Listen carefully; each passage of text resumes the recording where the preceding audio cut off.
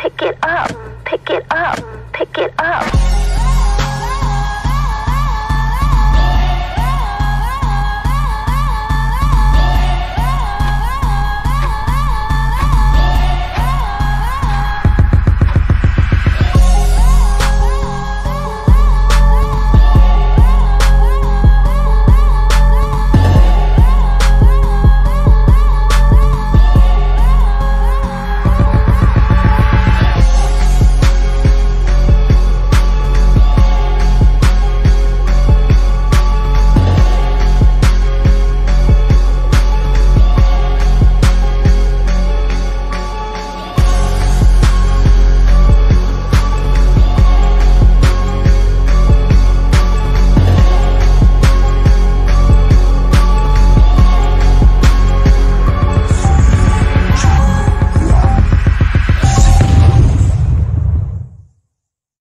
Lord, beloved of the Most High God, in the mighty name of King Jesus. How is everyone this evening? Oh, I just love the way that Golden Gate Bridge looked. That was ending there. We're a few seconds ahead of you in the stream, so I still get to see it here. I just love that picture. I just like pictures that are so, what do I call them? They're like, um, there's a word I have for it and it just escaped me. It's just when they're so beautiful, it's just like you have to stop and you have to look at them. I, I had the word in my head, and it just disappeared. I hope everyone is doing well this Saturday night. It's still Saturday, even on the East Coast. We're approaching what 11:20 on the East Coast. Out here on the West Coast, it's still early. It's like still party hour. It's eight o'clock. Well, the party wouldn't even just be getting started. If you were a party person, we're not supposed to be engaged in reveling. But 10 o'clock usually is when people start getting it, you know, is streaming in. So it's still early out here. I had a very satisfying, peaceful, fairly uneventful week, which I prefer. I hope that all of you had a blessed and wonderful and marvelous week. And since you made it here, I know God got you through. And once again, thank you for joining us this evening. Now, tonight we have all my friends here. I elected to let Jordan stay. I elected to let, I was tempted to wish him into the cornfield, but I didn't. I have Jordan, I have Ben, and I have Angel. Angel is on mute because she's doing her last minute things that she does. She has a full plate. She gets a pass. She's got husband, four beautiful little sweeties, a full petting zoo, and a mini farm. So she gets a pass. Espresso. I'm making espresso, guys. I desperately need caffeine, and I never do it until the very last minute. I'm muting you. Hi, Angel. Loud. Well, you might as well say hi now that you interrupted me. Hi, Hi. guys. I just wanted to say you're you're really just enabling Jordan and prolonging his um This is I, I know it makes it so fun though. Well, It really does. So watch him just like blow a gasket when he finally does come on. Hi, Well. Jordan. I mean, you're just as guilty as he is, really. If you if you uh if you co-sign his Angel, I'm behavior, sorry. Weren't you going back on mute, sweetheart? Weren't you going back on mute? Hi, Jordan. How are you doing? Do you all see the toxicity that just radiates off this program? Like, no wonder there's so many haters out there. I get it now. Whatever are you talking You mean about, because Jordan? of because of you're on the show? You're talking. yeah, yeah, yeah, that's right, Angel. Weren't you going back on mute?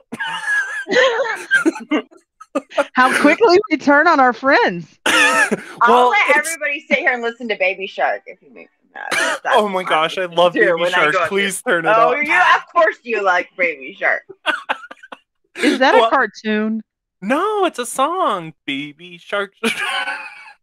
Okay, I don't take wanna it get also off. a this, like- cartoon that consists of just that song over and over and over again every episode. Yeah, I thought that was about Jordan's speed. How are you doing this evening, Jordan? Uh, I swear, if you come for me one more time, I might have to let my guard down. but I'm just trying to be kosher for the the. But you said the word friends, and that kind of threw me off because I I I, I considered us brother and sister in Christ, but friends, I don't know. okay. Good to know. Thank you. I'm to put that one in my mental Rolodex for next time. Some of y'all don't even know what a Rolodex is. Never mind. Is that something Then- the dinosaurs use? Yes, it was. Dinosaurs used to eat them, as a matter of fact. Okay, cool. Ben, how are you doing?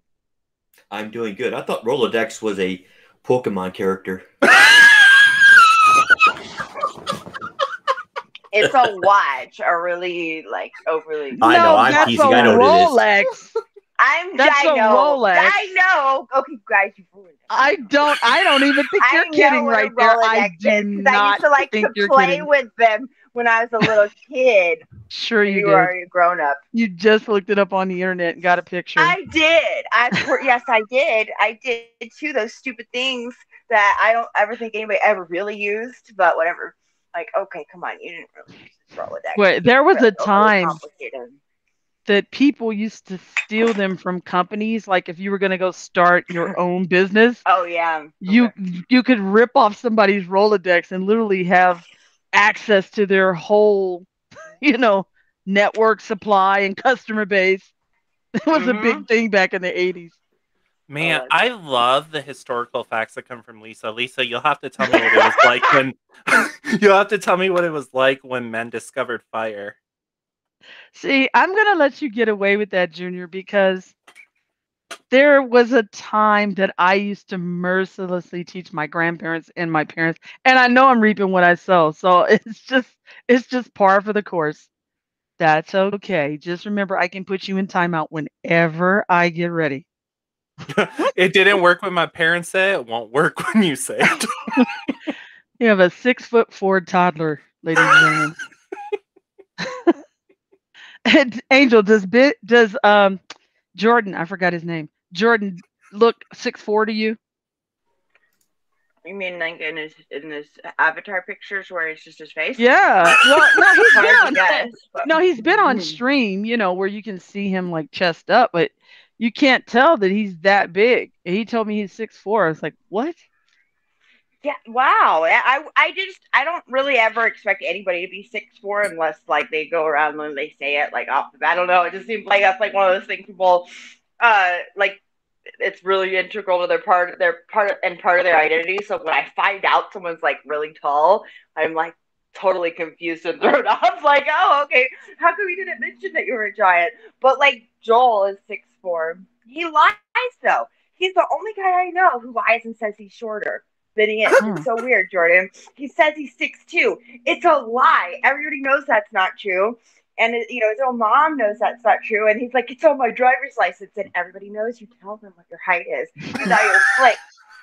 He thought, but no, who, what man does that? He doesn't want to be known as like. He, that's so strange. Do you ever? Are you are you ashamed of your height, Jordan? I think that's very strange. See, that's not the number I would change. I would change the number that appears on the scale. But it's so funny because, like, because of my height, my parents always wanted me in sports. So like football, basketball, and all that. And I'm like, this isn't even fun. I'd like I'd be like on the sidelines, football, my team be like, go, go, go. And I'd be sitting there crying, like, please don't pick me, please don't pick me. Like, nothing up like, first of all, you're waking me up in the AM. Already not a fan of you. And now you're gonna have like three people run into me. Like, that's not fun. Who has fun? yeah, doing Joel that? never liked sports either. yeah, I know. Angel, What were a you a tomboy though? Did you participate in sports and love to I do all of that, that? kind of tomboy. I oh, okay. I, I was. I, tomboy I that- asked. That did I didn't anything assume. like really super useful that like maybe a tomboy would do, like play sports.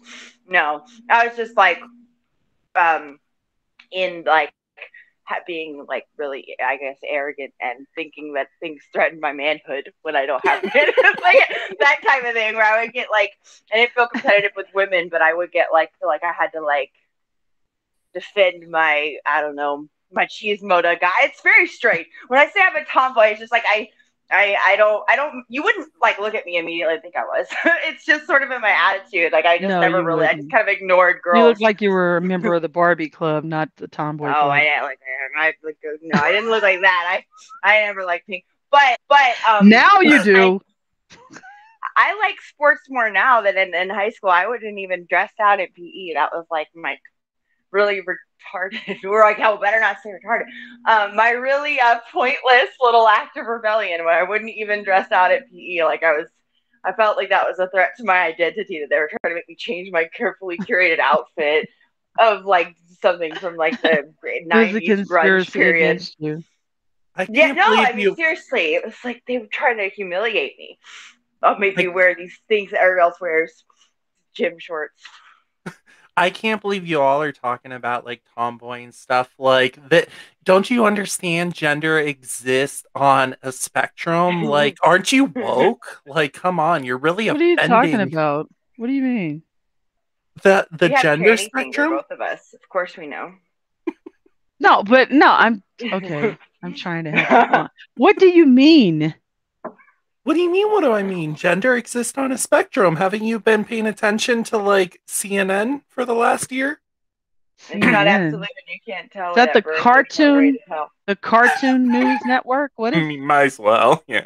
Oh, okay. No, I don't. I my channel skips over CNN when I'm so I only watch them if I want to curse and throw the remote at the TV.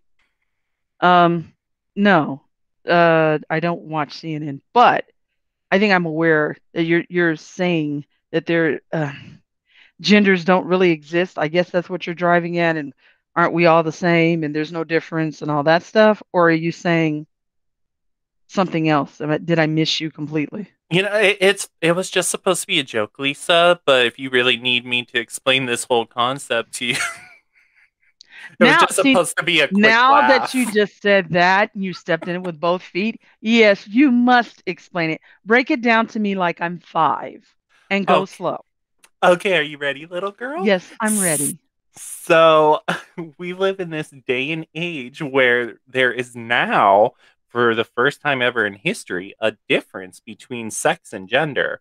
So sex is what you are born as, but gender is something you get to choose. And it exists on a spectrum, meaning that there's not just boy and girl. You kind of can choose your own anatomy and your own feelings and what character traits and all that that you want, basically down to the very chromosome that you um, have as your biological makeup. So th- this is um, part of being woke. So I would encourage you all to become woke because you know it, it's only then that you are truly knowledgeable in today's society and can see what's going on once you have embraced the woke culture. Mm. Well, you know what, Jordan? I just learned something. I just got a wrinkle in my brain because I didn't quite understand the dynamics of that. Because I know I remember when it was just the sexes, and they used to talk about the battle of the sexes. And as I said back in the 70s and prior to the 70s, gender referred to inanimate objects that you would assign male or female so-called attributes. Like a, there was a phrase, a thing of beauty is a joy forever, and that things that were considered beautiful would often receive feminine names, and things that were symbols of strength and power would receive masculine names.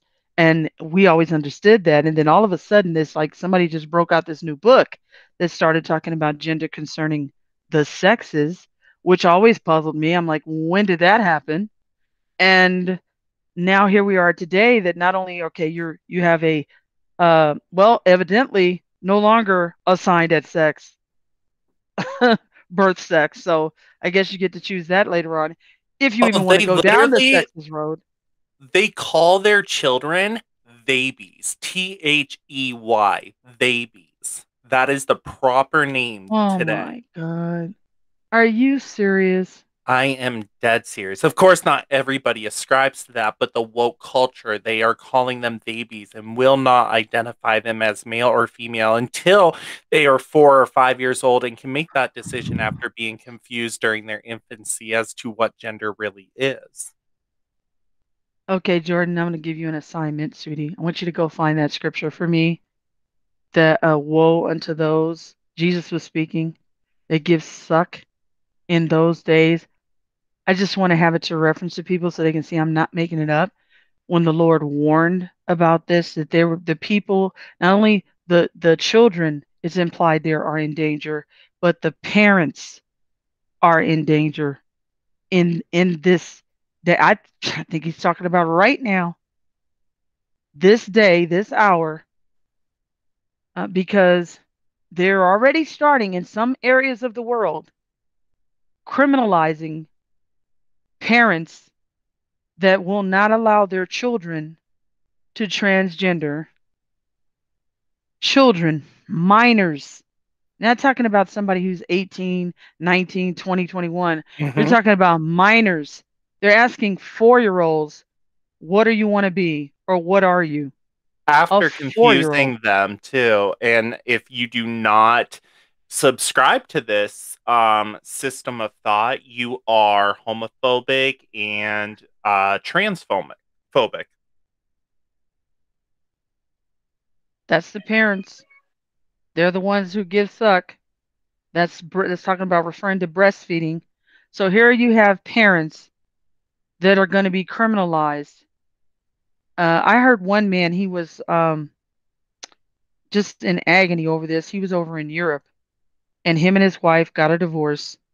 He had a son that went with her, and she bought into this whole woke culture thing. And he wasn't a he wasn't a junior like um, Jordan here. This man was like in his late 40s to early 50s, and he's lamenting that his ex was transitioning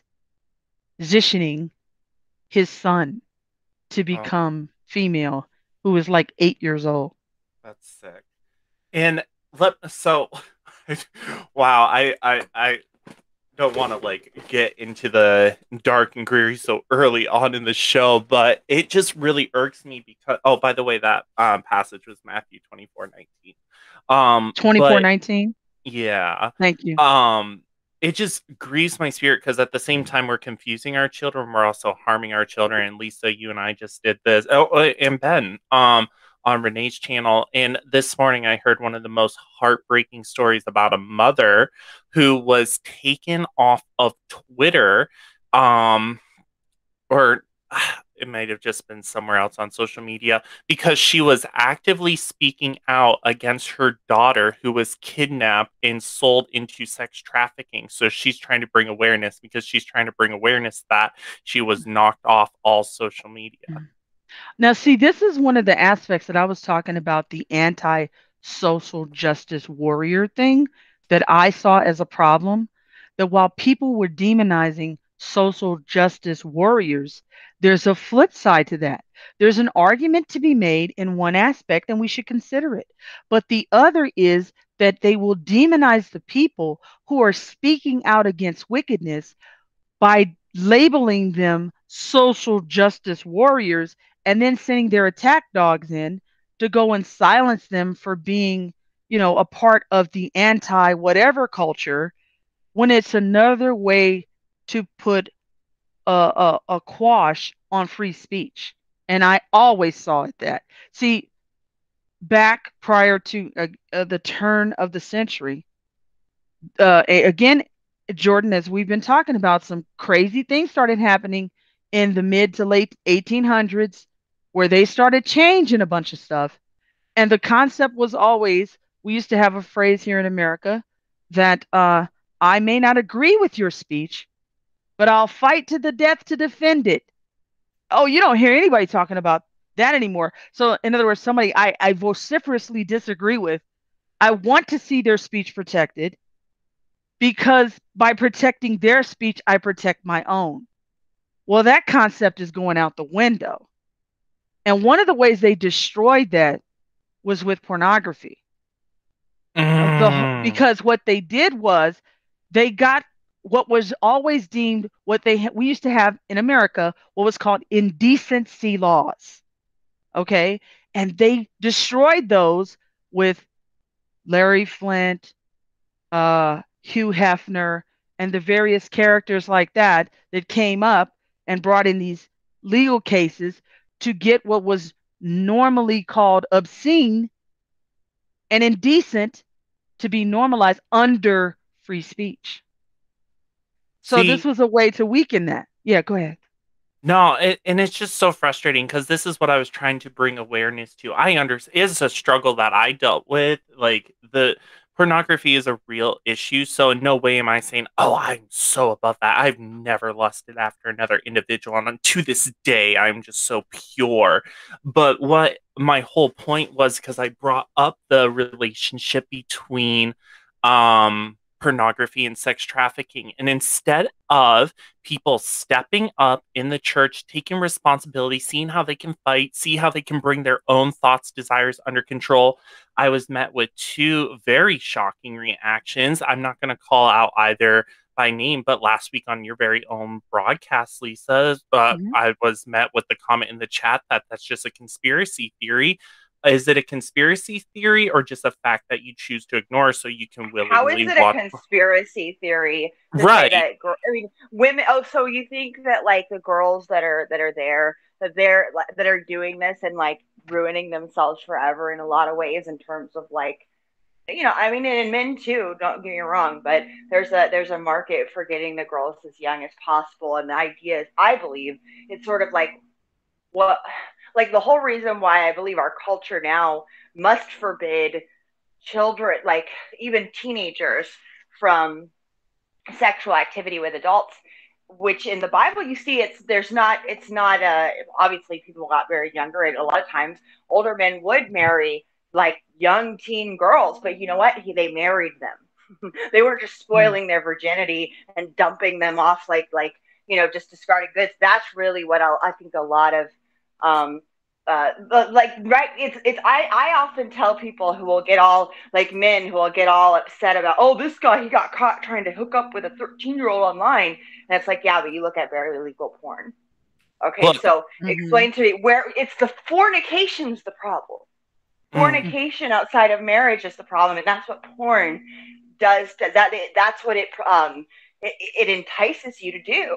I mean, it, it, gives you this idea that you're just supposed to be sexually gratified all the time and sexually stimulated all the time, and in a fornic, in, in, in, in the in the context of fornication, and you're watching fornication, and of course the girls who are like men are supposed to protect girls and you know and women mm-hmm. in that sense like and not because because there's a whether they know it or not they are they're giving something up that's supposed to be precious and and and it's not supposed to just be something that's um, used in the most degrading and shameful way uh, on camera forever even if she says she wanted to do it or even if oh i'm liberated mm-hmm. I, I don't care mm-hmm. whatever that's not true and men too don't get me like men are not supposed to be any any you can't have men uh, you wouldn't have a sluts without slut makers, right? So men play an equal role in this, but now we have I mean, OnlyFans is a whole new epidemic where where now I say like that'll be the cure for pornography. The true pandemic, like this is the and you're bringing up men and women, Angel, which is so true and tragic. But my initial point a couple of weeks ago is that it's financing the very efforts to take children off their front lawn. Oh, absolutely. Like, mm-hmm. Absolutely. Oh, I agree. I totally agree. And also, in reality, whatever woman you see on that screen, a lot of times they started when they were very, very, very young doing these things, and they are uh, broken little girls. Yeah, they were raped. And there was yeah. there was a woman. Uh, she she died prematurely. Uh, a few I think a few years ago, not that long ago. Yeah, her name was Shelley Lubben. She was. I remember it, yeah uh, a believer who was trying to get men to stop with porn, Christian men in particular, but men in general, and was trying to explain to them to it. You know the damage that it does, and how a lot of the women who are in porn, they're broken. They're not. They're not whole. It's not a wonderful thing, no matter what they say, and they victimize themselves. Right. A lot of them are raped, even being raped on camera and things and then also uh, that the women hate and you men. just don't know, right? Yeah, and but they actually hate men. Are, oh yeah, and a lot of these girls are like the cam girls, like the girls that are like like you pay and they'll like do something on camera. Some of them are in foreign countries, literally being like locked in rooms, forced mm-hmm. to do that. You just don't know, like unless you mm-hmm. really get to know your porn star Uh, you don't know what you're watching. And and and I will give credit to Owen Benjamin, who I did go after because obviously he's a heretic and he uh, is promoting all kinds of Noahide be- talking points with the whole anti-Trinity stuff. But he makes an incredibly good case about porn. He said all those things, and he actually has had a huge part to play in the idea now that I see a lot of like younger men online actually realizing that it's that it's it's not only is it wrong it's like it's like um, almost effeminate and like weak, weak. He he actually says it's like a homosexual uh, practice to sit there and think that sex, like the, the purpose of sex and fornication, it's just like this self um, gratifying thing, and you see yourself as entitled to it all the time. It's not about being procreative or doing anything in the context of marriage. It's just like this. Uh, entitlement to stimulation and it's very very base. And i will say that he actually uh, he just uh, had a huge impact since i've seen him stream. The way he makes fun of, of the way men think they're entitled to just like masturbate in front of a, a computer all the time to like these like victimized, you know, sad women who are, and I'm not saying that they're, you know, obviously they're accountable for their actions, but you have no idea really what you're watching, whether or not that right. girl even consented, like, or how old she was. And, and let's be honest, there most guys aren't going after they're looking for like middle-aged porn. I mean, I guess there is a market for that, but it's they're looking for these young girls that look like as close to virgins as possible most of the time. Whatever would and, be inappropriate to pursue in real life will pursue in the closet. And it'll just get more and more dark and spiral. And it's important. It's designed to make you go into like super degenerate to open a door stuff over time. Yeah, to open a door actually, to the dark side. Well, because yeah, because a lot of the, like the Pornhub sites, you'll Google like oh you'll search out something relatively vanilla, and it will give you those results, but then it will suggest or or advertise something like about incest porn or something really sick. And and there's been studies that prove that there is like an inextricable link between um, men who get addicted to porn and they uh, have to ratchet up the degeneracy over time in order to have it. It's like any other drug, right? It's not strong enough anymore because that's really what it is. It's arousing is, and for a lot of guys, it's the forbidden part of it. Um, and then they go down this like uh, it's almost like an algorithm that will lead mm-hmm. them into more and more perverse things in order to even get any type of stimulation from it after you know so like they'll it, it, there's a scientific link between um, pornography and uh, the development of like pedophilic and homosexual urges. Right. Oh, and yeah. Did not yeah. out that way. That's right. And a lot of guys will get numb to actual regular sexual activity in real life with a woman. Yeah, because it, it's not anything. It's not the same at all. It's not.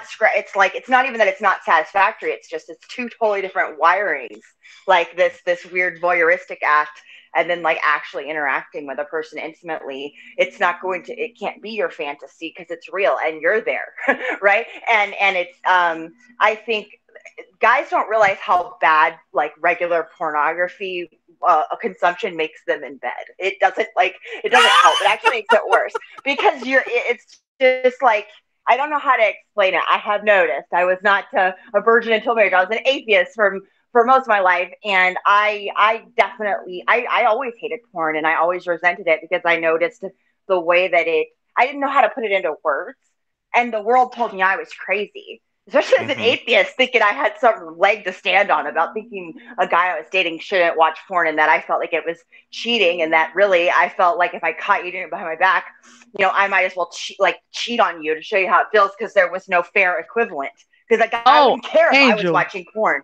I definitely just, I was very I was kind of crazy and vindictive. No, I'm not saying that's no, the same no. Response, but I wanted to show them what it felt like to to to to have someone betray you that way when I was perfectly willing to not go anywhere else outside for my sexual gratification, mentally or otherwise. And nobody, out guys just would walk into the relationship thinking they were entitled to do this, like have this mm-hmm. double life where, and and and it also like I, I, I if you actually looked at what they were watching uh, one time I actually, you know, I, I, when I was in high school, like guy, I, I, you know, I was still a virgin at this time, but I found his, he was only 16. I found his porn on his computer. I really wasn't even looking for it. It was just all over the place. And it was so gross and degrading and like just ugh, gross. The gross, like I won't go into it. Just, just gross. And like I asked him, and I wasn't just innocently asking. I knew the effect it would have. I said, "Is this what you want to do to me?" And he started sobbing. I'll never forget the way he sobbed in shame from the things I said to him. And I wanted him to understand, like, this is what, like, it's not like you're in this like bubble where it doesn't really happen. Like when you're sitting here masturbating, looking at this disgusting stuff. I didn't even believe in God. What I what I know now is that God is watching. It's not like it just because nobody else is around. A tree falls in the forest. They don't they don't know that you're looking at this sick crap and getting turned on by it. But like guys have to actually examine that so they understand like, is this who I am? Is this consistent with like what I hold myself to be? Like what I want other people to know that this is what I'm looking at? if not, like, why are you doing it? like, if it would give you such great shame, nothing said- I do with my husband would make me feel ashamed if other people knew about it. He's my, you know what I mm-hmm. mean? Like, because mm-hmm. it's the, you know, it, there's, it's not wrong or evil. And like, that's consistent with who I am. When this- you have a double life, that that's, that's, that's where that, there's a uh like a it's a huge door for satan really when you're I, you're not being consistent or authentic because you oh, are you making so many great points, but I need to stop you and interject a couple. Yeah, I gotta finish steaming this milk for the espresso, so I'm gonna mute. okay. Wow, you said a whole lot. You touched on so many different things that were just so true, which is some of the points that Sh- the late Shelley Lubben was making about women that were involved in porn that hated the men because of earlier sexual abuse in their lives, being raped or molested, and they wanted to destroy men. And they used porn, being involved in the industry, as a way to do that. Mm. They knew that it would Absolutely. destroy marriages. now, Yes. And I talked to a gentleman that this happened to. Now, what you said when you were talking was about feeling betrayed if a man was watching that and that it might motivate you since he's committing what is called emotional infidelity. Because remember, Jesus said, if a man looks Jesus just on a woman, infidelity, adultery. He yeah, he didn't right. even say emotional. It just well, no, it, I'm just saying it, it because people are psychologically that's what they look. Well, I didn't really cheat. Yeah, but it, but your wife doesn't look at it Jesus. that way. she doesn't look at it that Jesus. way either. So I tried to explain this to a guy who had ruined his marriage. He ended up getting a divorce because his wife went out and cheated on him when she discovered he was looking at all this porn and stuff. And she then began to feel she wasn't enough for him. So then she started looking for attention from other men. And it led to infidelity. And he got divorced and he was angry at her and blamed her for ruining the marriage. And I let him talk while he was doing the whole talk. I said, Can I show you something that you might have missed that you didn't pay attention to, to attention to. And I showed him the scripture where Jesus said, if a man even looks on a woman, he was a believer, and uh, to to uh, lust after her, he's committed adultery already in his heart, because he was doing this the whole boys will be boys thing. And I said, let me show you what the scripture says. And then I said, now your wife felt abandoned by you. And she went out and sought what she wasn't getting from you from another man. Now, I'm not saying she's innocent, but you are part to blame. He got quiet yeah. for a minute and he said, You know what? That is true. I am partly responsible for what happened. At least he owned his mess. Mm-hmm. That's yeah, that's big of him because that's it the was. thing that bothers me the most is the way that men feel entitled to it. Like, oh, like you're crazy for expecting them not to regularly look at other women naked and imagine having sex with them and masturbate like that. Oh, okay. I'm crazy well, for thinking like like like that's that's that's wrong if i if i'm you know we're we're together and i'm i'm being faithful i because women is harder i don't think it works as well for I, like it would be very difficult for me to do that and like look at men and be like oh yeah that's uh, like i could and if i did i don't think most guys wouldn't even care anyway so it's like not even a fair equivalent and they they they, they just uh, that that's why it's like you almost have to to show them how it feels. You almost have to actually cheat because a lot of guys just oh you look at porn cool that means I get to, like they don't care. So they Well- and there's an entitlement because the world has told them it's normal and that it's actually sick and abusive to expect Mhm. men not to do it. Jordan's And been one wanting to jump in for a minute.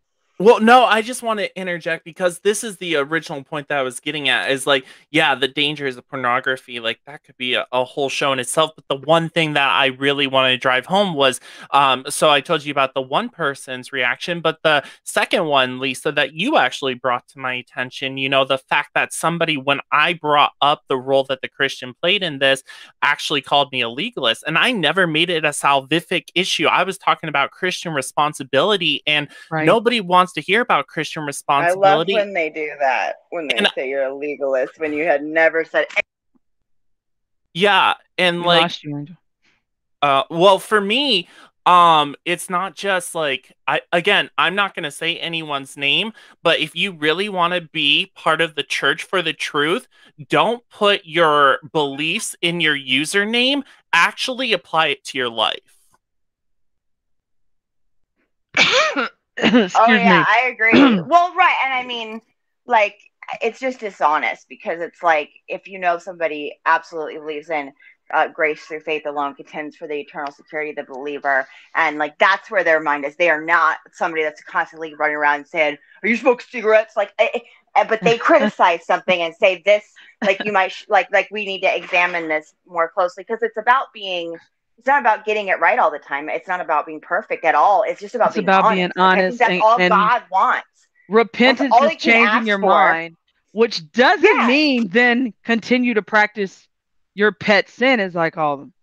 It means But if you do, at least not don't like deny it and say, "No, it's fine. You're crazy. You're a legalist if you think it's Well, wrong yeah. to." Well, that's what's what I called mean? being Like- a hypocrite, though, and also Yeah. making an occasion for your flesh. So you don't touch my pet sin. That hurt my that hurt my feelings. Mm-hmm. No, it's it's addressing what's wrong, and that's why I say, okay, let's say somebody is struggling with whatever. First of all, I always tell people, own your mess. Stop lying and saying, I don't want it. I don't. You're lying because if you didn't want it, you wouldn't be doing it. So the first thing is you have to own it. And you have to tell yourself before God, open your mouth. Lord, I'm doing this thing. I know it's evil. I know it's wrong.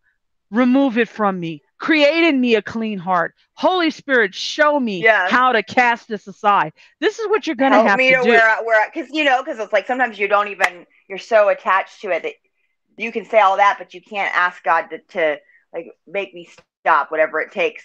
And it's like you almost have Well, to ask like him, give me the the courage to, to even get that far. Where you know, like Lord, I can't even I can't even ask you to just take this vice away. From Why not? He scared you'll do sees you. He sees I you. know. I'm saying that you have sometimes Not you have you. to pray to even get I'm not that talking to strength. you. I'm not talking Well, to you. right, I'm talking to the person. He sees Yeah. you. Oh yeah. So playing like y- you, okay, God, you know, he sees you. Even if you're going in the closet, he still sees you. So, Oh, and that you- should just ruin it right there, right? I mean, oh my goodness, that's embarrassing. well, that will help if people would actually put themselves in remembrance of the fact that you're not doing anything the Lord doesn't see. Well, and how selfish is it that we're sitting here talking about pornography and how it's relating to sex trafficking on a broadcast where we're trying to raise awareness to the agenda for child rape, but you're you literally hijacked the entire and Lisa, you know how disgusted I was with this. I don't know if I had the chance to talk to you about it, Ben, but I also talked to Renee about it. furious. I was furious because they just they took oh you, you you're making me feel bad. What about the children that are being raped? How bad do you think they feel? But because you don't want to feel convicted or condemned, like you just you wanna- didn't feel bad until now, really? Like, Yeah. I, that's what I like. You know, I don't just like it. I mean, even people that don't believe in God, I think naturally feel Mm, kind of stupid when they whip it out in front of the computer and just. I mean, it's like embarrassing. That's why they don't want other people to see. So it's like, it's so weird that people. I, I've not actually seen a believer have the balls to actually try to, or have the nerve rather, to try to defend it like that or minimize it. Oh, Like, you missed I it mean, then. Yeah, I You Oh, missed yeah. it because they did. it was Uh, just how dare you make me feel bad about my pet sin? Wait a minute. It- now hold on, hold on. I gotta get this in. Oh yeah, I gotta get this in. Now, if you go to justia.com and I don't know how we got down this road. It just must be Lord inspired because we were supposed to start with trivia, but. public indecency. Okay, you guys need to know this. How they have shifted. This is a part of the Antichrist spirit. The man of sin is going to change times and laws, and we're already seeing these things happen. They've been happening for the last 200 years going forward. Little drips and drabs, removing protections of things that are decent and moral and right. Now, there are these legal terms in law. So I'm reading it from a legal website, right? Public indecency generally refers to acts involving nudity or sexual activity in view of the public, often with the intent to shock, offend, or arouse. It includes criminal offenses like indecent exposure and lewd conduct. Some states use the term public indecency to refer to other offenses relating to public nudity, including the display or promotion of obscene materials. The U.S. Supreme Court affirmed the right of the United States to outlaw public nudity, holding that the state has an interest in protecting social order and morality, and that public nudity is not free expression protected by the First Amendment, and that was decided in Barnes v. Glen Theatre, 501 U.S. 560, 568 in 1991. Sexual activity in public is illegal throughout the U.S., but states and localities differ on what constitutes illegal public nudity, both in terms of what body parts are considered indecent and whether that's excuse me, must prove that a defendant had particular intent. It goes on to then describe indecent exposure and then also lewd conduct, obscene displays, and other offenses considered public indecency. I put the link in the, ch- the uh, chat. I'll put it in the description at the end of the broadcast so that you can go and read this for yourself. And this is what we're talking about when we start talking about these things and how they've started trying to chip away at these protections that have always been there in law, but now they're starting to roll them back and remove them either with new test cases or just steamrolling over them and pretending they don't even exist, like they're not even there, to protect the public and, by extension, the little public, which are the little people, the children. Now, oh la- yeah, and it absolutely has an effect on children, especially the ones Oh, who absolutely. accidentally come across pornography. Even though not even Mhm. just the ones that are actually victimized by abusers, but those who get uh get uh, exposed to pornography. I get exposed to pornography by accident at Mhm. four. I was not ever abused, but that that messed me up. That perverted my mind, and Mhm. uh, was uh, like uh, that was with me forever. It's it you know that I it, I didn't even I, I didn't understand it, and I thought that and because it was a oh, oh it was you know Playboy. I- I thought I was wondering. I didn't know if I was gay or what was going on because it was images of women, right? And it was Mhm. arousing to- at four. And, and and I'm a girl, you know, and I Mhm. wasn't abused. I never had anything weird like that happen to me. And I began masturbating at four. Nobody showed me how to do that. That was just the reaction to seeing this. And I'm never I've never been attracted to women. It's not even about it's not even a sexuality thing. It's not about like their orientation. It's like it's uh it's just the, the the stimulation of it at all. Like you know it's wrong, right? Or you know what you know what it is, even if you don't know what it is when you see stuff like that, even as a little Mhm. kid. And it has ruined at least two generations. Uh, but especially Oh, a lot more than that. Oh, a lot well, more than I'm that. talking about the online pornography. Um, Oh. how how it's been Well, so readily yeah, available to millennial men. Because Th- with the magazines guys are like lucky you're if they go about, past ten without seeing it first. You know I mean? Like uh, most guys now have seen online pornography before they're ten. yeah, but, but back then- in the day, Angel, see, because you're a millennial. Okay, like you found a magazine. That was how most young men and women got exposed. Because be, see, back in the day, a person either had to have a subscription to it to get it mailed to the door in the brown paper wrapping, or they, when you went into the supermarkets, they had them, but they were like they would be in one aisle behind the counter. there would be an adult there that was at the checkout, and you had to be over like 18 to get it, and they would ID you to get it. Yep, You I couldn't remember just- that. They'd have the little things over Right. pictures. Okay. Mhm. So and, and that in and of itself is is is I mean they don't even have to cover the picture when they do that because it just puts that in your mind Creates right the then. mystery. That- they're covering up the boobs and all it does is Right. make like Right. it, it's just as good as if it wasn't covered and it's the it's a it's a it's an intentional temptation. I well, they want curiosity killed the cat, right? So they want it, there was they always want that that in intention. your mind. Yes. hmm So Mhm. I know I found, well, my dad wasn't saved at the time. I found his stash. My mother didn't like it. She couldn't No, like stand it. Now I think every wife that ever in, had to deal with this in any way, they never like the the women almost always despise it. They hate it. And then uh he had it in his toolbox, I think it was. And my brothers found it. We were little. So then like you said, what did that do to our psychology and how it affected us? And this is what they oh, but see, y'all don't realize, some of y'all don't realize they always intended this to be the effect. They knew those kind of things were going to happen. Because if you look into who's over this stuff, this stuff is spiritual. So we're not hating on anybody. You need to look behind the person, whatever that public figure is, whatever person you think you want to blame. No, no, no. Look for the spirits that are behind that person because that's where it's coming from is spiritual wickedness in high places. And these, these, these spirits are real. There are what's called incubus and succubus spirits. So if they can get you because they know about this stuff, sexual energy, any energy, anger, just pick something. The demons feed on those things. They they feed off of human beings like like they're they're uh what do they call it parasites. Okay? They feed off of our energy.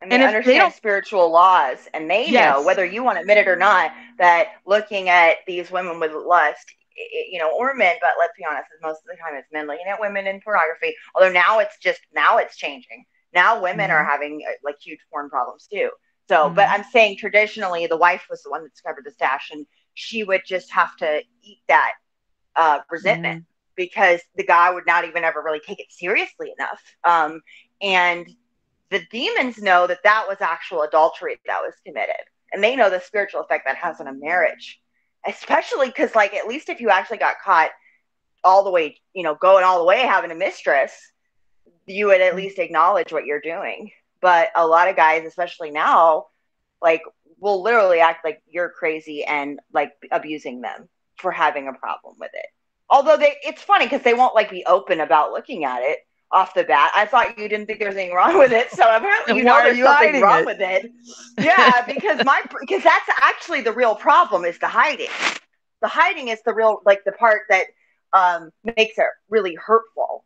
It, it, you know it, it's like once you actually trust somebody enough to where you don't you know that you're enough for them and like you understand their sexuality and you're not threatened by it and like you feel like it like as in a marriage like that you that it belongs to you and you you know yours belongs to to them and they wouldn't do something like that behind your back Mhm. um it, you know it doesn't even bother you if they do it it's the it's the betrayal and the secrecy but but the you know when all of the printing presses and everything started up you know i'm sure satan knew at least first off he was in trouble because the bible was going to be mass produced right but Mhm. eventually they found a way to use it to to really destroy us you know and that's you know and one way you do that is destroy the fundamental building blocks of humanity which is marriage Family.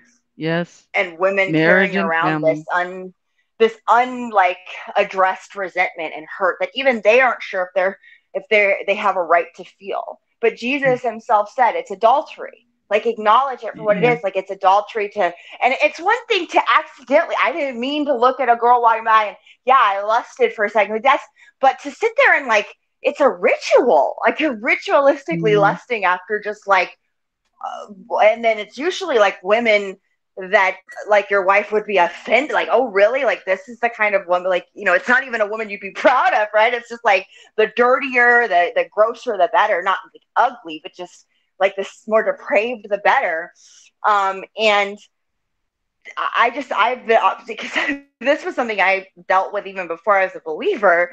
and and the more I think about it, it's just how how much poison pro- proliferated the relationship between men and women and and and we the it is not just porn it's the idea that we're entitled to fornicate and that fornication is the default state now and that it's Mm. actually weird how would you marry somebody without actually sleeping with them first what if that sounds like that would be a disaster you know like you wouldn't Mm. even know like know what you're getting like people well, are still doing mind that. is backward. I know, and our minds are totally backwards about marriage, and it's this entitlement to that spirit of fornication. I believe that's at the root of it all, whether it be porn or just the idea that like you were designed to, especially as men, to go out and like you're entitled to to to get your rocks off. It's like you know, marriage or no marriage. Like, how could anybody ask you not to do that? Like, no, God had a prescription for that. You get married, and and and it's between one man and one woman, and it's uh, and, and I don't believe that. I think marriage will always fail until we have a total like you know reprogramming about what it is and and what we are entitled to and what we're you know what we're not entitled to and that's one of those things it's like it's very childlike like just this masturbatory or urge and in all ways our society not just sexually but everything's about gratification not duty not honor not responsibility gratification instant gratification women have a whole different they're they're they're doing that in a million different ways too uh, and it's just like both men and women now that's how they're programmed that's their orientation to self gratification Yeah.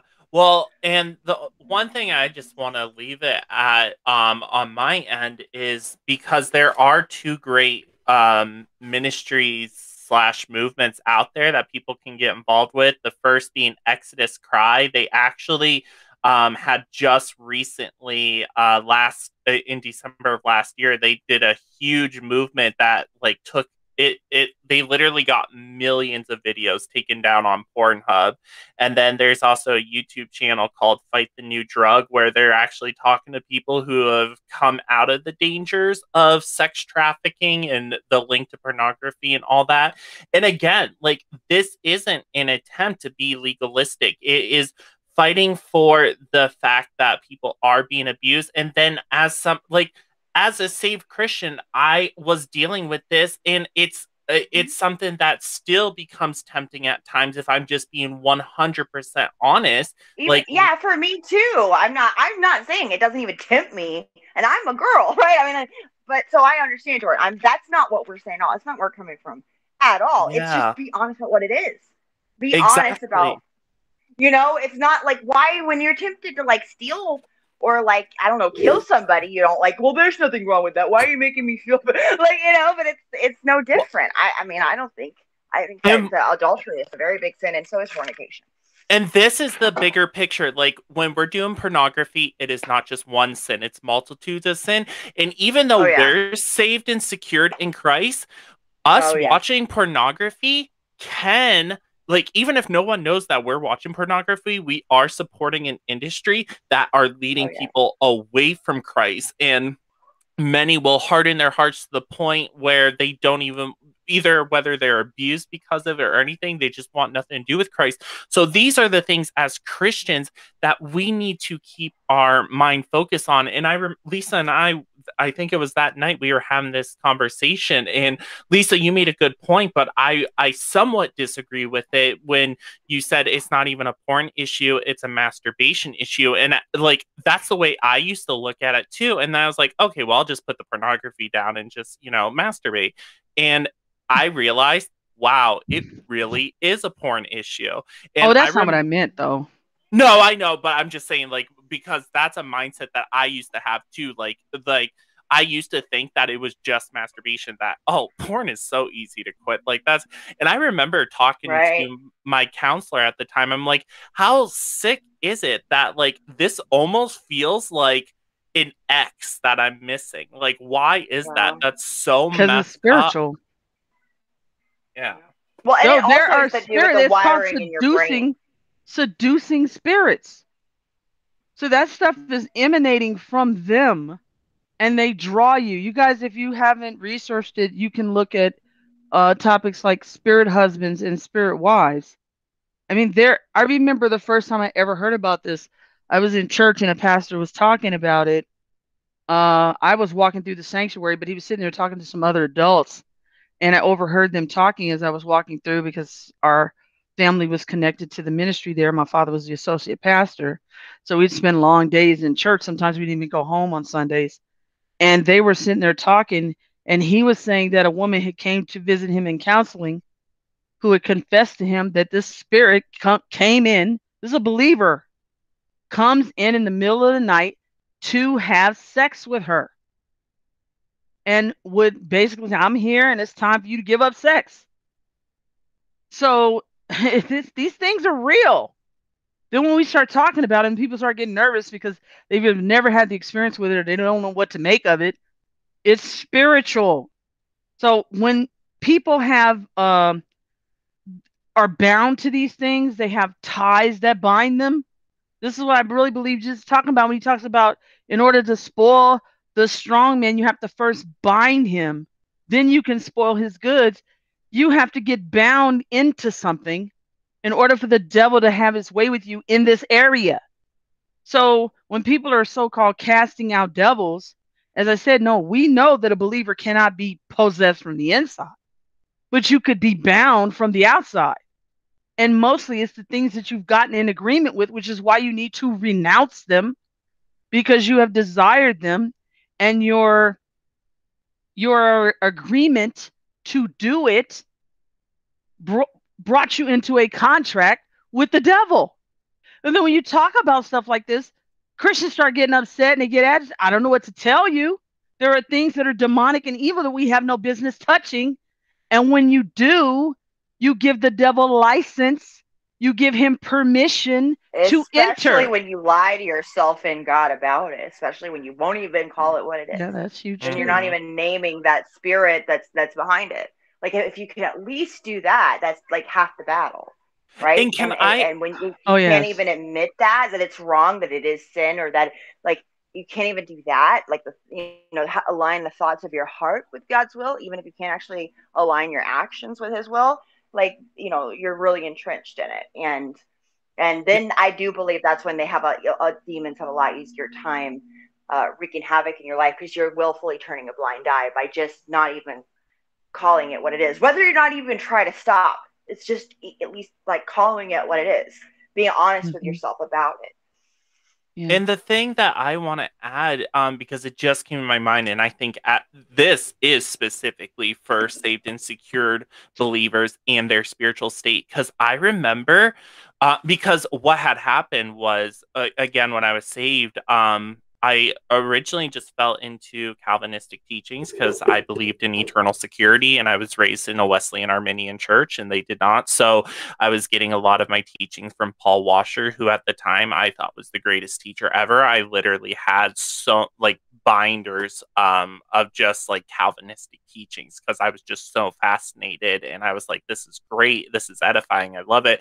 And then as um the logical conclusion as you start to get into Calvinism and you start dealing with habitual sin, you start to question whether you are saved, one of the elect, all these things. And so for me, um, it got to the point where I would watch pornography and then have a panic attack after. So, and it made no sense. I'm like, you know, you're going to freak out after this. Like, why are you doing it? But once I was like, okay, well, I can believe in eternal security and not be a Calvinist. This is the dangers for a believer because one of the things, it was such a breath of relief, but that breath of relief almost becomes the point where you negate the severity of the sin. And eventually, what happened, I was like, okay, I don't have to feel condemned over this. But then I I stopped even letting the conviction teach me and draw me close to God. So as a result, my whole spiritual walk, which started came with it, it pulled you in to a very dark road and or place in your life. Uh, and this is why I wanted to mention that. Uh, Psalm 51:10, creating me a clean heart. You can pray this to the Lord. Do so. Open your mouth and ask him. Creating me a clean heart, O God, and renew a right spirit within me. That means we can have a wrong spirit. See, when you talk about stuff like this to believers and they go, Well, you can't have a wrong spirit, you're full of Holy Spirit. Listen, I always point to the passage where Jesus commends Peter in one sentence, and in the very next, he is rebuking him and calling him Satan. Get the get the hints because this is we can operate and not be in agreement with the mind of Christ. That's that's why you have to make sure that you have a right spirit. Because if you receive something else, which is the introduction of a thought that is not in agreement with Christ, and then you get into agreement with that thing, and you begin to what? Practice. See, Mhm. th- this is why when, when we're talking about these things, this is what takes discipline and becoming a disciple and being which means being taught of the Lord, then if we're receiving his instruction, we begin to put away the things that are what? Not like Christ. but then people will start saying, well, that's not very gracious and that's not that's not very um what is it? Uh oh no, you're being legalistic. You're being legalistic now. No. We're supposed to have the mind of Christ, which means we're supposed to start casting away those things which would so easily beset us. We're not doing it to be saved. We're doing it because we are and we want to grow closer in our relationship with Christ and to be more like him and to exhibit Christ likeness to the world.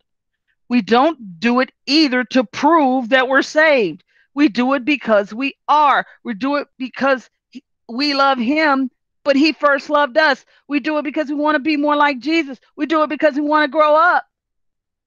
and this is exactly and this is exactly what Paul was talking about when he was talking about leaving the elementary doctrines behind. Like, we know this. So, nobody would dare to call Paul a legalist because we love all his quotes about assurance of salvation, who we are in Christ, and eternal security.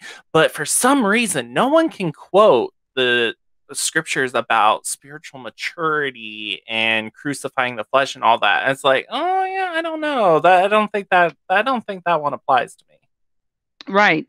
And and so then uh, you know because I I told you I went on somebody else's I told you this Jordan I went on somebody else's broadcast and I was trying to talk about these spiritual matters and growing up in God and and I got attacked for it and shut down for it and I was like oh wait a minute. This ain't right. Yes we're we're absolutely 100% free grace. That don't mean you're supposed to live like the devil. Just because you're saved don't mean you're supposed to live like the devil. Can we at least say that? Mhm. I'm like come on. You know that's error that is error if a person thinks because we can live like the devil now therefore we should live like the devil. Oh those those are two different things. Yeah you can fall and you can do something that's terrible and you are still saved if you are a believer but we then do not then go say go ye and do likewise or even dare to say that we were justified in any way. And we have to own our crap and we have to say that wasn't right this is wrong. That was ungodly. Come on. It doesn't make it legalistic to call a spade a spade. Okay, guys, really, we are so far down this road, and I know, I know we went where the Holy Spirit led, but we do got to try to come back here a little bit, or we're never going to get to our other topics for this evening. I'm just going to throw the, the the tips and trivia. We'll see if we can squeeze it in on the second side of the broadcast because we have to get to Brother Jordan's presentation for this evening, which I think this might even tie in with what he's talking about.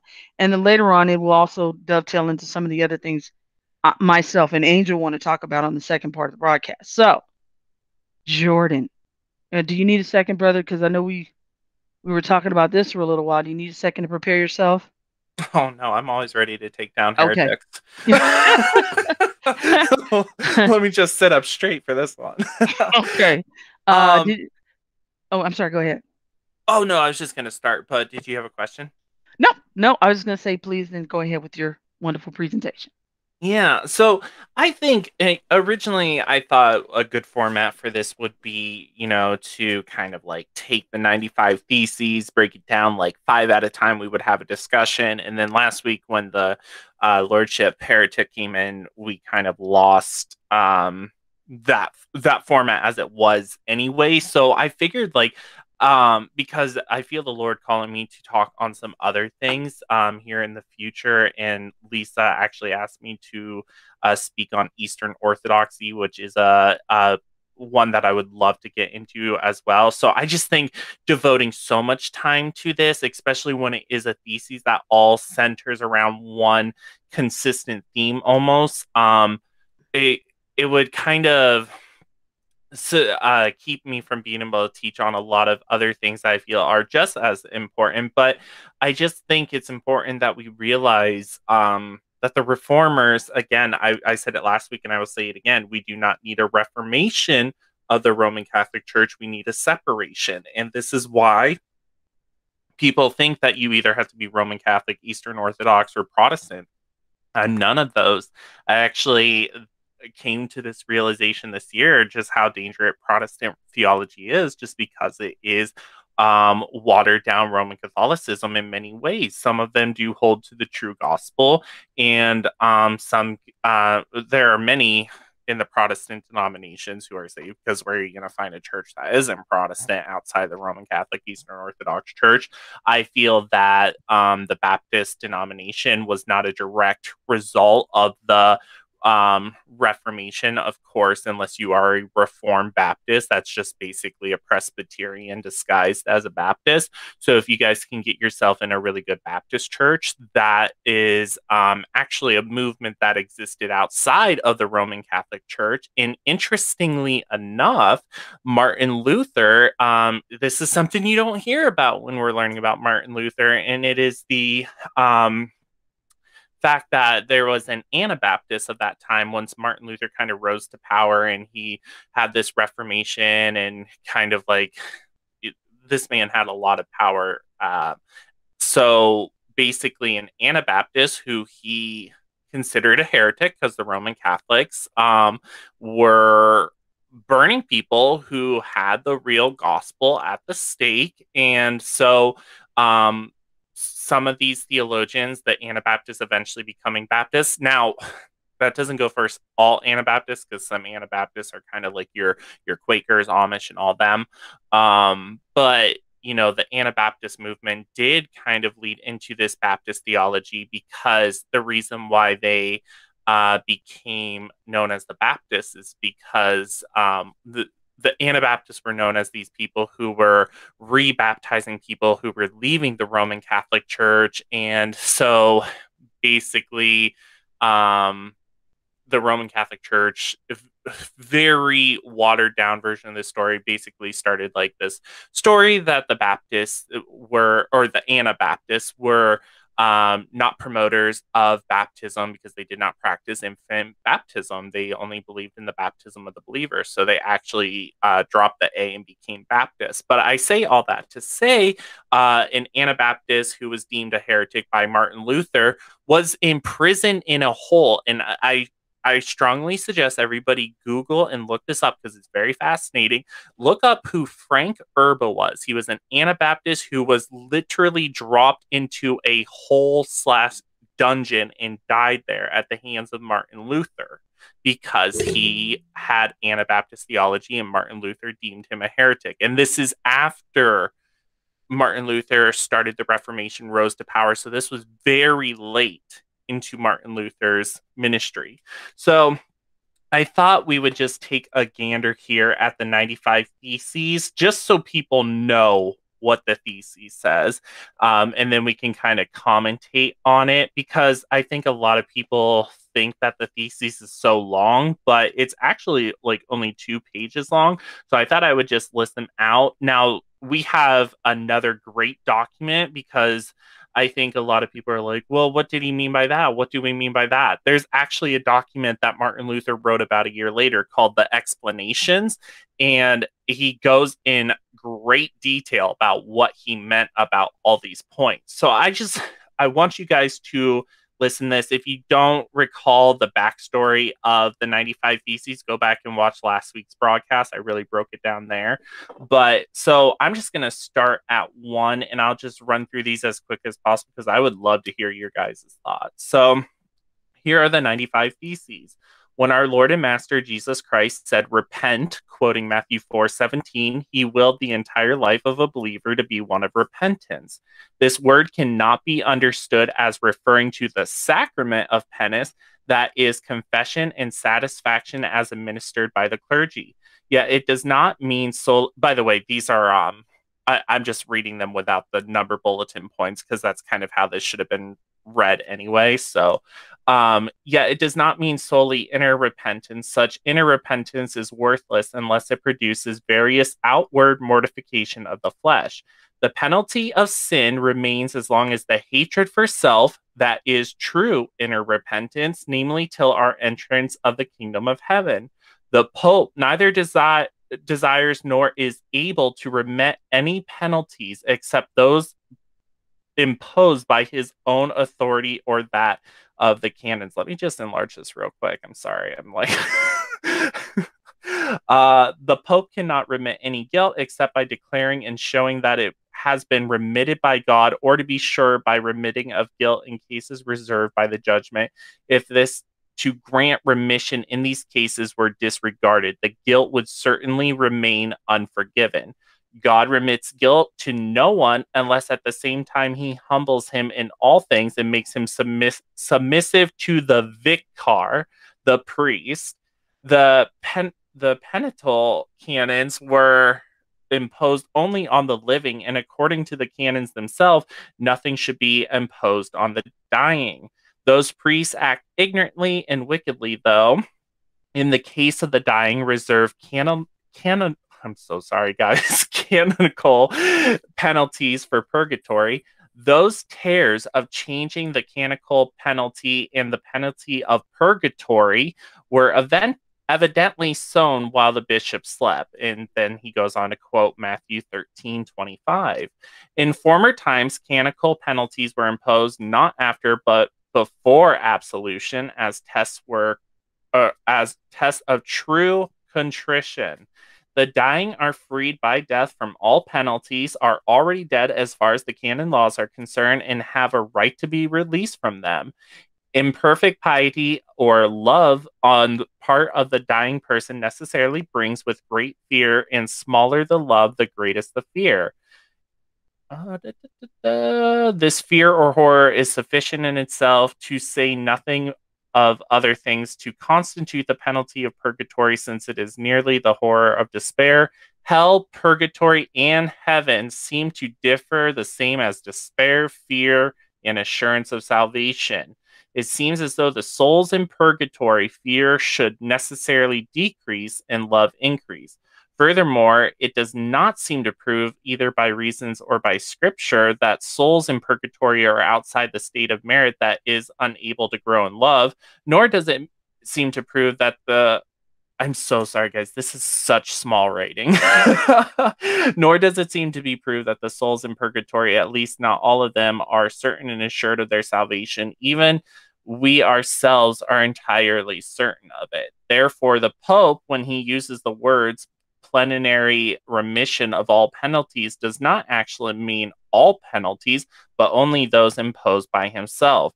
Thus, those indulgence preachers are in error who say a man is absolved from every penalty and saved by people indulgences.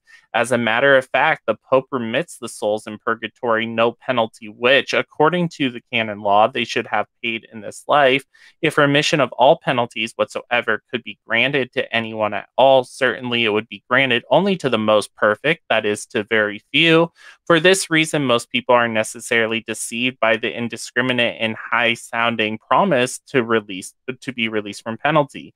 That power which the Pope has in general over purgatory cons- corresponds to the power which any bishop or curate has in the particular way its uh, diocese and parish. The Pope does very well when he grants remission to the souls in purgatory, not by the power of the keys, which he does not have, but by the intercession for them. They preach only human doctrines who say that soon as the money clinks into the money chest, the soul flings from purgatory. And I quoted that last week. It is certain that when money clinks in the money chest, greed and uh, I think that word's a virus, can be increased. But when the church intercedes, the result of the hands of God alone. Who knows whether all the souls in purgatory wish to be redeemed, since we have the exception in Saint Severinus and Saint Paschal as related in a legend. No one is sure of the integrity integrity of his own contrition, much less of having received plenary remission. The man who actually buys indulg- indulgences is a rare, as he who is really penitent, indeed, he is exceedingly rare. Those who believe that they can be certain of their salvation because they have indulgence letters will be eternally damned together with their teachers. Many men must especially be on guard against those who say the Pope's pardons are that of inestimable gift of God, which man is reconciled to him.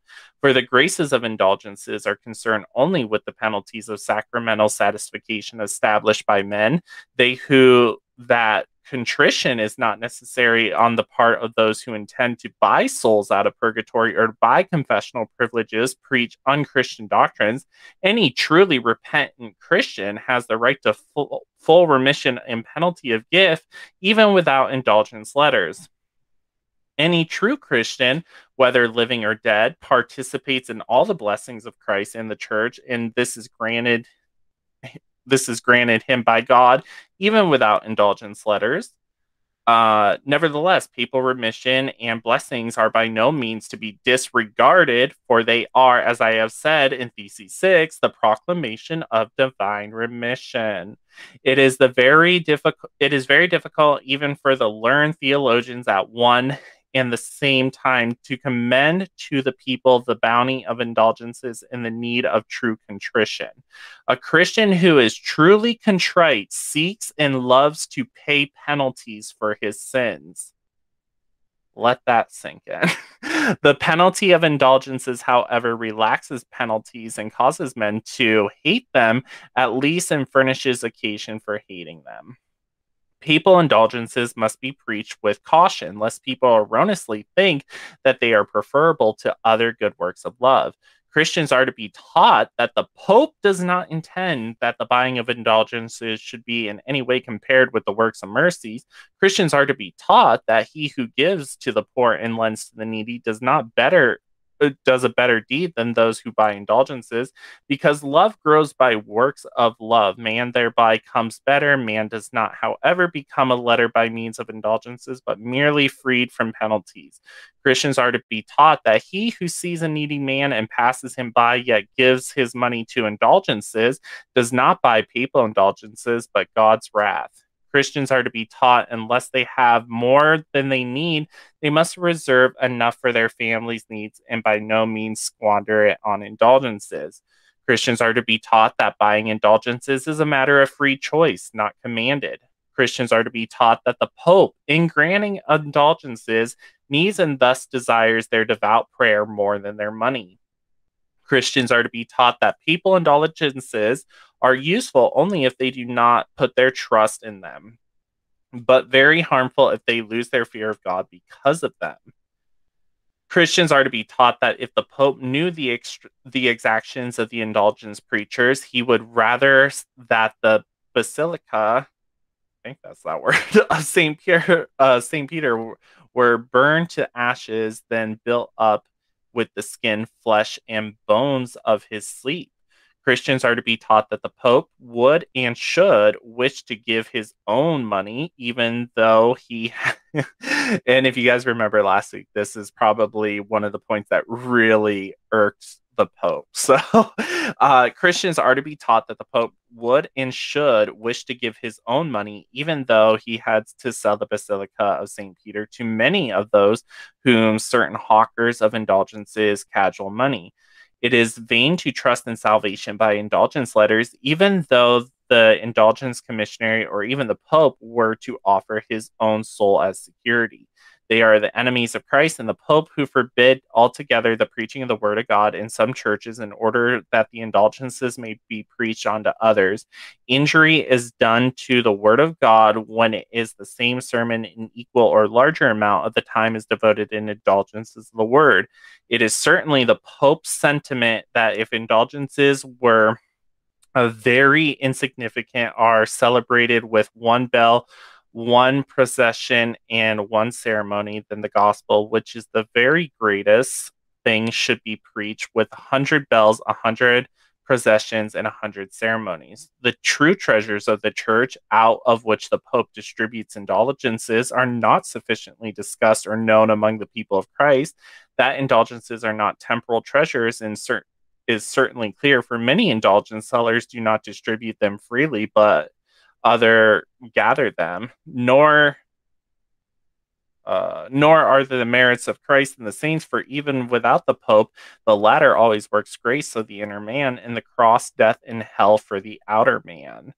St. Lawrence said that the poor of the church were treasures of the church, but he spoke according to the usage of the word in his own time, without want of consideration.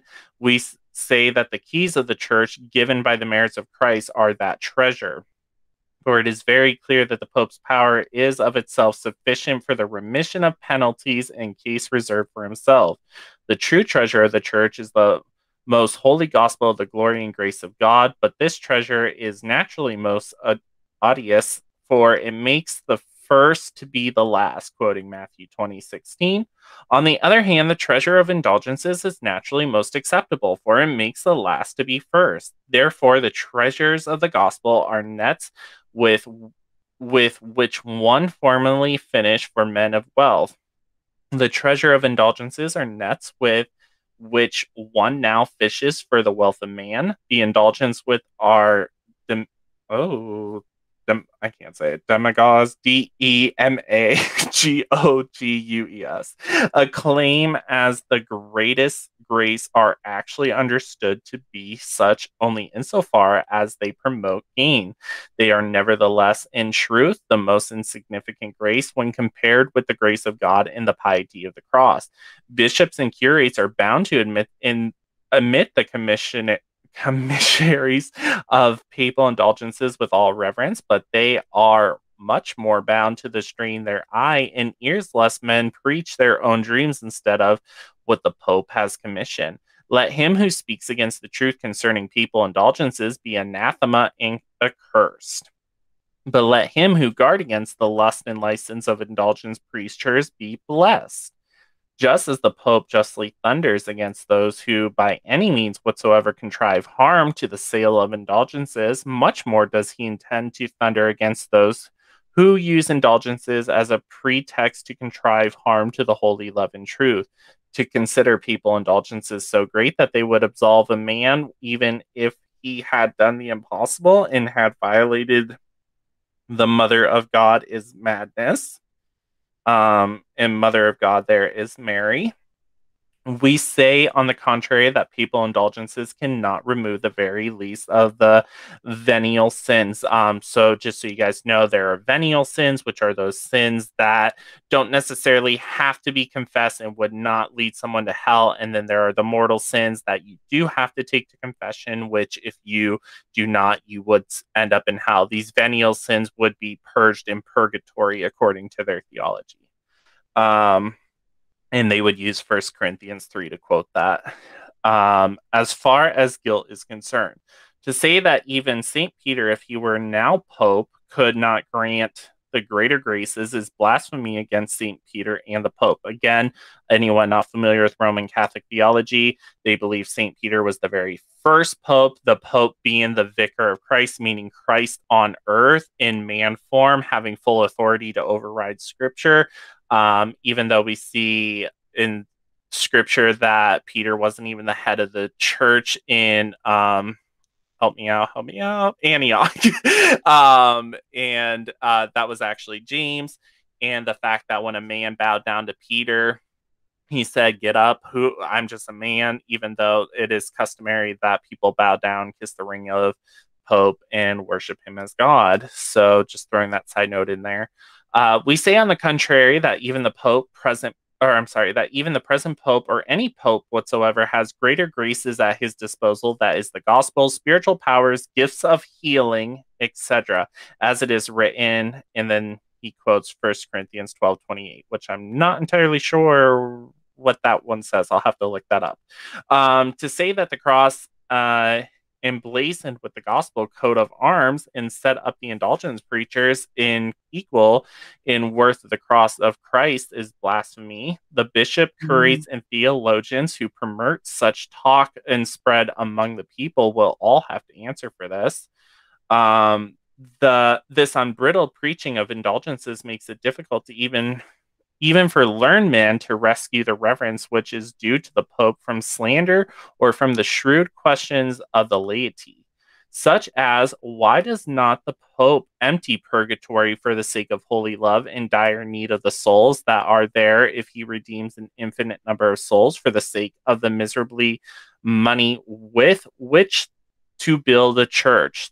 Um, and this is in quotation marks. I'm assuming this was a quote that was said at a council or something. So I'll do some digging in that. Um, but since it's in quotations, it only leads me to believe that it is either a response to a statement made at a council or something that was put into uh, writing that he was refuting that was going around at this time with these hawkers coming into town. So uh, the former reason would be most just, and the latter is most trivial. Uh, let me just find my spot here real quick. Okay. Again, why? Oh, and this is another quote. So, again, something else that he is refuting. So, the quote is Why are funeral and anniversary masses for the dead continued, and why does he not return or permit the withdrawal of the endowments founded for them, since it is wrong to pray for the redeemed? Again. So every time he says again, it's followed by a question in quotes. So, uh, so again, what is the new piety of God and the Pope that is in consideration for money? They permit a man who imposes their enemy to buy out of purgatory of God, and do not rather Becca use the need of the pious and beloved soul free it for the pure love's sake. I'm actually wondering, I'm going to have to do some research on this. I'm actually wondering if these quotation questions are questions that he's actually proposing to be discussed, because that's what it's starting to sound like to me. But I, and if anyone knows the answer to that in the chat, I would love to know. Um, again, why are the penitential canons long since abrogated abrogated and dead in actual fact and thought disease, now satisfied by the granting of indulgences as though they were still alive in force. Again, why does not the Pope, whose wealth is today's great, whose wealth is today greater than the wealth of the richest Crass, Crassus, built this one in the Basilica of St. Peter with his own money rather than that with the money of the poor believers. Again, what does the Pope remit or grant to those who, by perfect contrition, already have the right to full remission and blessing? Again, what are the greater blessings that could come to the church than if the Pope were to bestow these remissions and blessings on every believer a hundred times a day, and as he as he now does but once? Since the Pope seeks the salvation of souls rather than the money by his indulgences, why does he suspend the indulgences and pardons previously granted when they have equal efficiency? To repress these sharp arguments, yeah, so this right here lets me know these were just proposed arguments. So Theses 90 says, to repress these very sharp arguments of the laity by force alone and not resolve them by giving reasons is to expose the church and the pope to ridicule their enemies to make christians unhappy. So it for sake of not being dishonest right now or speaking of ignorance i will say i'm not fully familiar um, with the nature of these questions, but it sounds like these are just bullet points of things that we need to question and almost hypothetical questions that were not being answered in the church. So I will do more digging on that. That's not something I had ever considered. Um, having the 95 theses. But uh, so here's the last five right here. So if therefore indulgences were preached according to the spirit and intention of the Pope, all these doubts would readily resolve. Indeed, they would not exist. Anyway, then, with all the prophets who say that people of Christ, peace, peace, and there is no peace, and it's funny because he uses that peace, peace, and quotes Jeremiah six fourteen. Blessed be all the prophets who say to the people of Christ, cross, cross, and there is no cross. Christians should be exhorted to be diligent in the following of Christ, their head, through penalties, death, and hell, and thus be comfort, uh, confident of entering the kingdom through tribulations rather than their false security and peace, quoting Acts 14 22. And that, ladies and gentlemen, is the 95 Theses that caused 60,000 denominations. And as we can see, there are a lot of heresies and um, some misquoted scripture in there. Hmm. Wow. You had a lot in there. There's a whole lot. But if we interjected on, on the different points that we heard that were troubling, we'd be here all night. This would take like over, exactly. over four hours to do, I'm sure. Uh, Yeah. Go ahead. Ben, did were you going to say something? No. Oh, oh, oh I, I thought I heard you. Okay. Uh, yeah, I was just looking up the word because you mentioned it a couple of times when you were reading. Uh, I think you said basilica more than once, I Mhm. think. Yeah. Uh, just to give a definition of that, this is something you're gonna find a little interesting, I think. Um, an oblong building ending in semicircular as apse, A-P-S-E, used in ancient Rome, especially for a court of justice in a place of public assembly. That's the first meaning. Second, an early Christian church building consisting of I think it's na- nave, N A V E, and aisles with clerestory. That's C L E R E S T O R Y, and a large high transept from which an ap- apse, A P S E, projects, and then a Roman Catholic church given ceremonial privileges. I also think, though, that that word is derived from basilisk, which is a term for a serpent or a dragon. Um, Oh yeah, because if you look at their buildings, they have like dragons on the great point, Ben, because if you actually take the time to look at these buildings, they have dragons as door handles and like why why? oh yeah, there's a um, there's a famous statue at the Vatican. I mean, we all know that. Well, hopefully, we all know, or that you know a lot of the, the arch, uh, architecture. Uh, if you look at it carefully, it, they have either like dead sheep or uh, sheep under under the um, the, like the whole throne or, or the altar, so to speak, are, is showing like a, a sheep's head. Um, they show all kind, and, and, like uh, the whole Virgin Mary thing is really just a. They often picture it if you turn it upside down, especially it, it looks like a vagina. Uh, Mm-hmm. the there's statues, uh, a very prominent statue of a uh, forgot the name of it. It's um, it's a uh, father and son, and they're and they're struggling with serpents. They're like strangling them, and and you know uh, they're they're wrestling with serpents. Um, it was really interesting too because when I was looking at this whole uh, human evolution uh, hoax thing, I, I noticed that some of these people uh, they went to the Vatican, and they, the only only pictures they took of it was them posing with these statues of men uh, wrestling with the dragon. Uh, so yeah, I mean the whole the whole Vatican architecture. We know there's the, the keyhole, which I think is a picture of the a key to the bottomless pit. There's peacocks and acorn, uh, uh, peacocks uh, and um, uh, uh, pine cones all over the place. I mean, it's all it goes back to Egypt. It's all Yeah, all it's definitely connected to sacred geometry. For example, that word I just looked up, uh, uh, APSE word, um, was it? How was that spelled? Hold on, make sure I have it right. Because I was just looking. Yeah, APSE. It's connected to the word apsis, A P S I S, which when you look that up, it's a Greek orbit and they show a circle with all these different dots and it denotes either of the two extreme points the farthest and nearest point of orbit planetary body about its primary body or simply the the primary the plural term apsides usually implies both apsis points farthest and nearest. And then there's a bunch of different diagrams that bring up other terms like orbital, orbital eccentricity, elliptic orbit, orbital inclination, uh, Kepler's laws of planetary uh, motion, and then the argument of periapsis, which is another disk that's coming up, looks like from the Earth.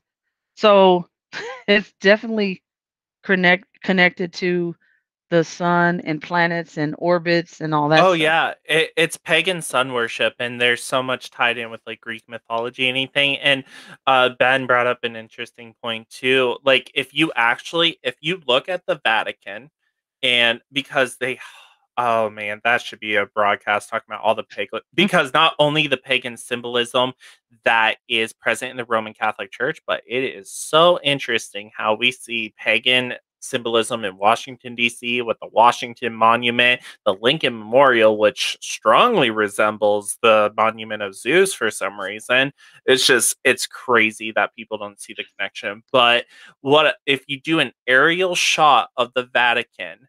It actually um is shaped like a male's genitalia.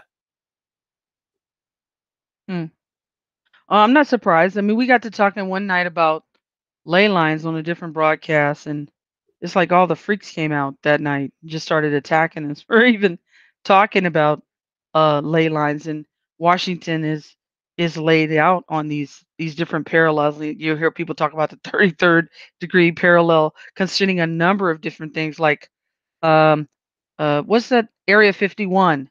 That's laid out on ley lines and different things. That this this is we didn't create this stuff. I mean, and when we start talking about it, and why do people get agitated about it? Thank you for that, Jordan. I really appreciate that. Yeah. Wow, that was a lot to take in. I'm I was just like heresy, even heresy, and this blasphemy.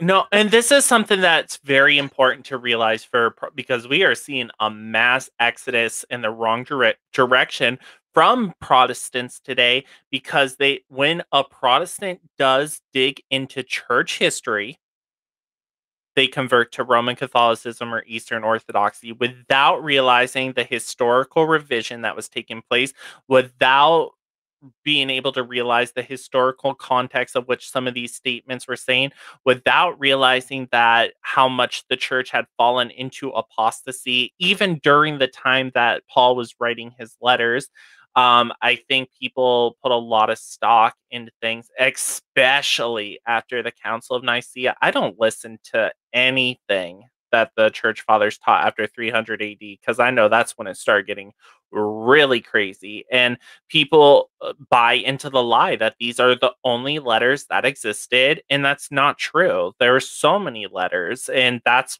you know, the canonization and all that. That's what took um so long to figure out and it's important. I think church history is very important but i think if you are not fully rooted in what the bible says it's very easy to fall into this fallacy that the roman catholic church will lead you into because they they not only because while every cult has proof text they have proof text from history and they can make a very strong case. And so if you're not prepared for that and if you're not Holy Spirit filled, you can really buy in. And all it is is uh ancient Babylonian paganism disguised as Christianity when you get down to it. So um, I say this to warn Protestants to not fall into heresies, but also learn the roots of the very thing that they are going to church because there is so much paganism practice in the church today and in the world and i'm not trying to be like one of those like oh everything's pagan don't have fun kind of person but we do need to think about uh, do you choose to bow before god or do you choose to bow before baal? That's a very important responsibility that a christian needs to make. Everything does boil down to worshiping god or worshiping the devil and so i i just be cautious if you do dig into church history um, because there is quite a bit of alarming things and you have to understand that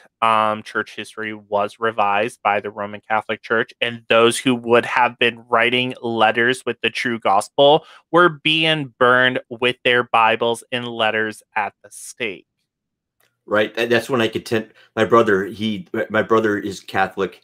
Uh, well, actually, my, well, he's the main one, and uh, he, you know, I argue with him all the time. Like, why would you trust the fallibility of history to trust that we've you- you've received it and and uh, over and above the infallibility of God's word?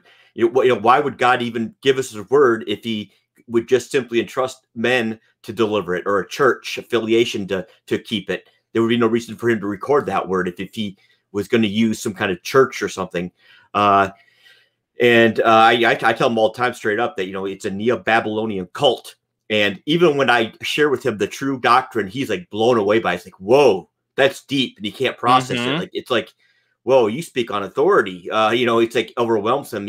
In yet, i I can tell it's you know coming hard against his programming, and he doesn't know quite what to do with it. But there's some kind of stronghold on him, I, and I think it goes back to stuff he did as a child, uh, messing with Ouija boards and whatnot. Um, Mm, but uh, I, I still hold out hope for him.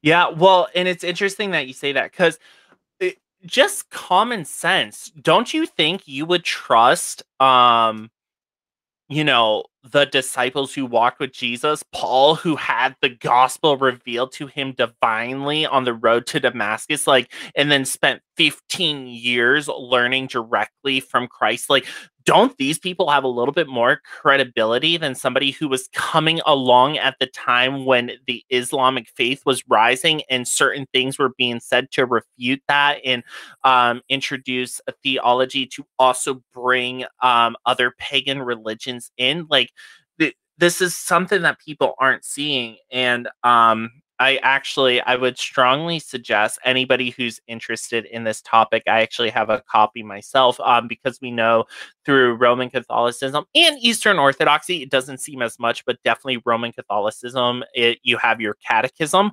Martin Luther actually wrote his own catechism. Um, I believe you can get the short catechism on Amazon for free. Uh, you might even be able to get the short and long one uh, for Yeah. a cheaper price. But you can get online get at. Uh, I'm sorry. Uh, you can get it online for free at lcms.org. That's that's Lu- a Lutheran Church uh, Missouri Synod, and that's one my my, my daughter. I'm sorry, my wife goes to, and uh, you could you could find uh, that you could find those short and longer catechisms on there. Uh, and what's interesting though, while you were talking, I was looking at for you know looking for about because the, the things you were saying about what he in his uh, whatever you call it, his treatise about indulgences and things like that. There's no reference of those on on that site, which is uh, you know interesting uh, that they kind of conceal that or don't even try to refute it. Um, so I thought I'd add that. Sorry to interrupt. No, that was that was important. Jordan. Um, I just wanted to, I wanted to say, um, I, I'm glad that you brought up Eastern Orthodox because I've seen recently it's like uh, those who are, uh, you know, maybe like former unbelievers, agnostics, whatever, they're starting to realize, or you know, that the Bible's true, or it might even just be like a political thing because they're conservative and so they're becoming Christian and somehow like they could they're smart enough to see through Catholicism and know not to trust the Vatican they think but a, a lot of them are are ending up in the Eastern Orthodox Church and saying that's the church. exactly. yeah No. yeah they and, and they come off like they're base like they're the they're the down to earth uh, uh you know red pilled Catholic Church or something like that and they're they're doing these things where they'll like take a stand politically stand And up they- against like a lot of these little that's how they draw people in they look like they're the ones who are really walking the walk and Mhm. nobody even cares about what the doctrine is and you know i've had eastern orthodox tell me that the, that like you know that, that they believe in faith alone right but um Yeah. it seems like it's even harder to nail down exactly what their uh, gospel presentation is it was difficult for me to figure it out at least um Well, they're they're pretty varies. They're hardcore legalists. I mean, you could t- pretty much tell They any are. false religion by the outfits they wear. You know, where where the uh, the Yeah. leadership will wear. Uh, you know, they separate themselves from the laity by wearing fancy outfits, and somehow that makes them more holy. And I know the uh, Eastern uh, East, the Orthodox are pretty hardcore, they, and, and they may say faith alone, but they redefine faith like, oh well, exactly. faith that works. Yep. You know, faith, uh, faith means actions Well, Yeah. and that's what you always have to get down to. Are they just are they defining faith like Hebrews defines faith, or does faith like for example the Church of Christ, which I always bring up, to them water They're baptism? one, they're screwing people up too because they get into these conspiracy and conservative circles. I've seen a lot of that. Exactly. So it all boils down to um what elements are introduced with faith. And so um but this is actually why Lisa wants me to talk on this because I don't think people realize everyone just thinks, oh, Eastern Orthodox, that's just a rebranding of Roman Catholicism. It is a complete different religion, even from Roman Catholicism. It, it focuses on theosis, that is their main thing of salvation. Their whole concept is God became man, so man can become God. So I'm really looking forward to that presentation because there is no one on the apologetics field right now tackling Eastern Orthodox. And Eastern. Orthodox is And, more and there's a lot of people pushing for it. Like like uh, Jay Mhm. Dyer, he's like their number one like PR guy lately. Oh, or Hank and- Hanegraaff, the Bible answer man. Why is he why is he the Bible answer man? Oh, I, I didn't even. I, I've heard of him. I don't even know who he is.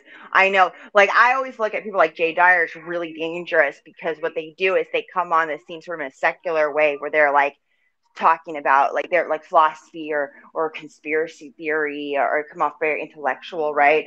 And then Mhm. they give away their and, and they gain all this trust and respect uh, a, a lot of times of people that are unbelievers um, and or not sure where they stand but looking, and then they get the res- you know they they get these people respect and then they make their endorsement for which uh, false Mhm. doctrine that they promote and then they go to bat for it and he, he i mean he just talks endlessly about it all the time you know and and uh, brainwashes people Yep. Yep. like e michael jones for the catholics if you've ever heard of him he's a snake I haven't heard He's of him. snake. I'll look him up. and, and and then there's this this have you heard of the sedevacantist uh sect of catholicism it's like this uh the anti-vatican ii trad Oh, yeah. No. that's real real dangerous. Man that one's really bad because of how how close to the truth it is in a lot of ways.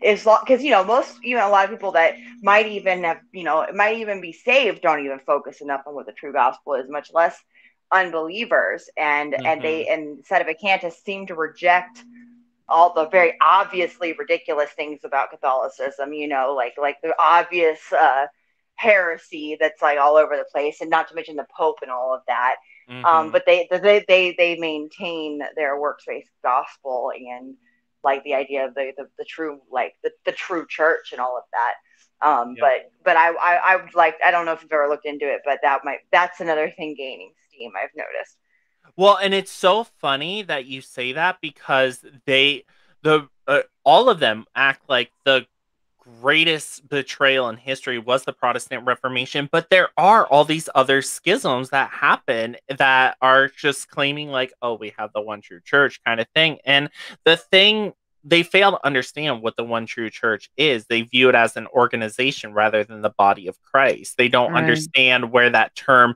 originated from. Just like the for example, the word gospel. Like we know what the gospel is today in its context, but people don't understand that that was almost a very tongue in cheek, like statement against Caesar at that time. Because when Caesar would con- um, conquer his territories, he'd be like, "Oh, here's the gospel of Caesar. Like, congratulations, you guys have been conquered, and now you're all subjected Mhm. to Caesar." So they took that word and they're like, "Here's the gospel of Jesus Christ. He's the real king, the real conqueror, and all that." And the same thing was happening with church, the word church being like the assembly or anything, you know, the ecclesia, the called out ones. We are called out for a purpose in the body of Christ. So, um, but they just take the church into the four walls because just like many cults and everything, they want to make the church the way of salvation. They want to play God themselves. That's all any false religion is, is an attempt to play God and control the masses and bring salvation under their terms of and their umbrella. Right. Well, that was a perfect ending. that was a perfect place to stop right there, Jordan, because we're going to need to take our break now. I thank you guys for the lively discussion that we've had on the various topics. that we have discussed. Uh, this will conclude because Jordan ran through it. Now, Jordan, if you want to come back at a later date for some of the explanations where you were saying, um, what's his name? Darn it. Martin Luther. Thank you. Martin- Martin Luther, because I was thinking about Eastern Orthodox and all these different things you guys were Uh. discussing. Um, if you want to come back and and do his uh, explanation of his own theses, that's fine. We can do that another time.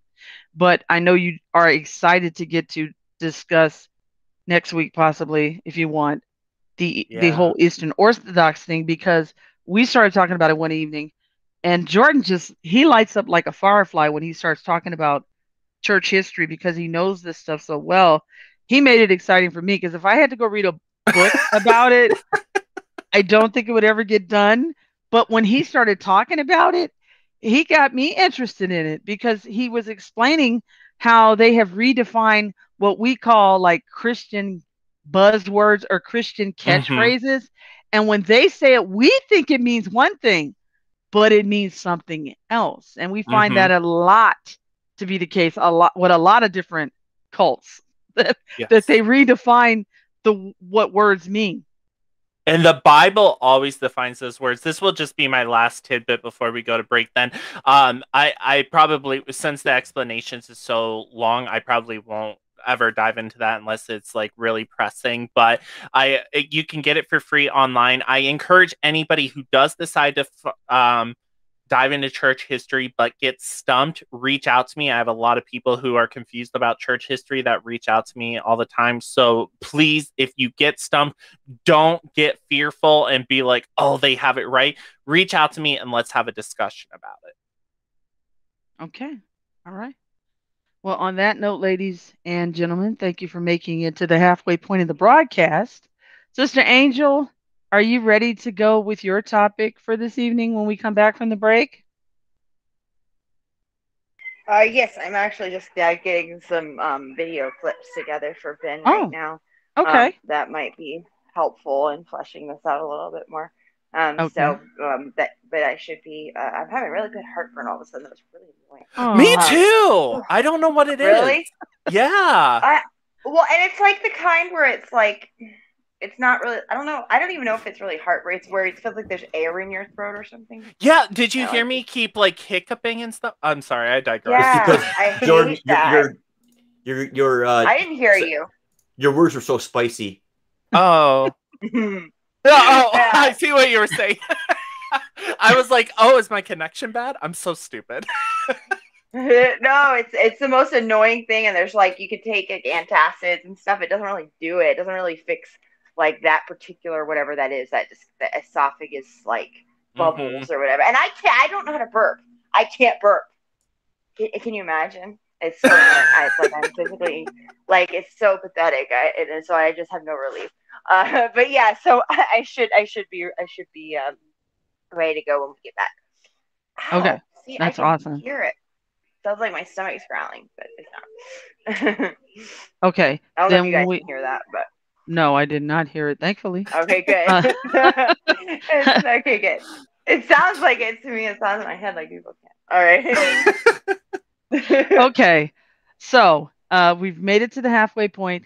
We're going to take a break here. We'll be back in just over roughly 15 minutes uh, for this intermission. Stretch your legs, refresh your favorite beverage, and come on and join us on the flip side of the break right here, late night with Lisa and friends, where the discussion continues. And hopefully, Jordan will still be with us when we come back on the other side of the break. Praise the Lord, beloved of the Most High God. Thank you for hanging with us this far on Late Night with Lisa and Friends. Before we went to break, we had just finished up with Jordan uh, telling us and, and enlightening us based upon Martin Luther and his 95 thesis, uh, theses, where we, most of us, I don't think really even knew, know most of what was actually in them because hardly anybody ever talks about it. We just hear that he was this champion of, you know, the Protestant Reformation. And nobody ever explains just how heretical concerning the doctrine of Christ those theses actually were. So I'm glad that he uh, shared those with us for us to see and examine in light of Scripture just how much error there was associated with it. Uh, as a matter of fact, I had done a video. I had told Jordan about this. I did a video uh, that was only about three minutes or so about the real Reformation Day. and I said, Will the real Reformation Day please stand up? And my channel, this was a little over two years ago now. At the time, it was briefly monetized for just a little little while. YouTube was bugging me about it. They, you know how they they keep changing stuff. So at this time, they were bugging people to actually monetize, and I went on and did it for about two or three years. It was monetized, and then when I put that video up about two years ago, uh, as soon as I did, within two days, my channel got demonetized because of that video. And my argument was, and I didn't even talk, I didn't even speak. It was pictures that I had put up making the case that the real Reformation Day was actually Pentecost. okay? When when the Holy Spirit showed up and then made himself powerful in the church, which was 50 days on the first day of the week, which is Sunday, 50 days after the resurrection of Christ, and that he is the true reformer of the church. And that's when my channel got demonetized. No big deal. I didn't make anything more than $250 in in the whole three years that it had been monetized, which I just used for my website at the time anyway. And then uh, when that happened, it was kind of funny because I said I had fifty dollars. I didn't even know. I mean, I knew, but I didn't know what they were doing as far as demonetizing people because I didn't understand why people were like were so ticked off about it. I was like, well, you can still like get tips or donations if you want. I didn't hadn't processed that when they demonetize you, they take your money. See, that's what demonetized means. So when I had like 50 bucks in there and it took like a year and a half to even get that because I don't have a lot of subscribers and you know they they keep my stuff in the dark like a mushroom. so uh I'm kind of like shadow banned in a lot of ways. And I wasn't so much worried about it. And then when I went to look into the Google account thing, they took the fifty dollars. I said, no wonder everybody's ticked off, because some of these channels that had thousands and thousands of dollars in there, and they got demonetized, they took their money. You know that thing. But anyway, so I think thank they you also. for that. Uh, I think you're also less likely to show up on search results when they demonetize you. Oh, that's a good point too. Well, they definitely did that to me. so, ah, whatever. It is what it is. I still stand up for the Holy Spirit. The Holy Spirit is the true reformer of the church. I don't care what anybody says. So, because that's what the Bible says. And every day that's our experience. It ain't a preacher knocking on your door or somebody in in a cassock knocking on your door telling you about reformation. It's the Holy Spirit reminding you to do the things that are right or stop doing the things that are wrong. So anyway, uh we're to go to a clip now that Sister Angel would like Ben to play concerning this whole moment of silence thing that's going on in Florida that she's trying to uh, show us are connected to the promulgation or propagation of the Noahide laws. So, Ben, if you would go ahead and play that clip for us now. Will do. A person comes into the world like a fresh sheet of paper. So many factors determine who he will become and how he will behave. But foremost amongst them is one education. And a proper education revolves around one single concept. First, of a three part series on a moment of silence in public schools.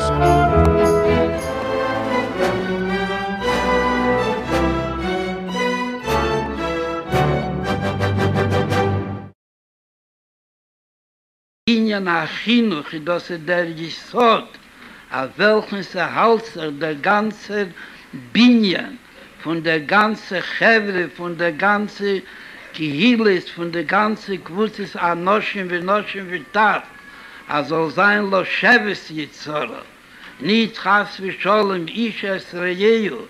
Il molle mi ro shel malchus. Wo dos hengt top a der chino hebt so chom mit chilose hat khanech le nave ner noch gort klein a pa gesunden jesod und der noch gam ki yavski le yoser mi men was was der gesunter jesod wie der mond friert? Punkt er wie der Jesod von dem ganzen Baschab, e das Breisch ist Bore Lekim, es a Shamayim ves Orez, als er der Gesunter und der Emeser und der einzige Gesunter Jesod von einer Kinder, von einer Kind, als er soll wissen sein, als Dresch ist Bore Lekim, es hat schon mal in Wessehores, als Jesch Balabais Lebiro Zu, und es ist nicht nur ein Balabais, auf eine fertige Diere, nur das Bore Lekim, das ist der, was hat aufgebaut die Diere, hat aufgebaut die Welt, und er ist viel Ton mit der Welt, und er ist das goch protis a falle protin von der welt und wie las in der welt soll sein in a nefen wie der mond frier a do soll sein der schliter da soll gewältigen Zedek, wie Jesche, wie Chesse, du Mischwort, Lichtigkeit und Reinkeit und Heiligkeit. Er soll sein Nike, als der Rebischter hat dort sein Giere. Wo das ich komme, wie bald der Mensch überschaffen geworden, Tage durch Nebischten. Aber der Rebischter hat gewollt mit dem beschaffen, wie er cholle Wofcho, wie Schnee mit a jetzer tev und nechet mit a jetzer was er heper von jetzer tev was hat der demel kon sich treffen amol a matze wo meimet wo der jetzer was er heper von jetzer tev soll matzlier sein in sein Milchomo mit dem Jezer Tee. Und soll Wellen Peel sein auf den Menschen, er soll sich finden, wie er wird gestubt von dem Jezer, was er erhebt von Jezer Tee. Der einzige Bewohren ist, a der jetze heper von jetze war te soll nicht masrier sein nis a bechas mi sorgte er, as er do a nayn reier und an diesen Schemaß, als da der, was hat beschaffen unter dem Menschen. Und hat beschaffen dem Jezer Tee, und dem Jezer Hepechate und hat beschaffen die Teive. Und hat ihm angesagt, den Menschen, er soll beistehen, der Assosi zur Pitui mit die Teive und vielen sich wie der Rebischter will. Und wie viel er soll nicht halten von sich und von seiner Gerechtigkeit und von seinem Chochmo, es eben hat ihm noch nicht zu kaletschet, nicht mit Kalkul gewähnt, Rachmone Litzlan, durch Achinuch, was tegnet, weiß er, dass er am Maimin ben Maimin, als er da an Nebeste, was wird angerufen, beschem Ebeste, beloschen, bnei Yoda, der Fall, was jeder weiß, dass er, er ist Ebeste, von jeder Menschen und von allen Menschen, und er hat an ein Rehe, der Eisen Schimaß, und im Jesus er ich bin Mistorim, ist er doch, als er soll trachten, als war nicht in Lehren. Was er das bewohren dem Kind, wenn er noch ein Narr, er soll er hat viele wachsen in der Neffen, als er weiß, als Schelcho, Schelcho, Aber das, was gehört zu einem zweiten Kind, ist nicht nur die Signe, nur rechnet a viele li Sachen mit, worin er weiß, dass er nicht die Hawaii in was hat sie sicher mit Eres Mitzrayim von aller Leben mit Zorim und Gwulim und von aller Leben, wie sie gewöhnt, dämmelt, der Eiredenischen und der Chochmas Mitzrayim, was hat gebracht zu aller Leben, Leh, mikul a meise mikul kolim hat der rebischter heiste sich um eres mitzrayim und wie der mond kam ponim a davkin der medine wo die wissenschaft dort gewähren mit der größten entwicklung. Keile lechet chochmas hamusa. Da aschkofas achayim aschkofas seber was von ihr wächst des Teres am Musser, in der Teil gewähnt entwickelt, in der größten Eifen, von Standpunkt, von Mado, und was hat er aber gebracht, zu Asamin an Hoge, von Heper, Kohl, Matze, wo Mamet, von Anuschi, was keine, was sich nicht gekonnt leben, a Menschen, Bichlal, konne sich also fühlen, Allah, es kam, aber kam, Menschen, was haben zu tun mit Musser und was predigen, wie sie haben getan, gepredigt Musser, lechol hoelem kule. Die Siebe auf der Rufi gewähnt, sie gewähnt der Chochme und der Jeseda Chochme. Was Jeseda Jeseda ist, wa Muda Chochme sie ist, als jesch mi etwa eine, was er am Mitzis, am Mitzis. Und mir von sein Messias er nimmt zu Kolan im Zoi. Wo der Zui kei der einzige, einzige Omo, a von Kind weiß auf, soll er erzeugen werden. Und da soll sein bei ihm das Scholle, bechol jem wa jem, as i do der Eibester, wo sere Hecher und Eibester, von jeder nun jedere, und er sein persönlicher Eibester. Und er er die der wesen sie maß, der Kind fühlt sich. All right, guys. Um, all right, that was just the, the, the first little kind of introductory video. I wanted to, uh, to demonstrate that um, their uh, opening sessions of Congress with Noahide invitations, um, just to just so that um, people see like uh, the next things we're about to play that it's not like just some like fringe thing that like a bunch of like uh, real uh, like fanatical Jewish people are talking off talking about in a corner somewhere. No, like uh, that invocation tells you exactly like the authority they they wield and and and you know openly uh, you know they, they feel entitled to wield even in uh, the halls of power and um, like I have mentioned before, if you just look up U.S. law 102-14, you'll see that they have already managed to get this on our, our in our you know uh, uh, legal codes. So it's not uh, it's not just some crackpot thing that's like not really happening or, or totally irrelevant.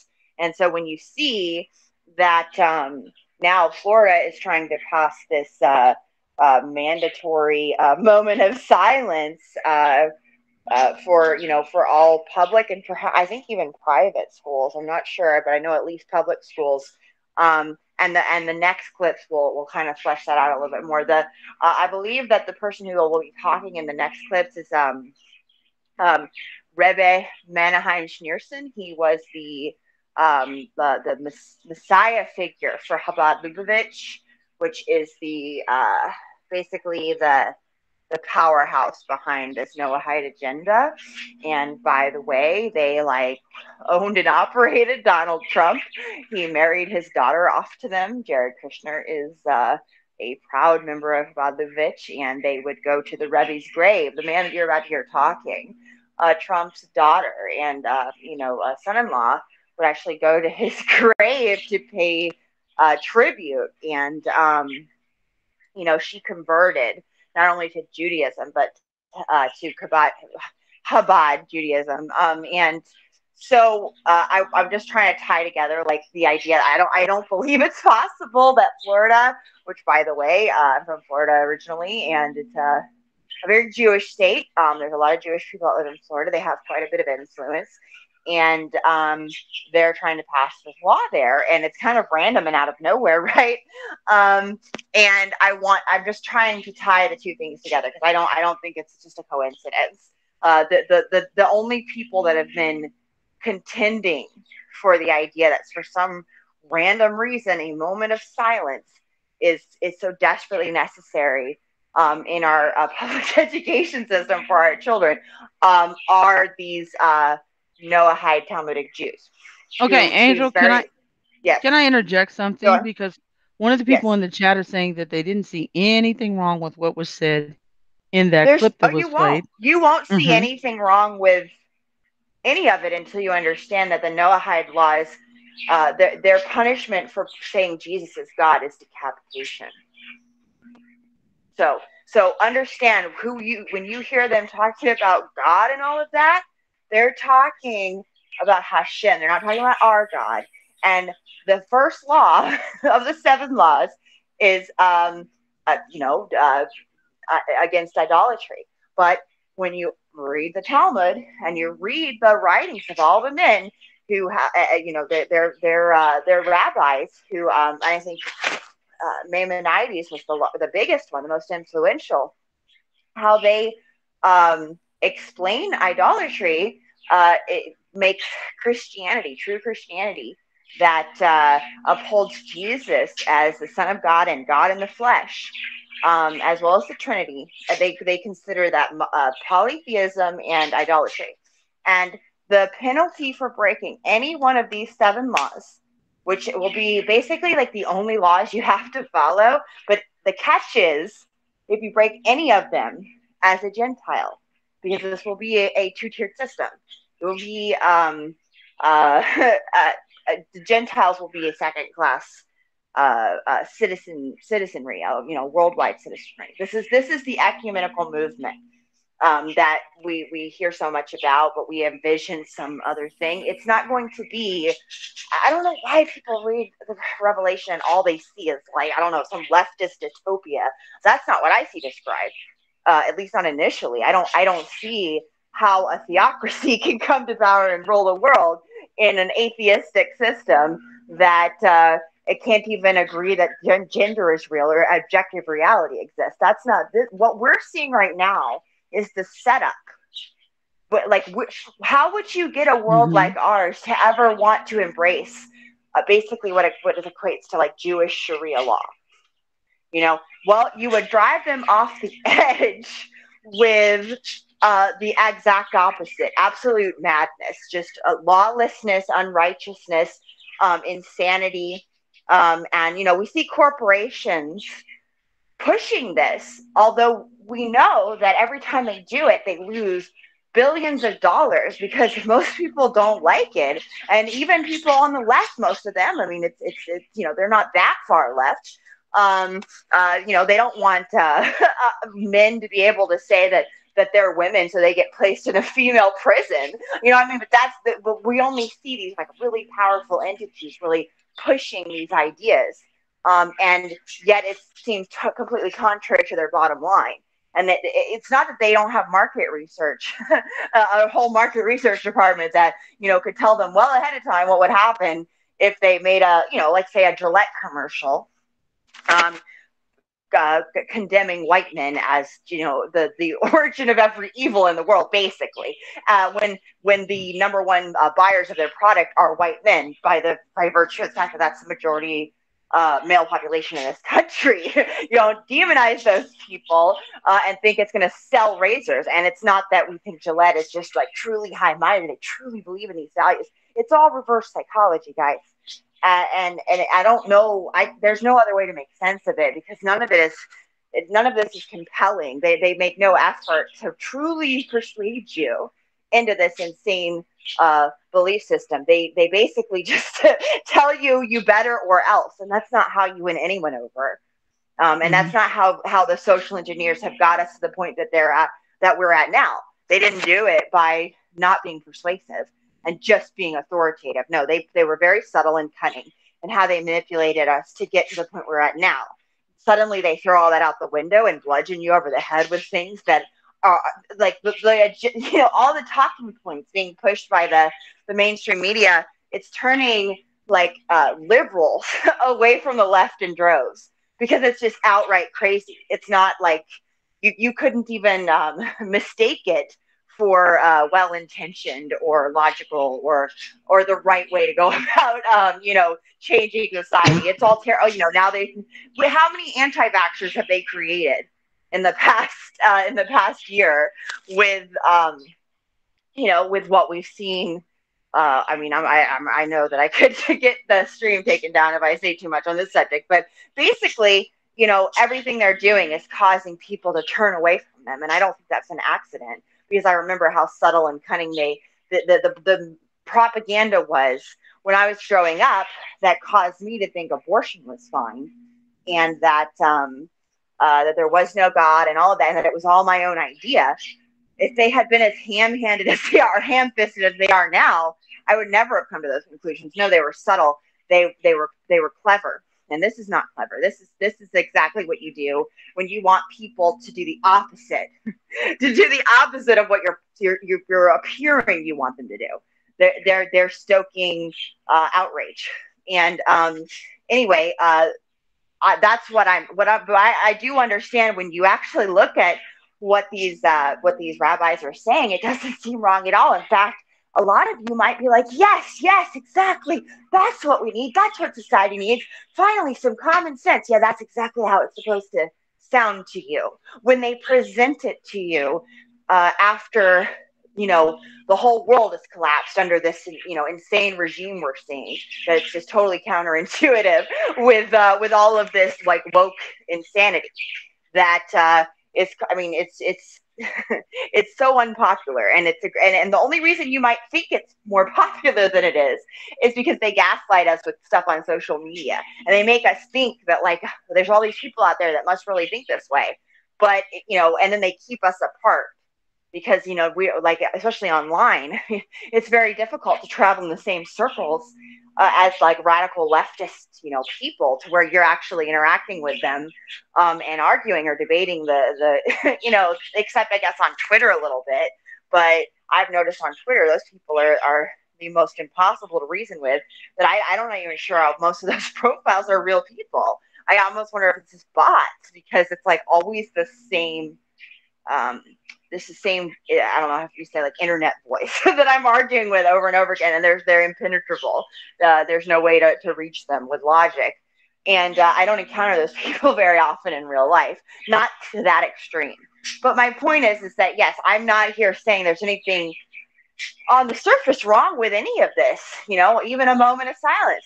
But I'm saying that understand the people that are pushing it want to uh, decapitate uh, true Christian believers who won't compromise on the issue that Jesus is uh, is God in the flesh, fully God, fully man. That is their big no-no. Uh, they, they, you know, Islam is totally kosher under the Noahide laws, uh, and I, I believe that that's what will bring about the peace in the Middle East. I believe they're going to join forces, at least temporarily, for a time, because uh, the rabbis consider Islam to be a model by which Christians should uh, alter or compromise on some aspects of their belief. Like they're totally okay with you calling Jesus Messiah as long as that doesn't mean you think he's God. You understand? Hashem is God. Hashem is Satan. Um, and they are waiting on a Moshiach who sounds an awful lot like who we are told to expect as the Antichrist. So remember, we're, what matters is not these political values that we believe we hold. What matters is the God that we serve and the truth of the gospel. And you cannot yoke with people because you think you have some, you know, inconsequential things in common with them that are basic common sense things, by the way. You know, um, I'm not going to yoke with somebody who thinks I need to be beheaded for believing Jesus is God because he he agrees that, you know, the left has gone too far and you know we've got to stop pushing critical race theory i mean these things are obvious it's it's like that you know that don't ever compromise you know your loyalty to the gospel and to um, and who jesus is. Uh, because you have been so driven so crazy by uh, the gaslighting and the manipulation that the media is throwing at us all right now. It's it's it, you know it's on purpose. They're trying to get you to that point where you'll yoke with anybody to, to, to, to take these people down that are that are making life increasingly unbearable and now in a very real way since all of this COVID nonsense has happened. I mean, a lot of that really drove it home to a lot of us, and yet we still haven't snapped. But I do believe that the intention is to make uh, the majority of normal people snap and say enough. And there will be a strong man who promises to restore order and put an end to the nonsense. Um, and the only catch will be You know, you, you could even get your conservative utopia. You might even, you know, all the things that you could think you would want for America.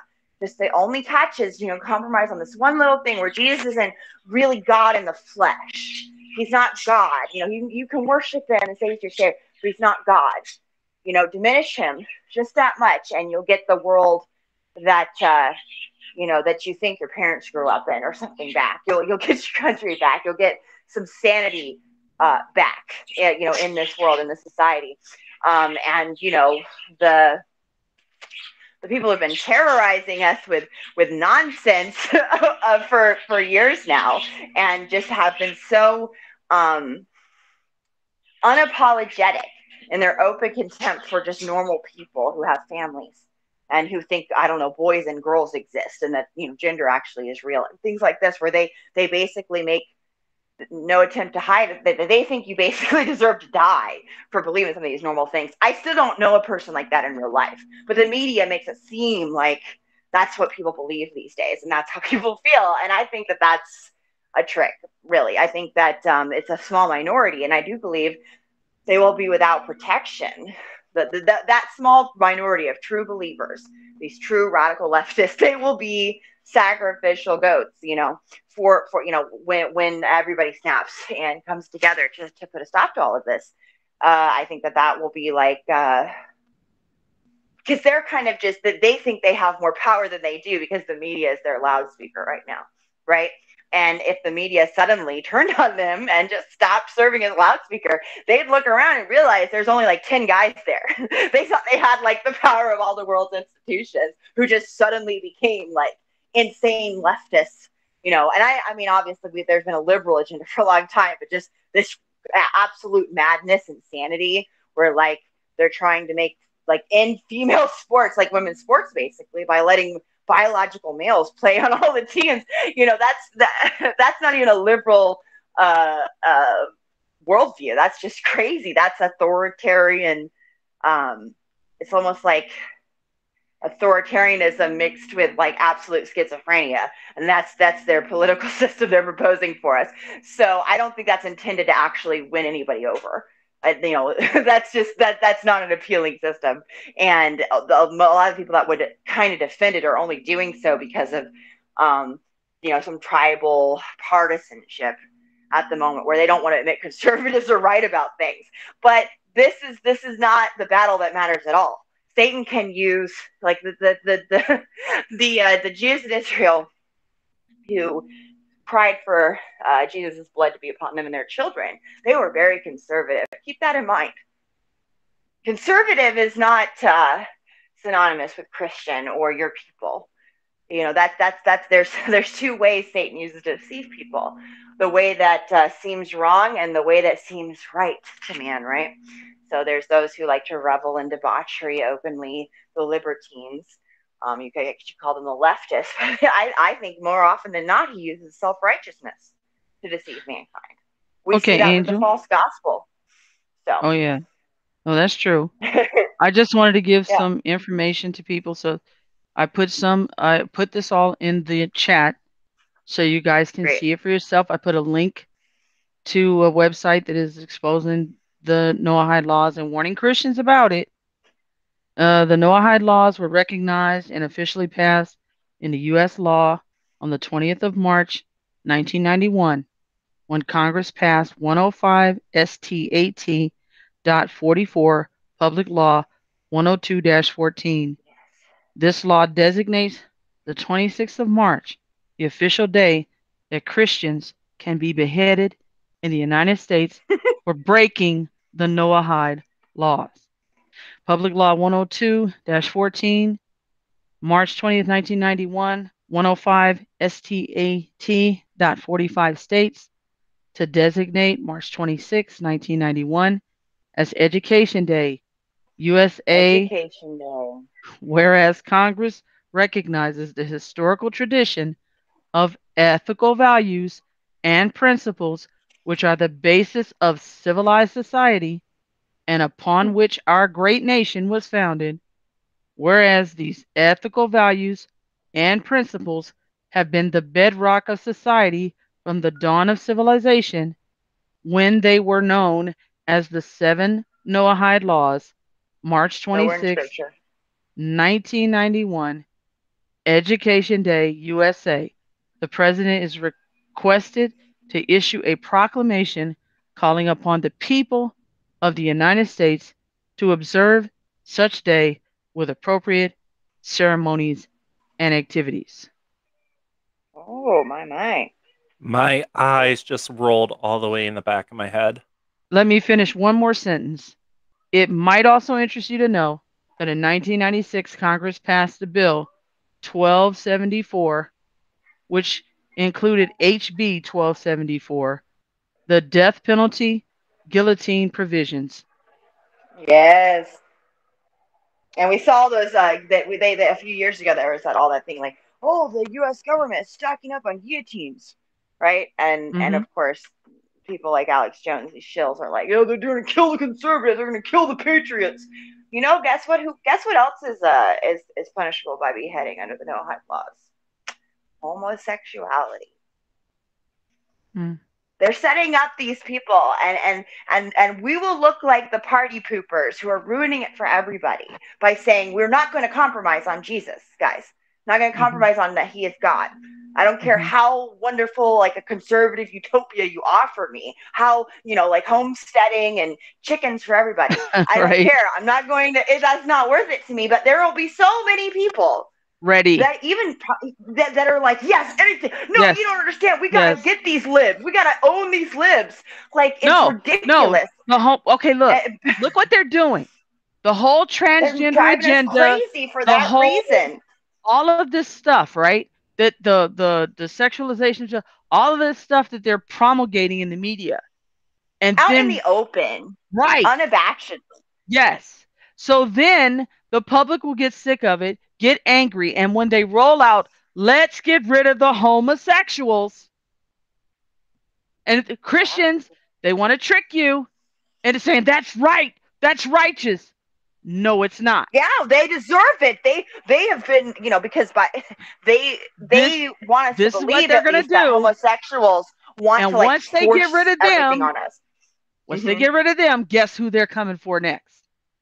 Yeah, won't that be ironic to be up on the, the you know, up on the, well, I guess I don't know what you call, there's not really gallows, but you're standing in line to be beheaded alongside gays, gays and Christians who won't compromise on Jesus, you know, and, and that's one of those things the devil would really like to do. Now, now the, the gays are being beheaded for the, for, for homosexuality or sexual immorality is the law, but uh, with the law states, but um, so that that would uh, apply to a lot of different things too. But you remember that old expression that they used during uh Nazi the Nazi times and everything, and it said there's there there's a, a writing where somebody had said I, don't- I don't know maybe Ben if you could pull it up when they came for Yeah. the Jew I didn't complain because I wasn't a Jew, and then when they came for this person, uh you know I didn't complain because I wasn't a member of that group, and then and they keep going until they finally get to your group, and then there was nobody left to to stand up.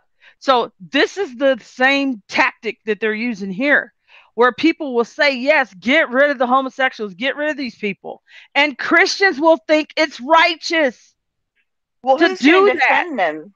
Because like they have a certain contingent of you know the the activist type homosexual is is is openly hostile to Christians Right. and Right. and, and basically you know makes clear that if it were up to them they would just eradicate Christians because we're just Right. so hateful we don't deserve But to two live. wrongs So don't make they, right. they draw those people out into the open. They say, "Be proud, gay pride, wear it, be pr- you know, march down the street in Jerusalem, ha- uh, making out with you dudes in the in public, just blaspheming like this holy city. Do it, yes, no, we all love it. We'll all protect you. There's still a tiny minority of the population, but they've been fattened for sacrifice and drawn Yep. out into the open. They're not concealing their identities. They're not secretive. And and they're going to be betrayed, just like these like little like true believer, useful idiots like Antifa and all of that. They're they're they're being fattened for sacrifice, and people are so uh, deceived by the the media, and I, I, watch the media, and I for years now I've known. All right, they want me to believe the exact opposite of whatever I'm going to see on CNN. They want me to disagree with it and believe the exact opposite, and they want me to be uh, enraged by how the audacity of the things they say. But like I saw those people transform. The people that are on CNN that have been on CNN my, my whole life, they're they're they're actors. They don't believe anything they're saying at all. And it's like uh, there would be no reason for people to support the kind of stuff that they say. It's just not practical or or realistic. It's uh it, it's it's counter to like fundamental human drives, like to have families and stuff, um, to not want you know, to be able to be like, you know, sexually assaulted by people pretending to be transgender who suddenly get to go in the women's locker room. Like these are it doesn't you know no amount of liberalism will will change certain fundamental human instincts. This is not designed to win people over. It's designed to do the exact opposite. And I think a lot of people when they hear this, they get mad because they're in their flesh about how mm-hmm. crazy the left is it's like, mm-hmm. really, guys? Like, you don't think it's like obviously crazy on purpose? Like, you yeah. think you figured that out? Like, this is nuts. Gender exists. what do you mean? You can't tell which if a baby's a girl or a boy. Like, nobody really believes that, guys. It's all an act. It's all I mean, there are some really stupid, gullible people who are yeah. so conformist that they will begin believing it because the media pretends to. But I'm saying nobody who matters really actually believes this. No powerful people believe this. Um, uh, they don't actually believe these crazy things. They're punking you. They're they're trying to antagonize you. Mm-hmm. Um, and and and the only way that makes sense because I couldn't figure it out for a long time. I knew that's what they were doing. I knew they're they, they don't want us to actually believe this stuff. They don't actually want to convince us of this stuff. They want us to to like tear our hair out that it's so obviously crazy all of the stuff that the that the zeitgeist uh, says you know is reality mm-hmm. right now. They're being more and more um, openly unreasonable unfair and evil and hypocritical uh, and and people might think yeah because they have power. Well no they don't have power unless every unless most people actually support them. So they yes. have to actually try to maintain that support and they're not trying to. Well they problem reaction solution if we can exactly. cause people to demand that certain groups be rounded up, mm-hmm. what do you think them FEMA camps are for? They're for the people they oh, want to get rid Patriots. of. It's for the Patriots. No, not just. Like, I know. No, I, I don't think it's for the Patriots at all. Because the Patriots, quote unquote, will choose the U.S. over Jesus. I'm a Christian first. I'm not patriot first. I don't, you know, my, my, people are are true believers, right? I'm not saying that I'm not patriotic about America. I am. Right. But those who put that part of their identity before the cause of Christ, they're going to love these Noahide laws. Oh, sure. Right. They're going to love, and, and they they will. I have had it happen already, where people um, who are supposedly true believers will cuss me out because I don't support Trump because I just point out. Right. And it's not, yeah. I'm so conservative. I, I, don't think women should be allowed to vote. All right. I have no like, oh, she's a secret lib. No, she don't speak for me. I, I want to take the vote away from women. They've lost the lost the privilege. They they have done everything wrong and they don't deserve Some it. women. Uh, I'm fine with not being able to vote. Just if, if most of these uh, dumb idiots can't vote anymore, I'm fine with that. And I'll I'll give up my vote. I'm very conservative. I'm like a I'm like a right wing crazy person, but for having that belief, you know, most people won't go that far, right?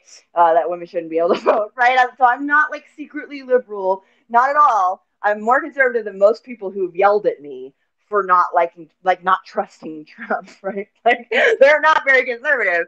Uh, I'm against all immigration, right? You know, a lot of these people are like, no, it's okay if they come here legally whatever. But the, that's not the point. None of that matters. Like all this is going to burn up. None of that matters at all. so I was just trying to figure out why are they why are they trolling us so bad? why are they trolling everybody so badly? And like, oh, oopsie, YouTube for like five years straight did nothing but but push conspiracy theory and take you down this algorithm where you, you know, where you went from like, I don't know, uh, questioning whether the government let 9-11 happen all the way to flat earth and then they fix their algorithm. That was just an accident. They just accidentally let you find out about all that stuff. I'm Mhm. not saying it's not true. I think that I, I I firmly believe in like most of the conspiracy theories that they're totally true. That's not the point though. I know that it's not just like, oopsie, our bad. We gotta fix that now to where you can't search anything else. No, they meant to to wake everybody up when they did Right. because it Okay. helped to set up this scenario Yes. where people are just like, I know that I know that uh 7-Eleven was a part-time job, and now you're I'm not gonna trust you. You're trying to force me to take a uh you know a, a you know what A in my arm. Yeah. Yeah, they wanted they wa- yeah, and then by the way, like they flood the media all the time with like, oh, like a million people died today because of the Moderna, you know, Yeah. you know what? It's like Right. they they don't have to tell us that. They used to not tell us things like that. Nope. Um, they they they you know, so it's just like Hegelian dialectic, which I thought was like a commonly understood concept by now. But a lot of people so. they got real they got on the Trump train and like they went back to sleep. Went back to sleep totally.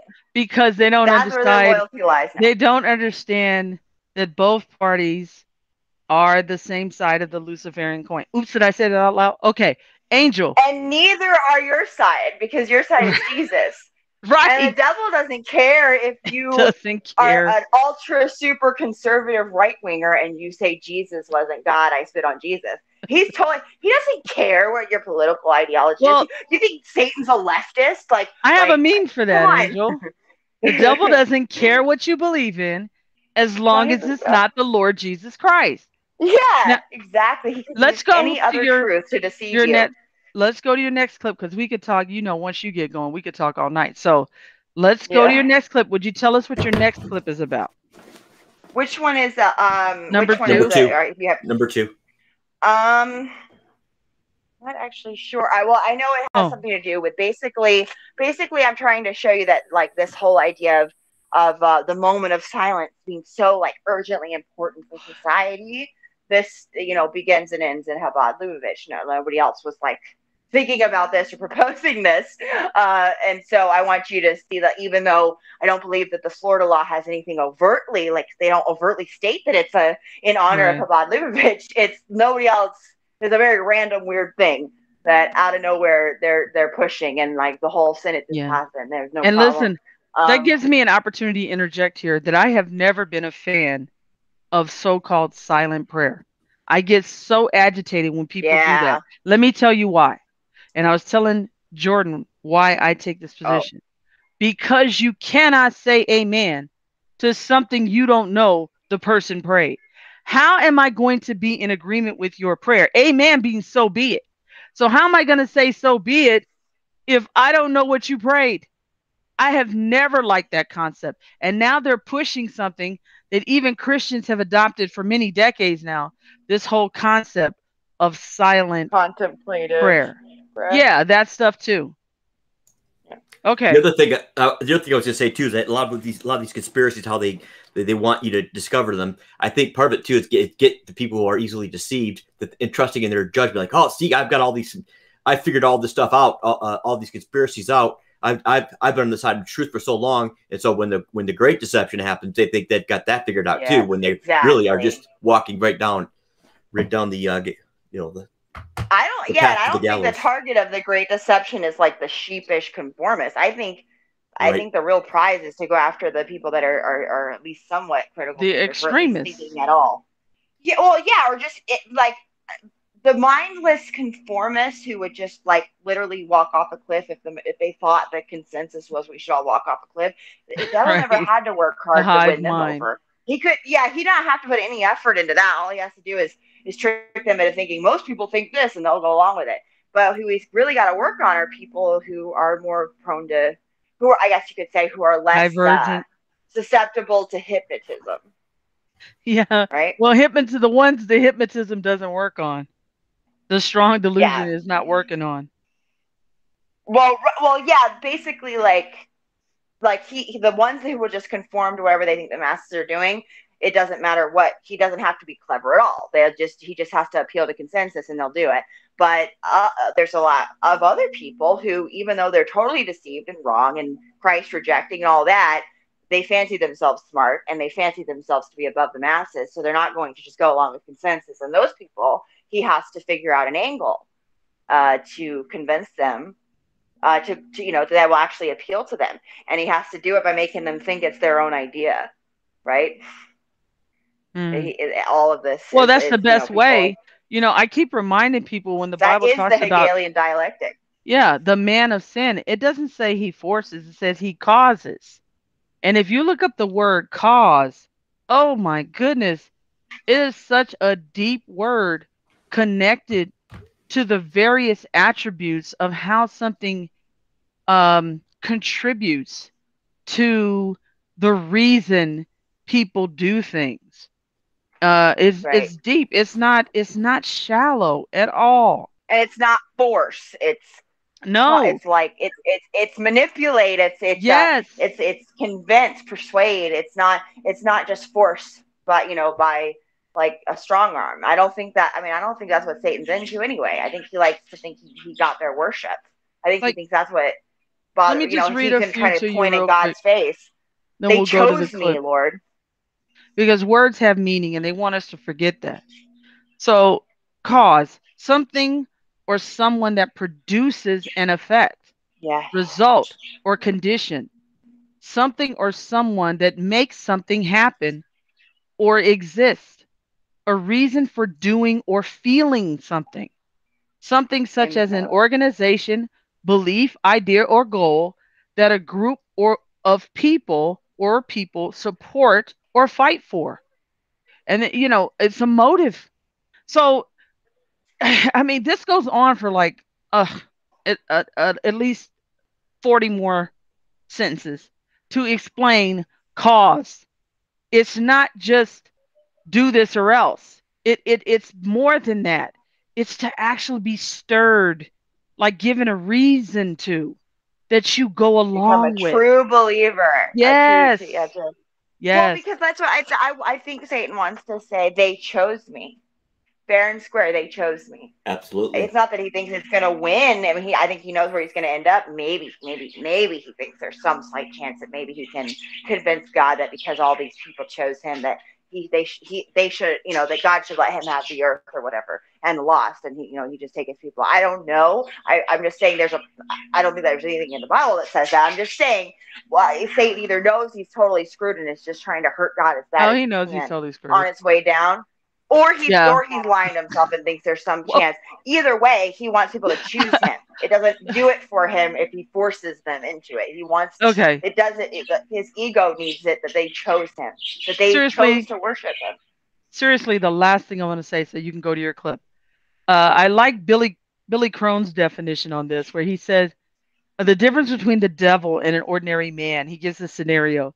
The ordinary man walks in. He could be an evil man. He's doing wickedness. Walks into a liquor store to rob it. No, a bank. A bank to rob it. And then the bank teller triggers the alarm, and uh, the police come and they're outside and they go, "Oh, you might as well come out with your hands up. You're surrounded." So the the human being who who's evil and was doing wicked uh says, "Oh crap, I'm busted. I put my gun down, come out, my hands up." He said, "Now the devil goes into the same bank to rob the bank." And the teller triggers the alarm. The police come. You might as well come out with your, your hands up. You're surrounded. The devil says, "Oh, I'm I'm going out like that. Well, I'm going to shoot every person in here, and then I'm coming out in a blaze of glory to try to kill everybody else I can take with me before I go Yep. down." He said, "That's the devil. The, the devil's not coming out with his hands up. He wants to take everybody with him before he goes down. He knows there's no redemption for him. The fallen ones know. Imagine knowing that all these Exactly. Yeah, he he's alive, knows. but he's not well because he knows judgment Yeah. is coming for him. So he wants to take everybody with him that he can. and he has nothing but time to figure out the way to do it that would most satisfy his ego and at least he imagines most hurt god to see it right Well, and the value force people into something being. against their will is Yes. not going to hurt you know you know that's that's not that's why i think a lot of this consent stuff where we notice that they have to manufacture consent obviously yes it's one because god uh decrees that but i think also is that that makes satan that that strokes satan's ego too that they mm, people consented um to going along with his plan because he's all about trying to prove I'm the better, I'm the real God, I'm the better God. You know, I should have been God. It's like so silly, but that's it's it's kind of uh, this petulant uh, teenage mentality forever for eternity with, with Satan, where he's trying to stick it to his dad. You know, like prove that he's the bigger man or something. I I don't know the psychodrama playing out, and it just does more for him if he if the people actually willingly choose him uh, in some form or fashion. Now, of course, he plays fast and loose with the idea of consent and what real consent and informed consent is, but um, I have a feeling that he that he you know that he has to abide certain lines and that what you know that he kind of has to stop where God too would agree. Yes, they did consent, whether or not they were fully aware of what they were doing, but you know it was still that they chose this because you know God's not going to um I don't think he's going to let the devil take you down against your own will. You see what I'm saying? So, um, but yeah, go ahead and play that clip, and um, I'm going to try to watch it on YouTube so that I know which clip it was because it's kind of weird talking blind, but because it doesn't play back here for us. Uh, we're we're in the dark while it's while it's going for you guys. So, All right, here we go. America, land of pioneers and endless opportunities.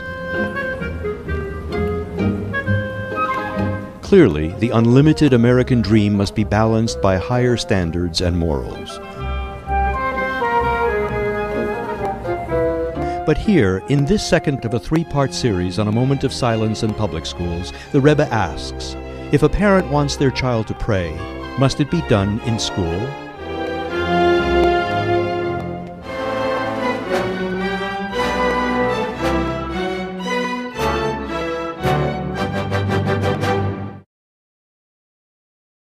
Bischaß mir hat a Matze, was darf haben a Tikun, und das a Matze shal Sakono, die is lechele weis, darf man sehr Matze sein von der Sakono, wo da nicht ne geha fa sehr viel, die Wissen und Cheke sein, die Sivis, was haben gebracht zu der Matze, seiden in dem Chelik von sie, kedem soll wissen, was sie das zu sagen sein. Der Matze befehl ist komur, a hunderte tausende jüdische Kinder, Millionen nicht-jüdische Kinder, bekommen sie ein ganzer Chinuch in Public School, wie mir sehr der Masse befehlt bei Medina so, als Eltern haben kein Zeit nicht, a viele, die was haben Zeit, haben nicht kein Geduld, als sie sollen sich abgeben mit einem Chinuch von ihren Kindern. Gefragt noch, als er schickte mal weg in Public School. Und mir gibt er mit einem guten Sandwich. Und noch zwei Sandwiches. Und mir gibt er noch mit Geld, er soll können noch geben, teilweise Liebe, noch mehr, wie viel sie da in dem Sandwich. Hat man sich eingerät, hat dämmelt, hat mir jetzt gewöhnt, der Cheve so ab, oder der Cheve so ab, zu dem Sohn oder zu der Tochter, wo er mir sagt, dass sie sollen sein, ungetan sehr schön, Und er redete, dass ein Mädel soll sie können beiten mit Kleidl, oder jeder Tag, oder Alkoholponnen jeder Woche. Und der Rike soll sein ein schönere Kleidl, wie die Chabertes haben, und nicht gucken, die sie verbunden mit Geld ist Zeug, ist mir sich messer neffisch und mir leid Geld, die können sie geben noch ein Kleidl für die, für die Mädel. Weil der sehe, noch ein Teufel für die Mädel. Bemele hat er sich in ganzen Jäze gewöhnt, chi wosse zu den Kindern, die wurde da vertrachten werden noch.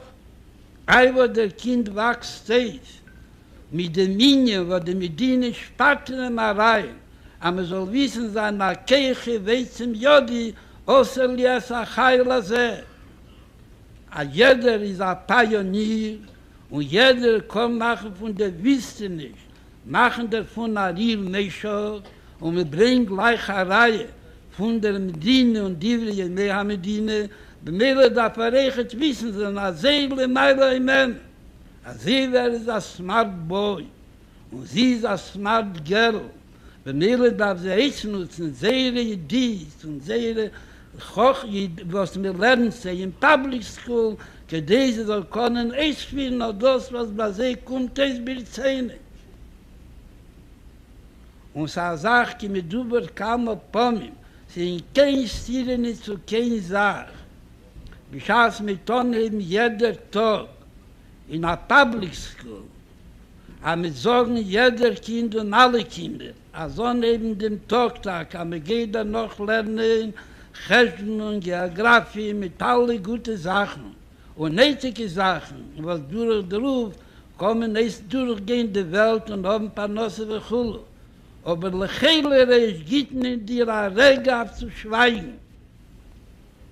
Und beschaß, was dem Schweigen sollst du trachten, leide Anweisungen gehen, von die Vater mit der Mutter oder von der Seide, von der Bobbe, wo sie werden dir anweisen, wegen, der, wegen wo du sollst trachten. Und das wird sein, nach der Schule, ein Nemeser ohne von den Tod, als es sein, ein Päschen wie Brocho, aber noch wird er sein, gebencht, in die Afeisnutzen, die Idis, was er lernt dann noch bei Meshach Hayim, soll er sie eis nutzen in einer Neffen Teif, wie Schwile, für sich, was zusammen der Miete das Eiche Teif lo Eilom, der Adrabe mit der Seder Hoffel, früher wird er trachten, was ist gut für er Runern, lo Eilom, und nicht er noch zu das Eiche gut für er, und machrie sein, der Teif lo Eilom, wo der noch wird das Eichet darauf kommen, befehl bei einem Hoge Massima. In der Ruf ist mit Madgisch, als es darf sein, darf kein Regerscher Sika von Schweigen. Nur der Regerscher Sika darf sein nicht als ein Dover Toffel, im Mittentag oder zum Sofentag, wenn der Kind schon vermattet und hat sich schon angelernt und angehört, weiß was für eine Sache, nur der Nie darf er anheben sein Tag. Die einzige Sache, wo der Prinzipal oder der Teacher, der kann jetzt über sie, kann sie sagen und darf sie sagen, als er hebt an den Tag von einer Rege, von Schweigen, das aber nicht has wie Scholem kedei, er soll weg, a weg in a Rege levatolo, mit Tornit gewähne in a Kind, als er kann gehen levatolo. A Kind darf wissen, als er darf es nutzen seine Zeit und seine Kirches. Darf man ihm sagen, als er das Schweigen seine, i das Eche Tate von sein Chinuch, aber dem Benele darf er das es nutzen durch a Machshava Tevo, in was besteht der Machshava Tevo, darf er das fragen bei sein Vater und bei sein Mutter. Mesaf ab die Tieles war Amura Legil, mit darf aufwecken, Vaters und Mutters in, in der Medine, als sie sollen wissen, wenn sie ihr Schlichus Achi Ikris, wo das in der Heb Schlichus wäre, als sie sollen aufstellen, der ihr Schor im Wo das kommen nicht durch für den Beschleimus, durch den Zweiten, das darf man allein nicht nur zulegen, eine Hand dazu, nur zulegen dazu der Herz und die Kopf und der Tirche und dem Zman und der Kind soll sehen, als er nimmt das mit dem ganzen Herzen und mit dem ganzen Simas Leib und mit dem ganzen Chais und hat das eine Gehe, dem Vater mit der Mutter, der Chaie nach der Mama. Wo dämmelt, werden die Kinder heischen Leben, wo wir es albonnen, alle die bonnen, werden die Kinder durch Seele scheiles jeder Tag beim Vater mit der Mutter. Herr Zachai, ich darf gehen nicht in den Public School, wo du schickst mir dahin zu. Und der Teacher wird mir sagen, ihr soll trachten. Darfst du mir sagen, wegen was ihr soll trachten? Okay. Okay, so we got that clip. Uh, wow, there's there's a lot of information to process. I mean, we're we're having a conversation. We can't actually hear what's being said, so I'm gonna have to go back. I was reading some of the clips, but we wanted you guys to be able to hear in your own words, in their own words rather, what it what they believe, what they're saying, what they're trying to do, what they have done. I just read to you that these laws have already been accepted, adopted. They're sitting on the books. They just wait Not for them to just roll in it the out. U.S. either. Oh yeah, not just uh, in the worldwide. US, worldwide. Worldwide, man. Guaranteed the no UN will escaping implement it. it. Yeah. This no, no, no. The Sanhedrin is going to replace the UN. Oh, They openly state this is their plan. They're going to. Uh, the law will go forth from Israel. You see? mm, the mm, law, mm. the world law, the world court. All right. Isn't that a neat um, trick? I'm They had us all I'm worried about to stop it. Islam. The UN, yes, and the UN too. They demonize it. Well, I'm not saying the UN is great, but notice how the UN has been the big boogeyman, and Islam too. Yep, exactly. They do that. It was distractions, right? And they're gonna do a bait and switch. But yeah, they have us all thinking the UN is going to be the thing that rounds us all up and kills us, right? So then when they come in and replace the UN with a, a godly, oh well, this is you know the Sanhedrin, right? No, we're going to put you know God is our focus. You know, we believe that there are fundamental truths and blah blah blah. And a lot of Christians, it's just going to sound too good to their flesh itching ears, right? Mhm. Like, gosh, Mhm. finally some just basic common decency, right? And um, you know, I, and I think it's just the same way people will fight you over, you know, Trump or other people that they worship that you know they think are the last best hope for restoring any kind of sanity to the country or the world um, even though they should know better. My aunt is wonderful and a, and a very uh, spirit filled woman, and you know, and she's not nasty about it, but my goodness, is she defensive still about uh, Q anon and trusting the plan after everything, right? And she's not stupid; she's very smart, and she is an actual saved believer who actually believes the true gospel and yet somehow somehow thinks this QAnon plan fits in there somehow. And I've told her exactly what that is, on that you know QAnon is like uh, I believe they're kind of teasing us with some truth about what really is going to go down, which is you know there will be a you know a, ba- a storm that comes, and we're all going to be like joining this rebellion. We're gonna we're gonna take back the the you know this country, and we're gonna take back you know the world for just sane people who just you know just won't, like believe believe gender exists and just basic. Well, you know what's interesting? every- What jumped? On, what Ben. jumped out at me? Oh, you sorry. know. mhm. No, no. Well, um, the, what really jumped. Well, I, I believe Q is part of the plan, but it, it's not the plan, like you Yep, said. It, it's exactly. all part of this plan that you've been talking about. And what's interesting is that you hear Q people say all the time. In fact, one of their uh, banners, so to speak, is Q, the plan to save the world. And then the link you sent me Mhm. about this, uh, Noah, asknoah.org, it says, a moment in school to save the world. Uh, yeah, I yeah, you're right. It's almost like the same uh, propagandist is uh, doing a lot of different uh, promotional pieces, you know, for that end up online. Uh, and I mean, you know, I- like I said, uh, Trump was uh, he had the most uh, Orthodox Jews in his uh, close circle cabinet of any president ever. Um, and all he has to do is, I mean, I, don't, I, you know, I don't have like a, a bee in my bonnet about Trump, by the way. Uh, I'm just tired of everybody patting themselves on the back for being able to see like the obvious, just like basic obvious things that are that that they should never have been tricked into believing uh, were hard to see or that people stop seeing.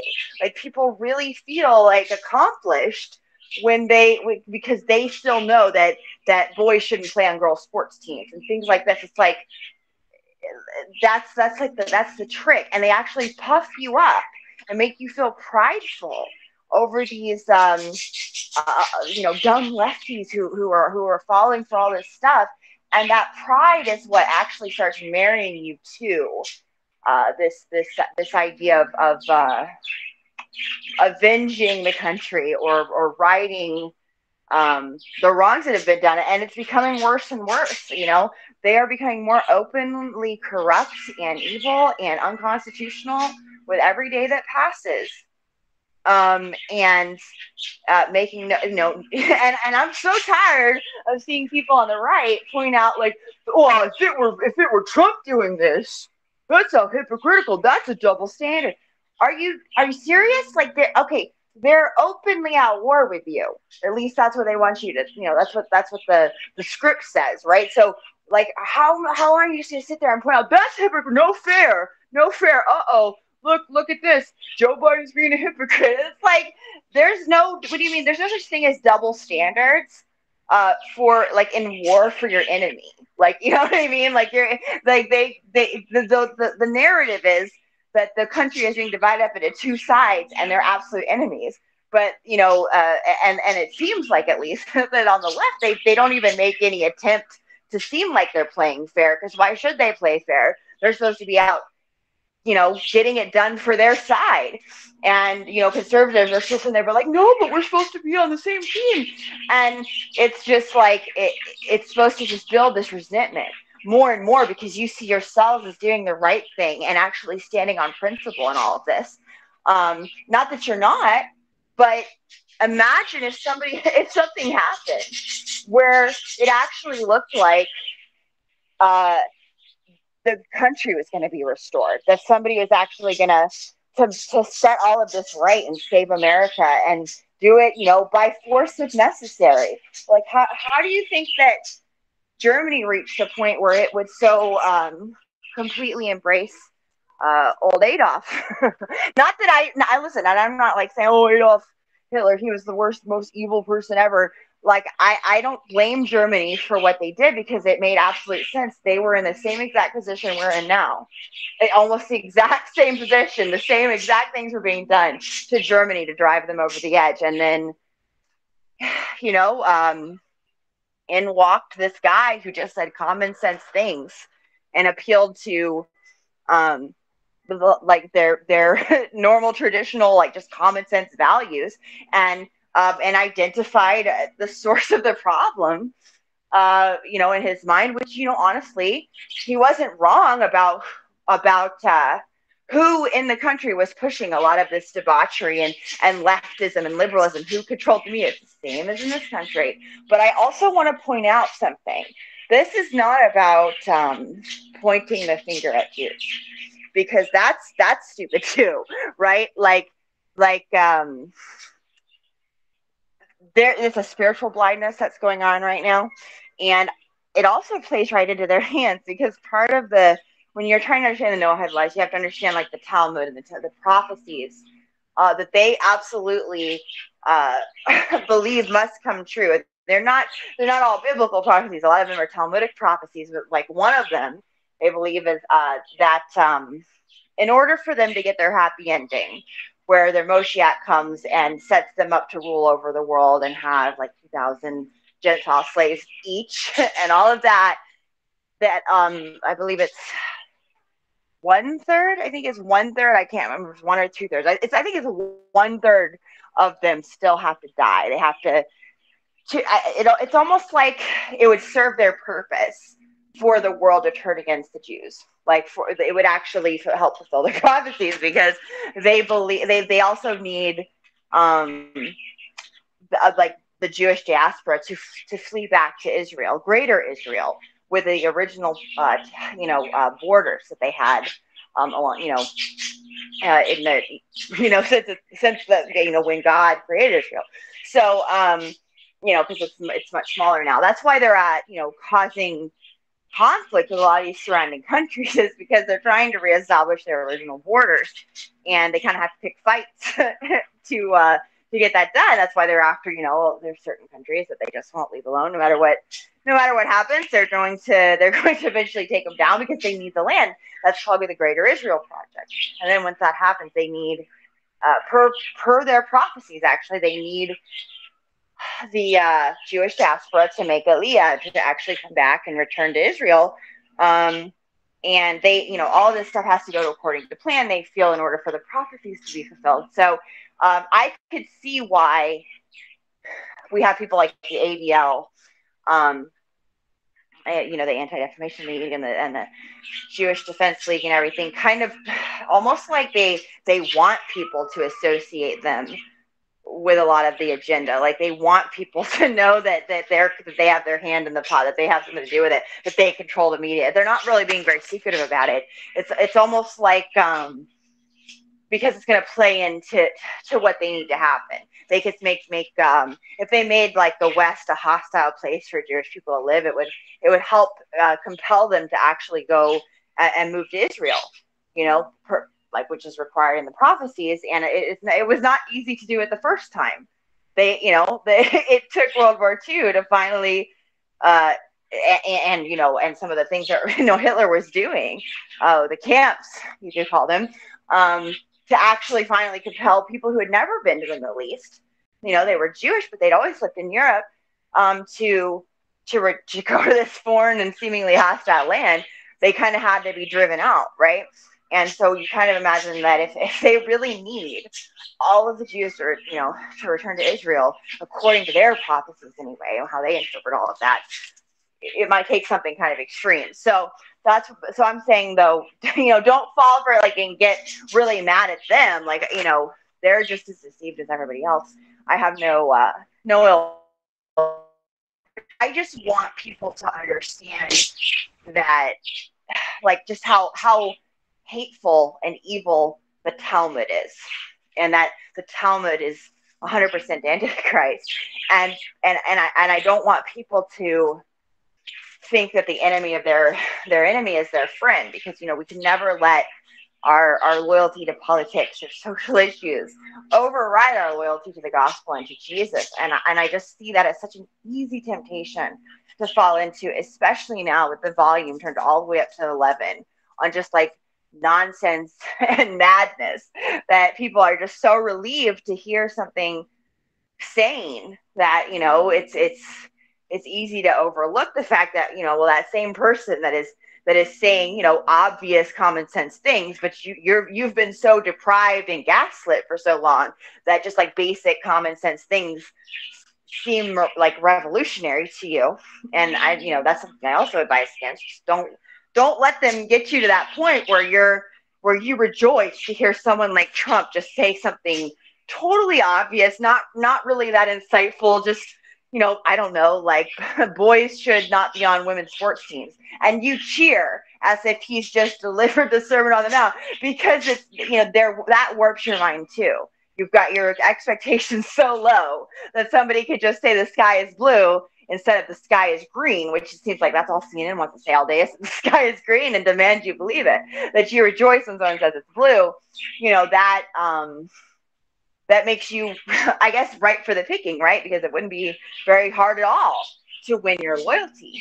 Um if, if somebody came along and just, you know, promised I don't know, not to force you to, to, to, to you know, yeah, give your children a sex change, you know, when they're, you know, in second grade or whatever. Like whatever the the big fear is, the left really wants to do with all, you know, um, enforce like mandatory gender transition on children, whatever it is.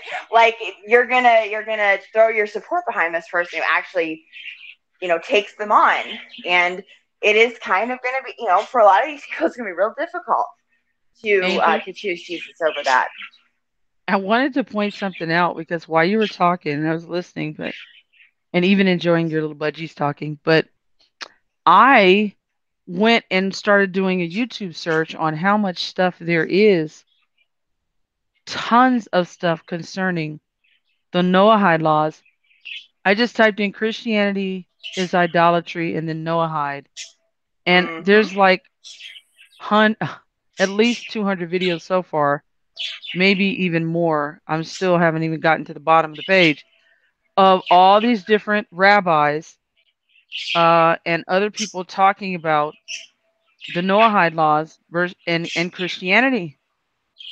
Uh, and oh, yeah. I clicked and listened to a couple while you were talking, and they're at they are absolutely saying it is idolatry. And what's even more shocking is how many of these videos are Christian so called pastors and churches that are not warning, there's a handful that are warning, they're actually supporting it.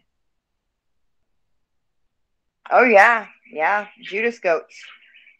They're Judas goats. That's what I. That's what I call them. You know, and there, there's a lot of. Um, the sad thing is, is that I'm still here, right? Okay, I thought I hung up accidentally. There's a lot of uh, infiltration and like messianic uh, you know Jewish circles and and you know uh, there's a there's a lot of an attempt to basically like guilt and shame uh, Jewish believers into going back under the rabbis. That's all. Like, like they they believe everybody should be under the rabbis, like everybody, the whole world. But it's you know mm-hmm. that they even messy so-called messianic Jews are pushing this Noahide stuff and actually demanding that um, people who are just you know Jewish Christians who are you know con- converts, even generational converts, like where they are ethnically Jewish, you know, through their their blood, but like their family converted generations ago, particularly in like South American stuff that is happening, where there's like this whole campaign.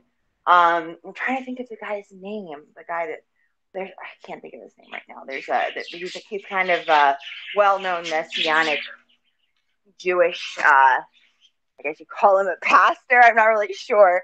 Um, but he is just constantly guilting and shaming these people for the fact that their family converted to Christianity, even though he claims to be a Messianic Jew himself. Uh, because they, you know, and that what the only way to right this wrong is to go back under the rabbis. While pre- while he pretends to uphold Jesus, but understand it's not that the word Jesus bothers them. It's just that you know if it's not if it's not the true Jesus as as God in the flesh, then it's it's a different Jesus, and they can pretend to be okay with him all they want. It's not the true Jesus, you know, and it's you know it's not a saving faith. If you believe that you know Jesus the man, you know, is your Messiah, but you know, but he's not God. You understand? So, Well- eh, but but a lot of people that are weak Christians will think that that's you know uh, splitting hairs or something. Well, yeah, but look how long- compromise. Yeah, but look how long certain PD preachers in particular have been pushing Christian Zionism. So Oh yeah. And and you know it's like nothing that this particular group of people does is ever wrong. How dare you ever criticize them for Ever. anything? You know. They've Uh, if- suffered enough. Well, yeah, I mean, if, if you start talking about them in any way, then that makes you evil and you know, how dare you even criticize something that you can clearly see as unjust or, or immoral if you see them do it.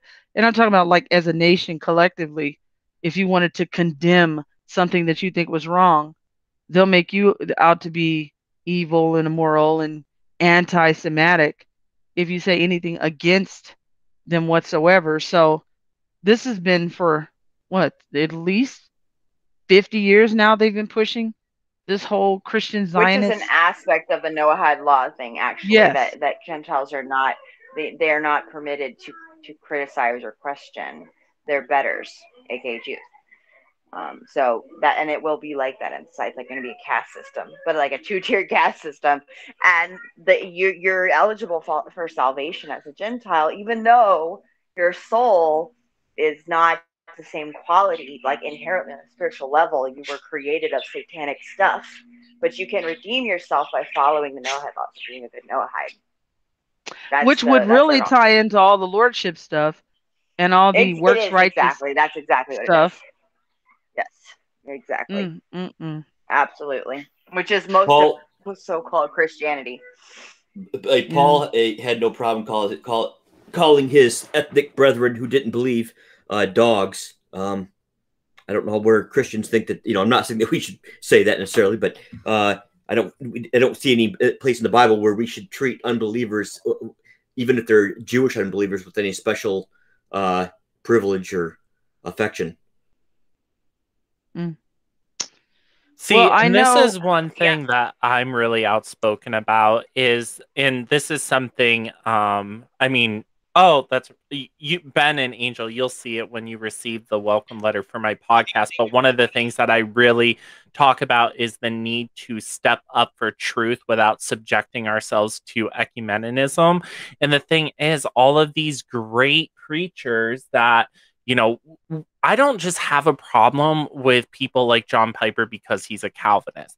I have problems because he creates new doctrines. He promotes something that isn't faith alone, but he is also a strong proponent of ecumenism. How can any biblical Christian be open to the idea of ecumenism? Like, how the heck do we have something like Chrislam? Those are two completely different theologies. Hmm.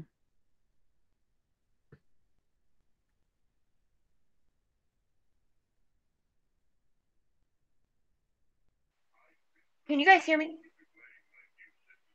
Yes, Lisa, you there? I mean, I'm sorry. I was on mute and I was just talking away. The first thing you have to get rid of to accept Chrislam is the Lord Jesus Christ. So, you know, once you get rid of him, you can accept anything. And that's what Roman Catholicism has always been.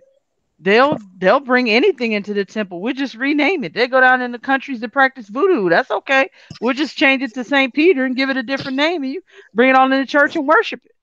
They've done that forever. And this is not any different.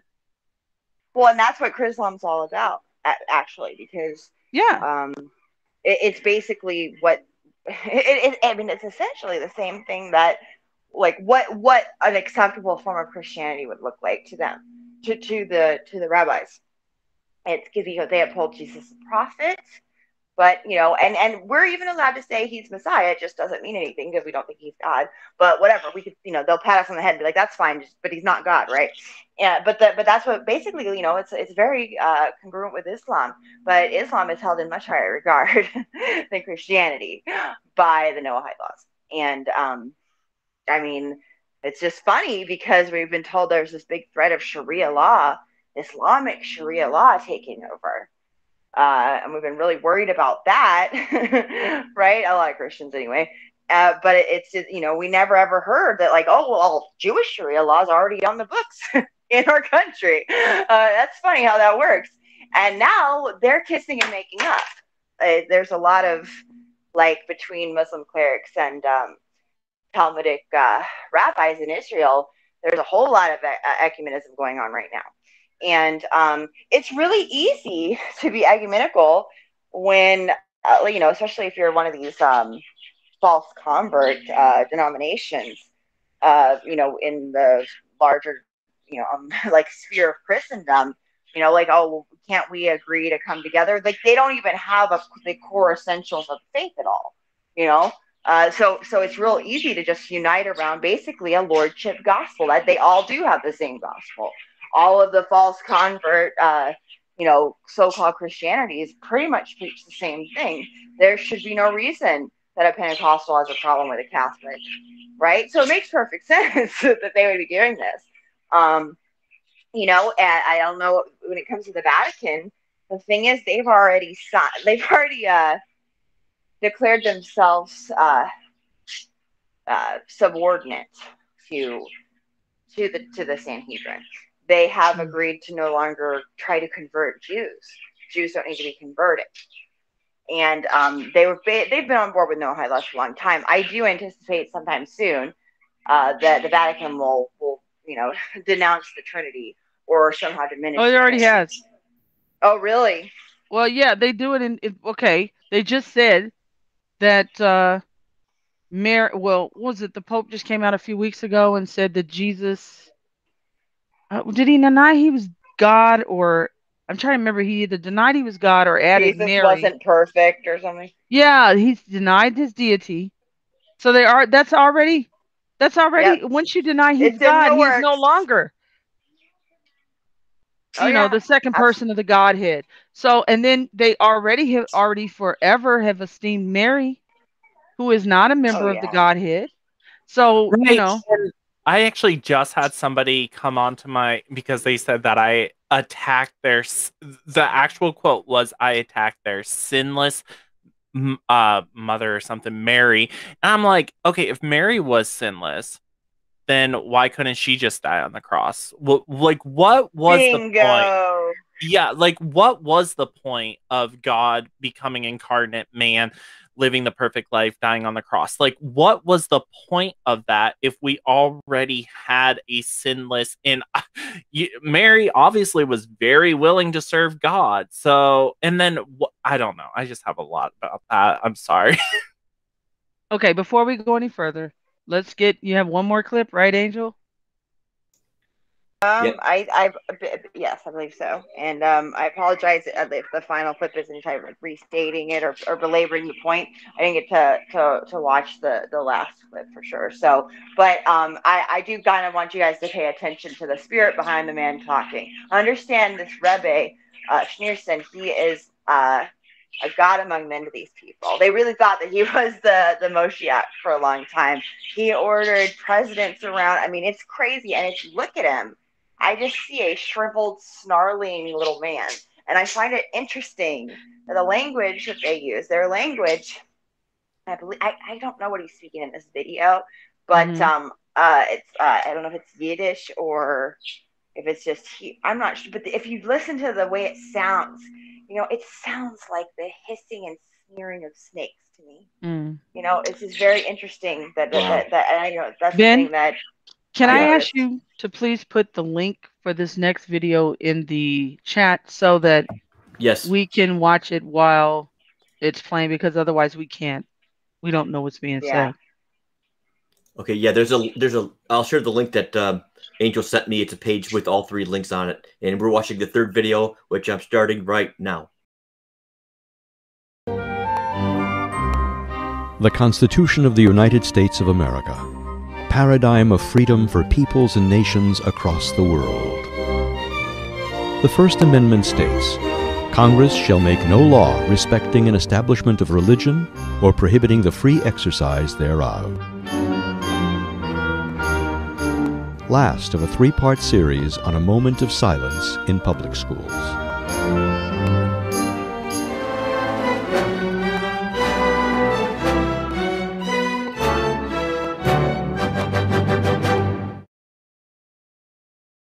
Dort angeheben die Dinge nicht.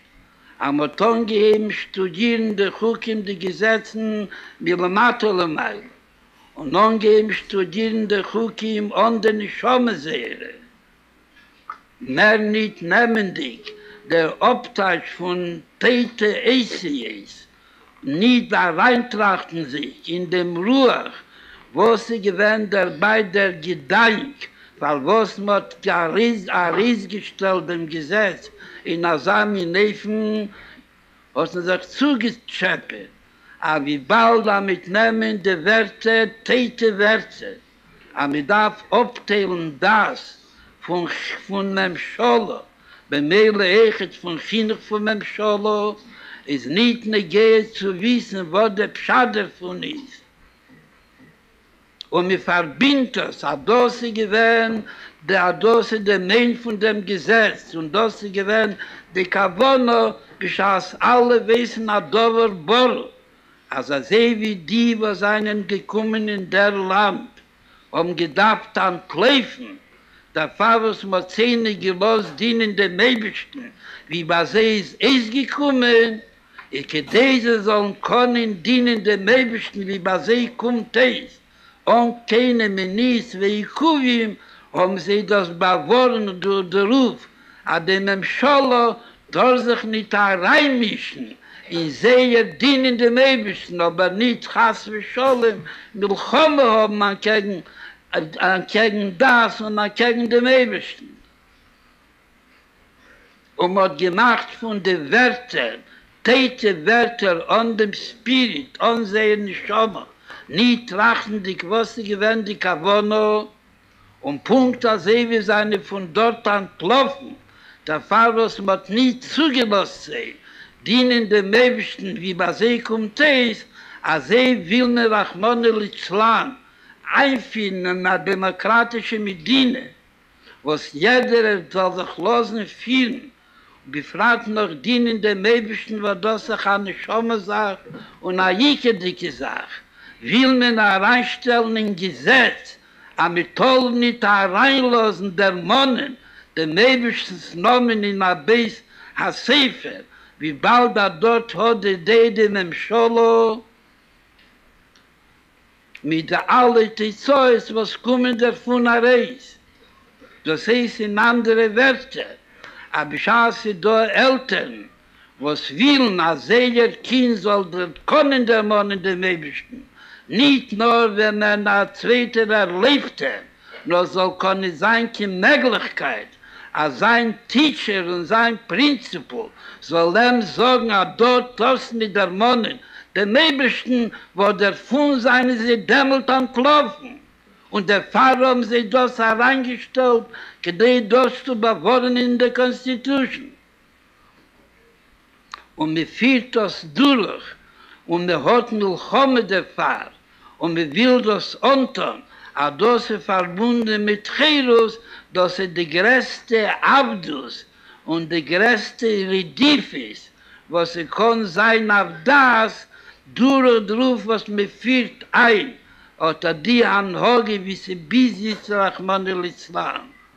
Und mir tut das so in einem Mantel, als in der Ruba steht Demokratie, in der Ruba steht Konstitutie, der Heper von der Karbone und von der Nischome mit der Meinung von die, was haben das hereingeschrieben in der Konstitutie. Wir kommen bei Schaß, mir geht und mir, mir matto le meile. Und mir bagnungen sich und mir bleibt stecken le matto. Nehmt man die Eises und die Werte, wo es einen geschrieben in Sefer Achukim, und mir wart von sehr Arrez den Nishomo und die Kavone sehre, und mir teich sie ob in a Heper von der Nishomo, und ich lalle die ganze Sache nicht relevant, wie mir sagt. Die Konstitution gemacht geworden, wie es steht, und von Jesede hat die Staatser gedacht, bekommen die Citizenship, was mir geheißen, ich muss das Eichet ist chasen. Aber die Konstitution ist gemacht geworden durch ein Volk, Letevas von dem Volk. By the people, for the people. Und das, was sie gewähren mit 200 Jahren zurück, geschaß mit Tracht wegen der Jugend von heimzigen Jahren in die istrische Plätze, darf man lechele Reich trachten und sag mis Beine seiner Liebe de Nafsche, wo sie gut for the people. Und hat gesehen beteil, a die Kinder, wo seinen Eis gewachsen, nicht wissen dich wegen dem Mebischten, nicht sein dich mis Pallel, da viele lis Mann, und mir geht a kuk der Achusim, der Percentage, wo sie da von zwischen seht, wo sein vielen sich nie tut, wie der Chayosha. Mi vergleicht das mit die Kinder, was haben sie gehodet wird, im Bote Sefer, was man ja gelernt wegen dem Ebersten. Und in Heiser, was man angesagt wegen dem Ebersten. Es auf all Pi, wo dort trefft sich Hechet amol, worum der Jeser Hore is um und um nosse konne sich einkehren, so aber schlei beherrach, da Chuzim von der Linkwisi, von dem Durchfall in Anhoge, in der menschliche Anhoge, von die, was haben gelernt in Bote Sefer Parochial School, lagabe die, was haben gelernt in Bote Sefer, wo mit Torne der Monnen dem Ebersten, Allahas kamen wie kamen, nicht der Missfalle sein zu haben, wie Koomo der Chilikis schelei beehre. Und wie bald am Zettos Beine Bosse. Und eine einfache Statistik ich bechlau im Ganzen nicht mehr gehe, das, was sie gewähren mit 200 Jahren zurück, ist auch viele, wenn sie wohl gestanden in Konstitution verkehrt, hatten das sehr gedacht, mich an sei. Wollen die Konstitution alleine gemacht geworden in der Neufen, aber soll können machen Amendments, die Kunim, Lede Zorche am Mokin wa Azma. Allah has kamo wie der Mond frie, a die Konstituze wie sie is a lebedike, en nit nor sie nit an kengelach man des Lande mebisch. Nicht nur sie treibt nicht a Reisrachmann des Landes, beim Nebischen von was für a Bildung, sie soll nicht sein, sie die ganze Sache geworden, geschrieben geworden, gedei zu bewohnen, wir soll können der Monnen den Nebischen, wo mir will und was er mir will.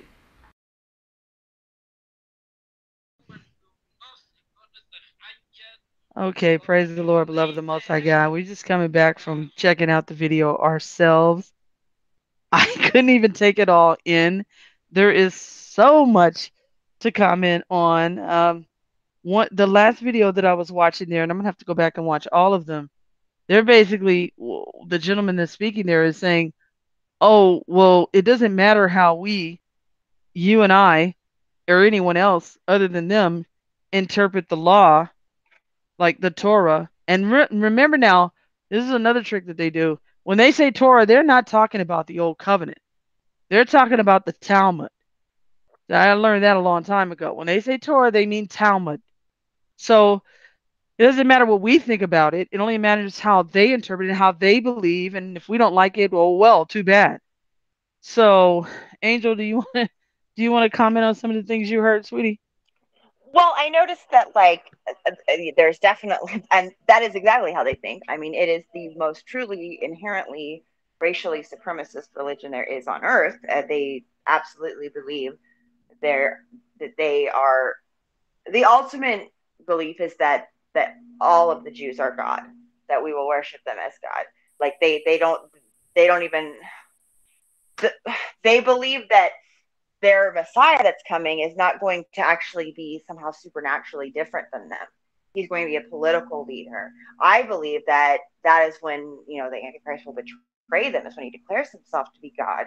That's why it's going to be such a big deal because that wasn't the agreement. They thought they all got to play God and if you look into you know Kabbalism and um, the Zohar gets into a lot of that stuff more, where where they kind of reveal this idea that uh, they themselves are divine, right, and that they are entitled to rule over us, right, and also interpret our laws and all of that, and tell us what's best for us.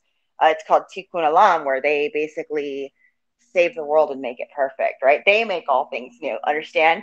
And they tell, uh, you know, us dumb animals how to live. That's how they see us. They see us dumb animals. They truly believe that, that we are here to serve them.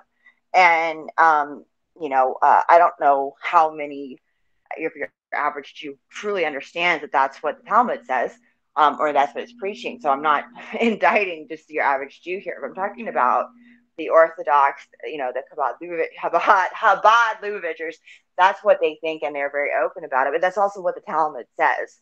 So those who, those Jews who don't really believe that or aren't really totally aware of it, it's they either don't read the Talmud or they're in denial about it. But that is absolutely what the Talmud says. And um, but a, a lot of what he's saying is very appealing, especially in a time like this, where it's like you know he, he's right that um, the idea of separation of church and state is paradoxical to the idea that there's somehow like these uh, transcendent tr- truths upon which to base your legal system. These ideas of absolute right and wrong, that it makes no sense unless God is implicit in um, in our understanding. and so, how can you truly separate church and state um, in a state or in a nation that is founded on uh, uh, godly principles, right? And that where that's that's the authority, that's their the the, the whole um, reason why we would agree or or or defer to you know base basically the Ten Commandments, you know, and, and you know these tenets that are um, central to Christianity. Um, but of course, you know, they would say Judeo Christianity, which is like total, total oxymoron, if you ask me. But whatever he's right in that way that it's it's kind of like we're we're playing a game where we pretend there could be at moral absolutes without without a god that we that, that we agree exists right so um, a lot of people will be uh, will hear that and say amen and it's true but just understand their god is not your god they, they call him hashem and according to them uh, it is his will that you uh, would lose your head for upholding Jesus as God in the flesh. So don't be fooled by that. And that's just a reminder. But I think, you know, when I see that speech, I think, wow, they're good. They've set up the exact problem that they have all the answers to solve. They have, they, they you know, and it's all so eloquently put and well thought out. And it's like, it's not, you know, it's because they already knew how they were going to manipulate this, you know, the culture uh, to get to this incredibly crazy point that's the diametric opposite of their end goal, which is basically like a, a Christ rejecting conservative theocracy, right? But in, mm-hmm. in an ecumenical sense. But because the Noahide laws are very um, common sense, they don't seem particularly objectable to anybody. It would seem like we could all agree uh, that this is yeah you know we why would why would anybody think that these laws are, are wrong right this is just like a common ground for all people and uh, you know unless you're a stickler for Jesus, of course. Um, but but uh, it's going. It, you know, I think that that's that's where a lot of the peace and safety, the promises of peace and safety, and and um, you know, finally, you know, being able to agree on like a common ground and go forth from there. Uh, that's that's the spirit of this ecumenism. But a lot of people take it as like it's going to have to inherently be like radical liberalism that it comes in that it doesn't come in that form. But I just I think it's much easier to deceive man by working with his conscience instead of against it. I just think that you know having to having to contend with the conscience of man that that knows like overt sin is wrong. It's just much easier to entice them with self righteousness and um and I just think that that's we we know the pendulum swing analogy, right? Mm-hmm. Unless right now it's the very end, like then it looks like the pendulum's going to swing back before before all is said and done, right? So I'm that's what I'm just you know right now it just seems like they're pulling that pendulum and preparing to let it go so it can swing back in the you know equal and opposite direction. And i think that it's interesting to watch how constrained and how self-controlled the um i guess you could say the conservatives or the right or just i don't know even reasonably sane people are being in the face of this craziness and and tyranny. There's you know people have really had a measured response to it. A lot of you know you would think you'd almost hope people would have snapped a long time ago, right? Mm-hmm. It's almost a little sad and pathetic and a little bit like uh, makes you feel weak, makes you feel like you uh, like you're rolling over because you yourself aren't doing something about it. But you're just looking around wondering when is everybody going to stand up and nobody's doing it, right? And once that the line gets crossed. You know, what's the quote that um like what a wise man fears three things, I think no moon at night, uh is it the uh the sea in a storm, and the anger of a kind man. Right? And I think that uh, I think that's what they're stoking right now, the anger of a kind man, because um, you know, rational, common sense people in this country and in the world have been slow to anger and have been quite patient with all of this craziness that is like literally being stuffed down your throat at this point. They have put Nick Fuentes on a no fly list.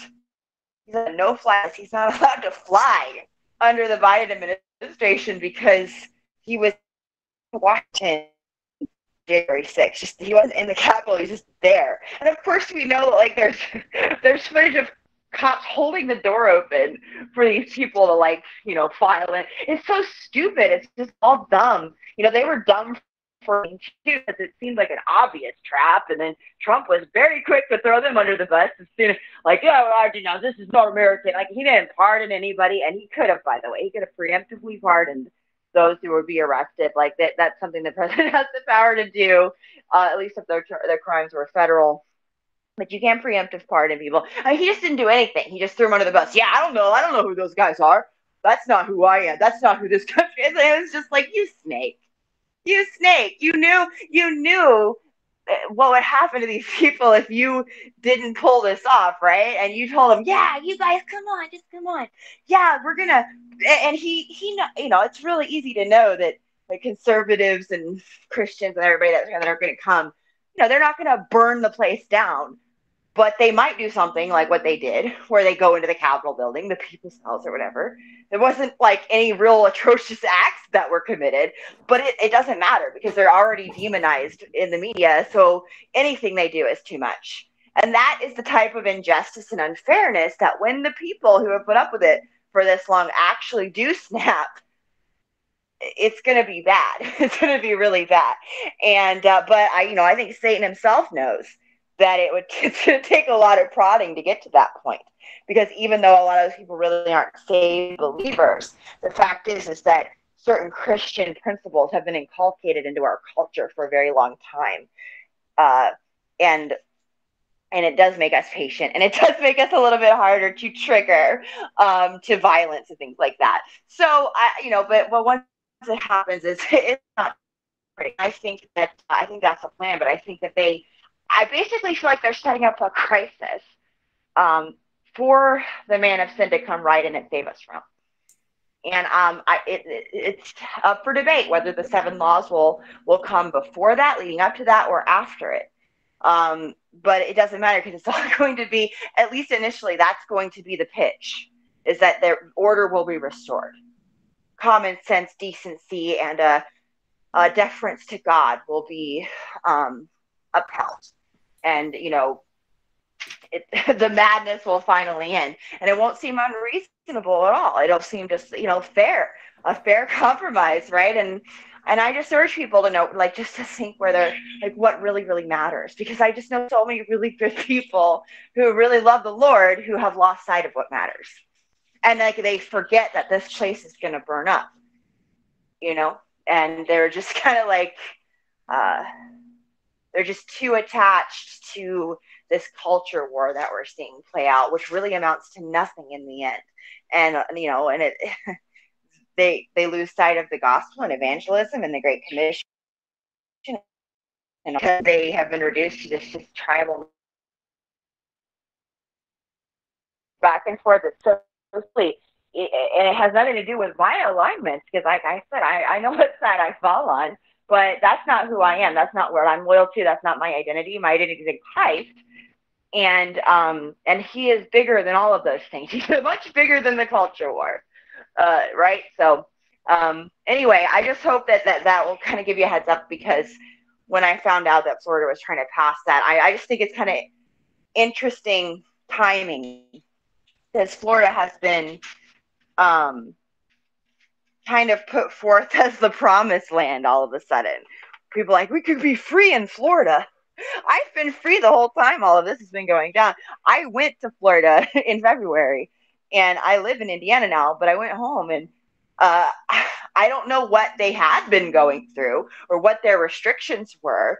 But here in Indiana, I mean, at least in southern Indiana, uh, I've never had to wear a mask in a store except for one like uh, crazy lady exception in Salvation Army, where the person who manages that store, she's just nuts already. Like she's just a very strange woman, and she insisted everybody wear a mask. But like that was a fluke. I've never had to uh, wear a mask in Walmart or anything. I don't know. People are celebrating in Florida like that that it's opened back up, but it it, it was no more open when I visited um, than Indiana had been the whole time. But nobody's talking about Indiana. So I feel like DeSantis and Florida are kind of being propped up for some reason, and and people are like vesting all of their hope in in DeSantis and Florida and you know, I, have lived there my whole life. And let me just say, uh, I don't know about politically, but in terms of like where you would want to live and raise your family, don't go to Florida. It's very degenerate. There's a lot of problems. I, I don't, I don't know. Uh, I don't know if that's where you, if you really want to hitch your wagon to Florida, man. And I love Florida. I'm not like it's. I, I'm I'm proud to be Floridian, but I just think there's like some weird um, narrative being formed around Florida and things like that, where they, they're, they're trying to give us a new hero or something.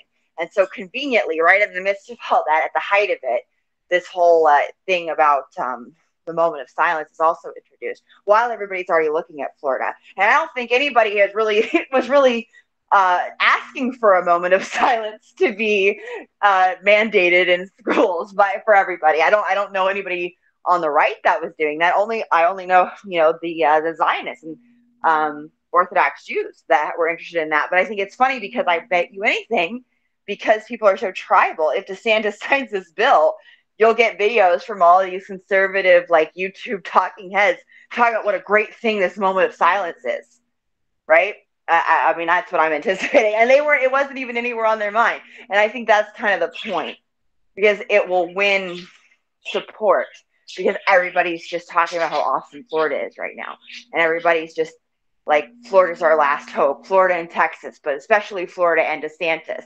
And so they will they will agree with this new law because they'll agree, you know, they want they're trying to make DeSantis their new daddy, their new hero.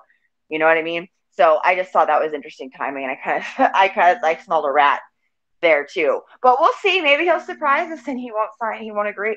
I just know the Senate passed it and it's up to him now. It's uh, and I will be very shocked if he if he if he says no.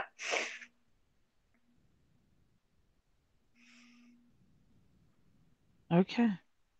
Wow, that was a whole lot we covered this evening. Where are we now? Hold on, time wise. Let's see where we're at. Because I think we're getting close to the end here. Sorry, my stream just disappeared on me. Okay. Oh, yeah. Well, we're at the end of the broadcast. Um, Jordan, did are you still there? Did you fall asleep? Am am I still here even? Yes. So much for mud water. Oh yeah, so much for Mudwater. I couldn't find the mute button. Leave me alone. I knew it. I knew it. I just thought it was funny. I know how frustrating that is when you're just trying to unmute and everybody's talking about you like, I'm gonna miss her. She was a nice girl. Like it's like I'm here, guys. Don't give up on me so soon. It's been three seconds. Don't give Jordan any passes. He fell asleep. no, well, so like the thing was like I was stretching and then I like went back mm-hmm. and then I couldn't pull my window up and I don't need to explain anything to you. Okay. if you say so, Jordan, we believe you. Now, Ben, did you have anything you wanted to add? Because Angel said a whole lot.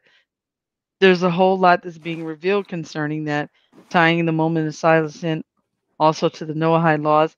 Some of the things that are actually espoused in the Noahide highlights. Oh, and, and then the other trick that they're doing is they have people convinced that it's just these seven things but it's not just those seven things because those seven things tie into the whole code and if you're in violation of any of those one things they can bring you before their what will end up being sub laws. yes the sub laws and bring you before their Sanhedrin which i was just talking to ben about which is uh, what they're going to do is separate i see this coming and if they probably already done it and just didn't tell us about it religion and the religious laws from their Noahide laws from the laws of the state so that they can have their star chambers and judge you according to the Noahide laws where you will not have any of the protections from the so-called state law. I that's what I see coming. Ben, did you have anything you wanted to add to that or anything? Well, real quick, what what what, uh, what what significance of the of the phrase star chambers? What, can you explain the significance of that star chamber? What does that mean Oh. to you? Oh, that they had um a movie they did years and years ago. I think it was uh what is his name? I want to say it was Al Pacino. I'm hoping I'm not mixing up the actors here. But You Where they- are. you know, they had a movie. I think it was actually called Star Chamber. And they in the movie, it's been many, many years since I see this. I'm going but I'm talking about more than 30 years ago. I'm trying to go on memory.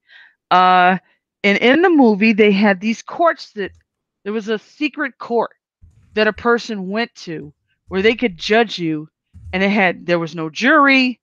They they just brought you up on whatever charge they were bringing you up on and you had to stand before these judges. You might even not know know anything about what you did. You didn't face your accuser or anything like that. None of these other protections that we're supposed to have in law. And they you know stood above you and here you're in this dark room with this light shining down on you and you're being made to answer questions. You don't even really know what the charge is but they give you some trumped up thing and then they're uh, no no indictment against former president trump. You say the word trump and people lose their mind these days one way or the other. So uh and then they just uh could accuse you. Let me while i'm okay ben i hope that answered your question. I'm gonna go pull it up so i can prove to you i'm not making this up. Okay, while you're pulling that up, the reason I ask is that um, again, I I, I I I saw a lot of cult symbolism in this whole uh, the various um, ape man uh, evolutionary stories they pull out, and uh, you know, it's it's laughable if it, if it wasn't so tragic that of all the, the, the terminology and phrases they use, then one of the change that one of the most recent discoveries, most significant, is called it's called Homo dinaleti, which dinaleti pa- apparently means the the place of the rising star, and they found these these hominids in they call it the chamber of stars, which I, I think is code essentially for uh, where it says in Jude where he these uh, the angels who kept not their first estate they are left they're they're trapped in Tartarus with everlasting chains of darkness until that day. So they're kind of trapped. These stars is code for fallen angels. Lucy in the sky with diamonds, uh, which also, by the way, they that comes into play with their narrative. Uh, so uh, I, I wanted, I, I didn't want to understand what, what that what me- that meant to to someone like you that you know who did. not I, I don't have it used. In, go ahead. Go ahead. Well, let me. okay, I didn't have the right act. Although I know I saw this movie with him entering a star chamber. I just don't think it was called Star Chamber. Okay, and I got to go back and see if they did another one because sometimes they do remakes. This one that has the name Star Chamber was with Michael Douglas. Let's see who's the cast. I don't see if it says here. Uh, it was in 1983. It was a crime drama about a gentleman who's frustrated with the legal system gone haywire. Wire a secret society of judges hires hitmen to snuff out criminals. Okay, now I did see this one too. I remember this one where they they decide to become judge, jury, and executioner, as it were. They hire uh, hitmen to snuff out criminals who escape courtroom justice, but one young judge questions the ethics of their vigilante system. Okay, well, they're meeting in a secret room and making decisions about people who they think should live or die that are evil. But this other one that I remember at least seeing a scene in, it may not have been called that, was somebody who was accused. Maybe that's in there and I just forgot that. I got I'm gonna have to go back and watch this again. It's been many years since I've seen it. Where when they bring them in, you know, they they just tell them we're gonna get you, we're gonna kill you because of this. and there's no there's no appeal, there's no nothing. You gonna die because we're accusing you of this.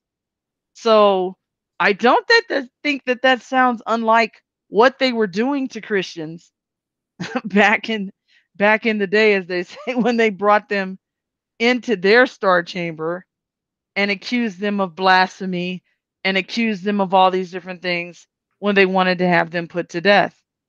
So isn't that an interesting concept? I wonder if this is where we're going. You know, almost like the the whole thing associated with Minority Report as well. Well, let's get them for pre-crime. You're not gonna even wait. You're not gonna even wait to get you for something you actually did. You just have the propensity for doing something, and we're coming to get you for that. I mean, is is that where we're already headed? Did you guys fall asleep on me No, again? uh, one last thing I'll mention about what the angel was talking about. Um, I will say that this QAnon thing is not dead, by the way. Uh, even though he hasn't been posting, there is a total, uh, there is quote unquote fulfillment of things he said. So they're they're saying like one year delta, three year delta, etc. And a lot of things that like uh, that's going on right now, they're saying you know they're they're they're, they're linking it to to stuff that was said before by him. So it's not dead yet. And I follow it because again, I like to see what what the what the narrative is, and you know, I, I like to understand what what you know what what the people are, are talking about. And I think that's part of the reason why a lot of people have not. Uh, you said Angel about people not speaking up or not much of a movement. I think a lot of people, the die hard ones, are uh, really following this QAnon movement and seeing, okay, well, it's still progressing. Trust the plan, etc. Um, and uh, uh, one other thing I want to say about the Capitol riots and why he didn't pardon anyone. Uh, you know, what the QAnon apologists would say. like I'm not holding, like they're Well- like you know marked for life, you know, according to to. Have you CNN. guys have you guys heard the whole theory that Q the whole Q thing is actually the supercomputer? I've heard. Have any of you heard that? I've heard it, but I, I, it, it's it's I, don't- I don't believe that. I mean, It's again, I, AI. I'm not. I don't believe that. Well, I will say this: there's something. Uh, there's something strange about the whole Q thing. I mean, I mean, it's it's whatever it is, it's real. I'm not saying it's it it, it, be a real. Well, I, I, in fact, I believe it's a real. real deception. I think it's a real deception, and it's but it, it is extremely clever. uh, it does seem like they're like some kind of otherworldly intelligence or you know uh, artificial intelligence is involved. The, the, the precision uh, and things like that. I will say that. So. Um, Well, let me just real quick. I wanted to uh, read a better description of the Star Chamber. It was 1983. Uh, it the cast of characters. Let's see. It's Judge Steven Hardin, who's played by Michael Douglas, is discouraged by the failures of the legal system after seeing hardened criminals go free on technicalities. Acknowledging Hardin's perspective, his peers, Benjamin Caulfield, who is Hal Holbrook, introduces him to the Star Chamber, a secret organization that condones vigilante action in cases where justice has not been served. However, when the cabal, not my words, sentences, sentences two criminals to death and Hardin finds them falsely accused, he clashes with the powerful group. So that it is a very well done film, by the way. I I had to remind myself about it, thinking about it. The cast of characters, the director was Peter Hyams, uh, was Michael Douglas, Hal Holbrook, Yaphet Kotto, Sharon Gless, uh, James Sikking, Joe Regalbuto. I'm sorry I butchered it, and John, excuse me, Don Calfa. And it is very well acted. It is a thriller. It will have your heart racing when it gets to certain parts of the film. Uh, but but it's that whole concept too of pushing what we know the Bible teaches against.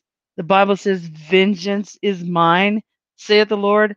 I will repay it. But they're always pushing this in these films, in these different movies about Right. people taking the law into their own hands and exacting justice. So, I mean, it is a good flick if you want to watch a, a well acted movie. Definitely, I would, I would, oh, I would be interested in watching it again and refresh myself as to all the different nuances that are in there. But interesting that it called it's phrased here in the description, the cabal of, of justice, so, so that they are exacting for themselves, which is not unlike what we were talking about, which is why I brought it up concerning the correlation possibly to these star chambers that are going to possibly be erected with the with the Noahide laws, and they're intending on putting, gee, little old Christians to death because we're guilty of, in their book, idolatry for worshiping the Lord Jesus Christ. I mean, this is their belief, and people need to know about it. You need to know that this is what they believe. There are videos where people have went over to Israel and asked them, put the microphone in their face, are Christians guilty of idolatry? And the ones who are wearing the yarmulke and have the little curls, they're just standing there and they say, yes, they're guilty of idolatry. And they say, well, what's what's the penalty for idolatry? Death, beheading. you can't make this stuff up. You know, I, I've seen those too. Like Dale guys will go to Israel. In fact, I shared, I recommended a video a while ago about uh, the about the location of the temple not being on the Temple Mount like most people think. And this guy, this Christian, went into you know he's interviewing these Jews, and he this Jew you know elder is uh, talking to him. He says, he goes, "Wait a minute, are you a Jew?" He says, "No." He goes, "What are you doing? I've got no time to waste with you." You know? it's just arrogant. They don't even hide it. You know. Yeah. You only interesting. know he knows he's on camera. You know. Oh yeah. Angel, is there something else you'd like to say in closing before we get out of here this morning? Did she fall asleep on us too? Sorry, no, no. I, I the little kittens were about to mutiny because Oh. I hadn't fed them yet, and they are like little torpedoes running around, just like yeah. Oh my gosh, they're so. I, they, they were so hungry, but they I feed them, but they don't. I didn't have wet food, and they wanted that, so I had to go chase them around the house. But yeah, you guys did a really good. I mean, I was just like fascinated what you're contributing to the discussion, and yeah, it is. uh There's no. There's no. uh there's no shame in their um I don't know, I guess you call it their, their privilege when they when you hear them interviewed in these uh in these like man on the street interviews. I mean they, they they're not ashamed of it. I mean it's it's upheld in their religious text. So uh, they I mean hmm it's just it's just it's just how it is. I mean I can't imagine saying some of the stuff that I've heard them say about Gentiles to anybody and saying that no God says God says we're just better. We're God just- says we're- it. we're- Yeah, we're divine. Yeah, We're we're that's we're say. God. Actually, we're gods, and you guys are we're God. uh Yeah, I have that like video part animal on my channel too. What Yeah. about the Kabbalah and exposing what they Uh-huh. believe. Uh, Yep. If you guys haven't seen it, just go back a little ways. It, it won't even take you 30 seconds to go find it. About the Kabbalah exposed, and the woman there is saying she says they are God. and uh, or and that we're human. They admit that we're human, but they say that there's something else. Yes, yes. That- it's not that we're animals; it's that we're only human. Yes. And there's something else, all right. Okay, and then uh, uh also Angel, before you before you go, I wanted to ask you because Angel has a dragon. What's the proper name of the dragon, Angel? Bob. Yeah, Oh, you you know what mean- I meant. Oh, a bearded dragon. My bearded, Bearded dragon. She has a bearded dragon, and his name is Bob. Yeah, his name. Okay, cute. We didn't name him. It was he was already adult when we got him. So. Okay. But it is funny. It's a funny name for him. So. Well, I wanted to start the broadcast with this, but we didn't get to do it. And I wanted to ask you because Angel was telling me, uh, I don't think it was in a phone conversation. I think it was a text that I guess you were washing one of the babies or something. No, And the- I was giving him a bath. Oh, you were giving him a bath, but didn't yeah, you say you he fell in? soak. Okay, so I I fill up like a Tupperware, like a large like Tupperware thing, like a pretty big one, you know, like like three feet across Mm-hmm. with uh, warm water, and then I put like a a stick or something, like you know, like a, a like kind of a branch or something across it so he can get in and out. But he has to when he's shedding, you, you really want to let him soak in the bath, you know, once a day to help them not get stuck shed because if they're Mhm. like a little bit of that skin gets stuck, it can actually like cause their limbs to fall off because it'll Mm. just keep they'll keep growing and that it'll constrict constrict. So it's really good to keep Mm. them hydrated and but they're like a desert lizard, so you know their their environment's very dry. and so I was giving him a bath, but his lazy little butt fell asleep on the branch and he just like they're so chill and so relaxed that he didn't even wake up when he fell in the water. He just was like he looked dead in the water. And you know, I, I it couldn't have been long at all that it was happening. But I mean, I was shocked that he didn't drown. Mhm. Uh, I shouldn't have let him do that. He had never done that before, I- but I shouldn't have. I shouldn't have walked away while he was sleeping like that. I didn't know that he was. Hey, he was he was swimming when I walked out. Like he, he likes to get in the you know water and swim around. They're so cute. They're so funny. Um, Okay, but um, so anyway, he inhaled short- water. Yeah, he inhaled He water. inhaled and I thought water. he might die. you thought he might die, but how is Bob now?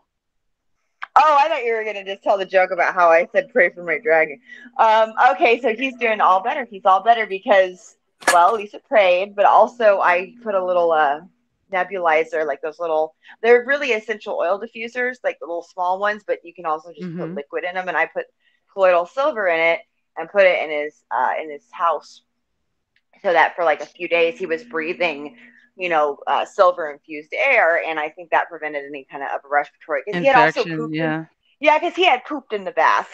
Uh-huh. that's also what they do. You were worried about that, yeah. poop. Yeah. So he had. Yeah. So it was not clean water, and they get reptiles get uh, respiratory infections pretty easily, and they're difficult to treat. And I keep recommending colloidal silver, you know, in like airborne form. Oh yeah, that helps humans too. But Oh, now it's- I wanted so to great. ask you because these things do not come with in- they don't come with like instruction manuals when you go buy them, right?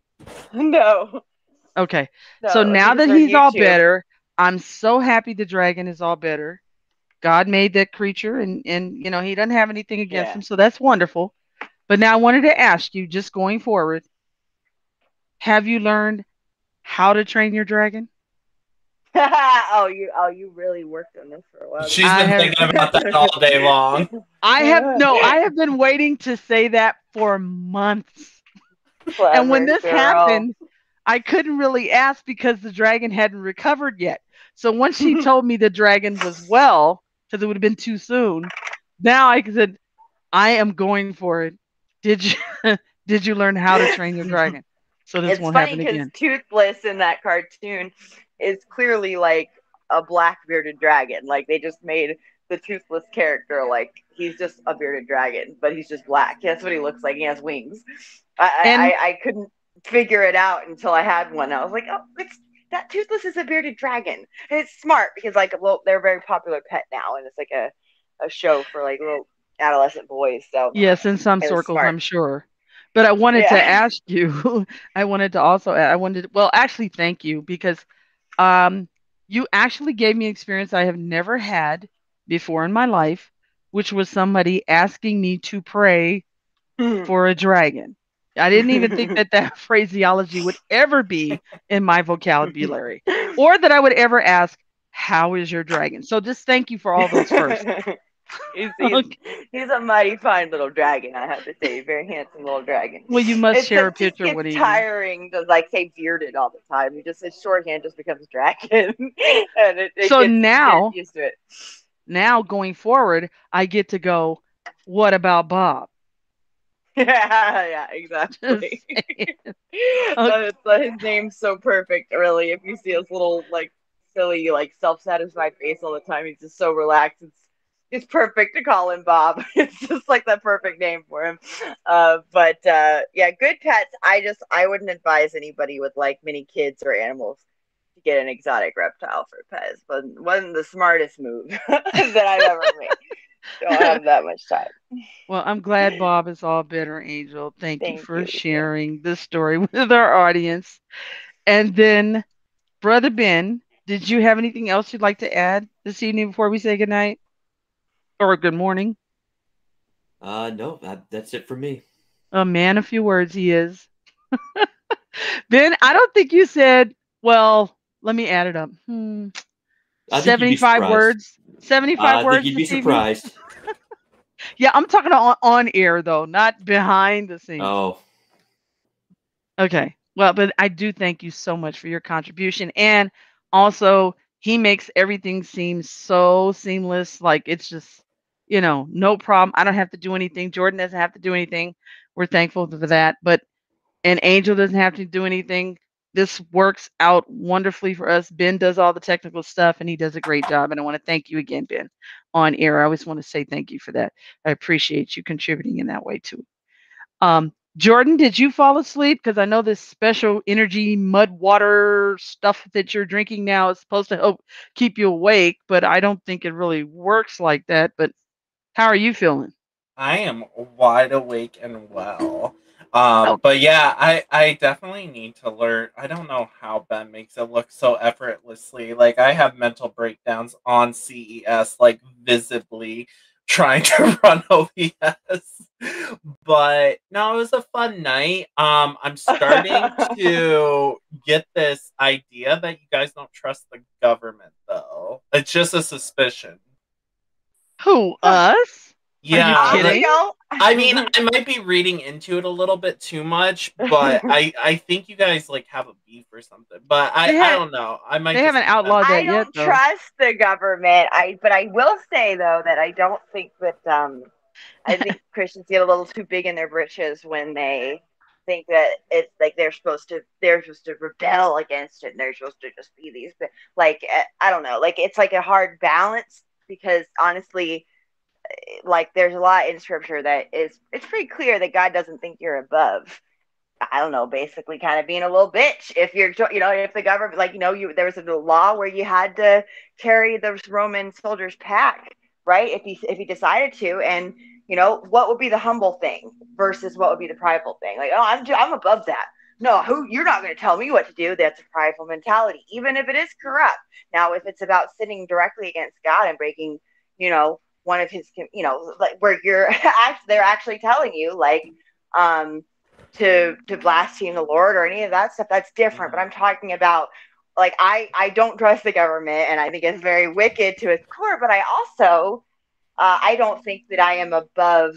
Uh, uh, and I, it's very hard for me to say. I'm a very defiant person, but I, I God has checked me in my spirit about thinking that I need to go make a point to tell everybody that nobody can tell me what to do, and that this government's not like there there is no good government. Like if, you know the, the world is fallen, right? But like uh, unless I'm be I'm being uh, ordered to like truly sin against the Lord, um, which you know there's plenty of distinct like examples in Scripture where if it's like one type of uh, decree or order from the government that is um, you know directly against like the core tenets of the faith um, stop preaching Jesus. These things we disobey. But then there's plenty of other things where where uh, they were more minor. Render unto Caesar what is Caesar's. But like there's all kinds of like from old and new of just like the Christians weren't just you know defying the government on every point, even if they knew it was wicked. In fact, at some points, God said. Uh, you know, that he was using a corrupt government to judge the people and they'd be punished more harshly if they didn't obey. I'm not saying that's the case in this because we're, you know, America isn't actually Israel, but I just think like, uh, I think they're trying to stoke a spirit of defiance in people.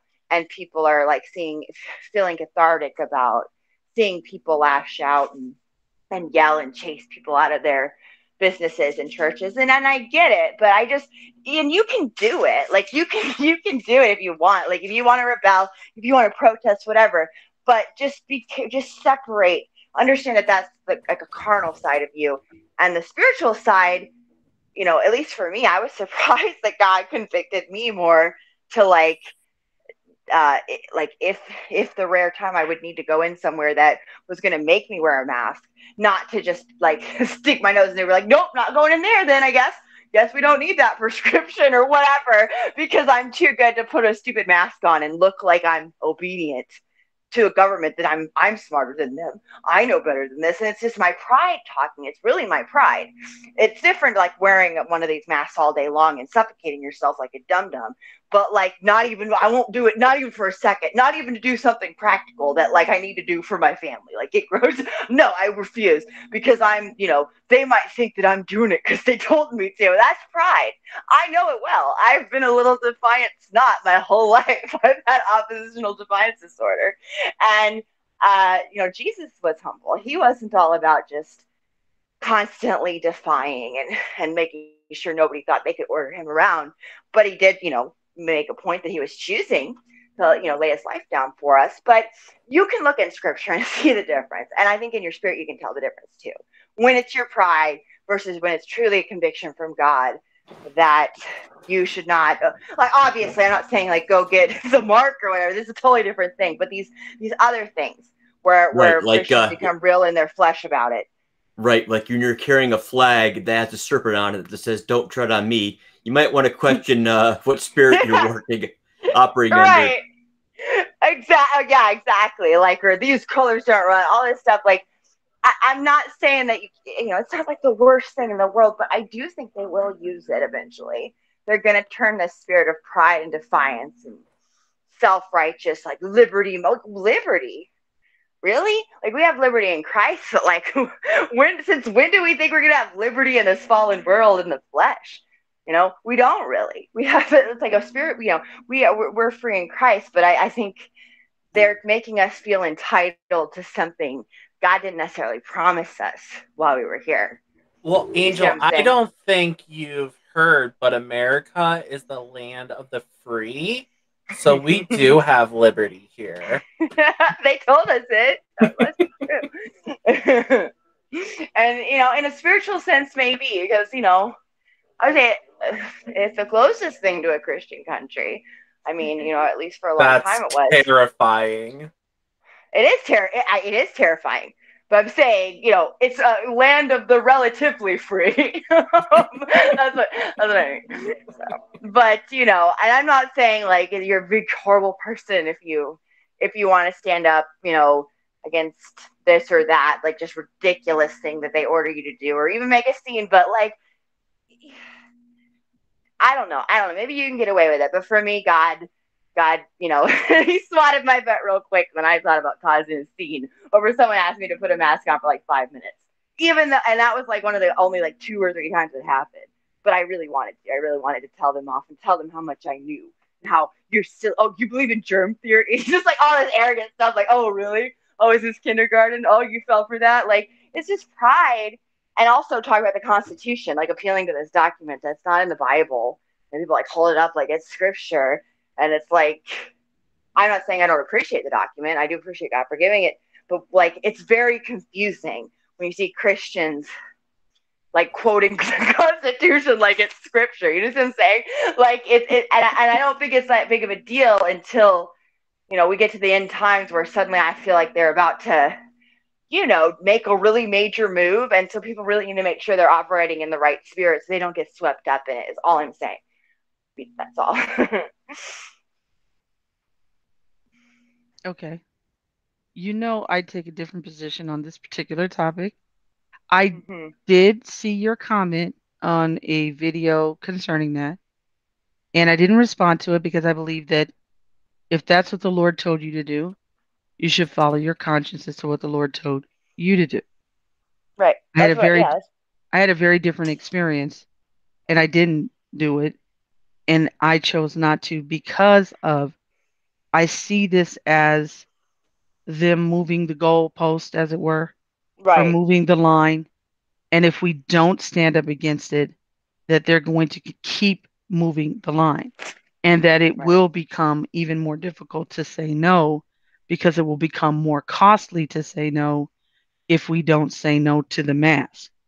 That's but the see, position that's where it that gets I, confusing when it's like you're looking at eschatology because like that's perfectly reasonable and practical, but at the same time, like where I get confused is Mhm. that's why I said it's not wrong to do that. I just think it's a, it's it's also like it's a, a carnally responsible thing to do. I don't mean carnally like in a judgmental way. I mean it's pragmatic for you in this life in the flesh right now. If you're trying to like try to help your life not get more miserable while you're here by like uh, acquiescing to just ridiculous like all right now stand on your head. You got to stand on your head like for like an hour if you want to if you want to live if you want to survive. It's the only way. Three masks. Like like i understand.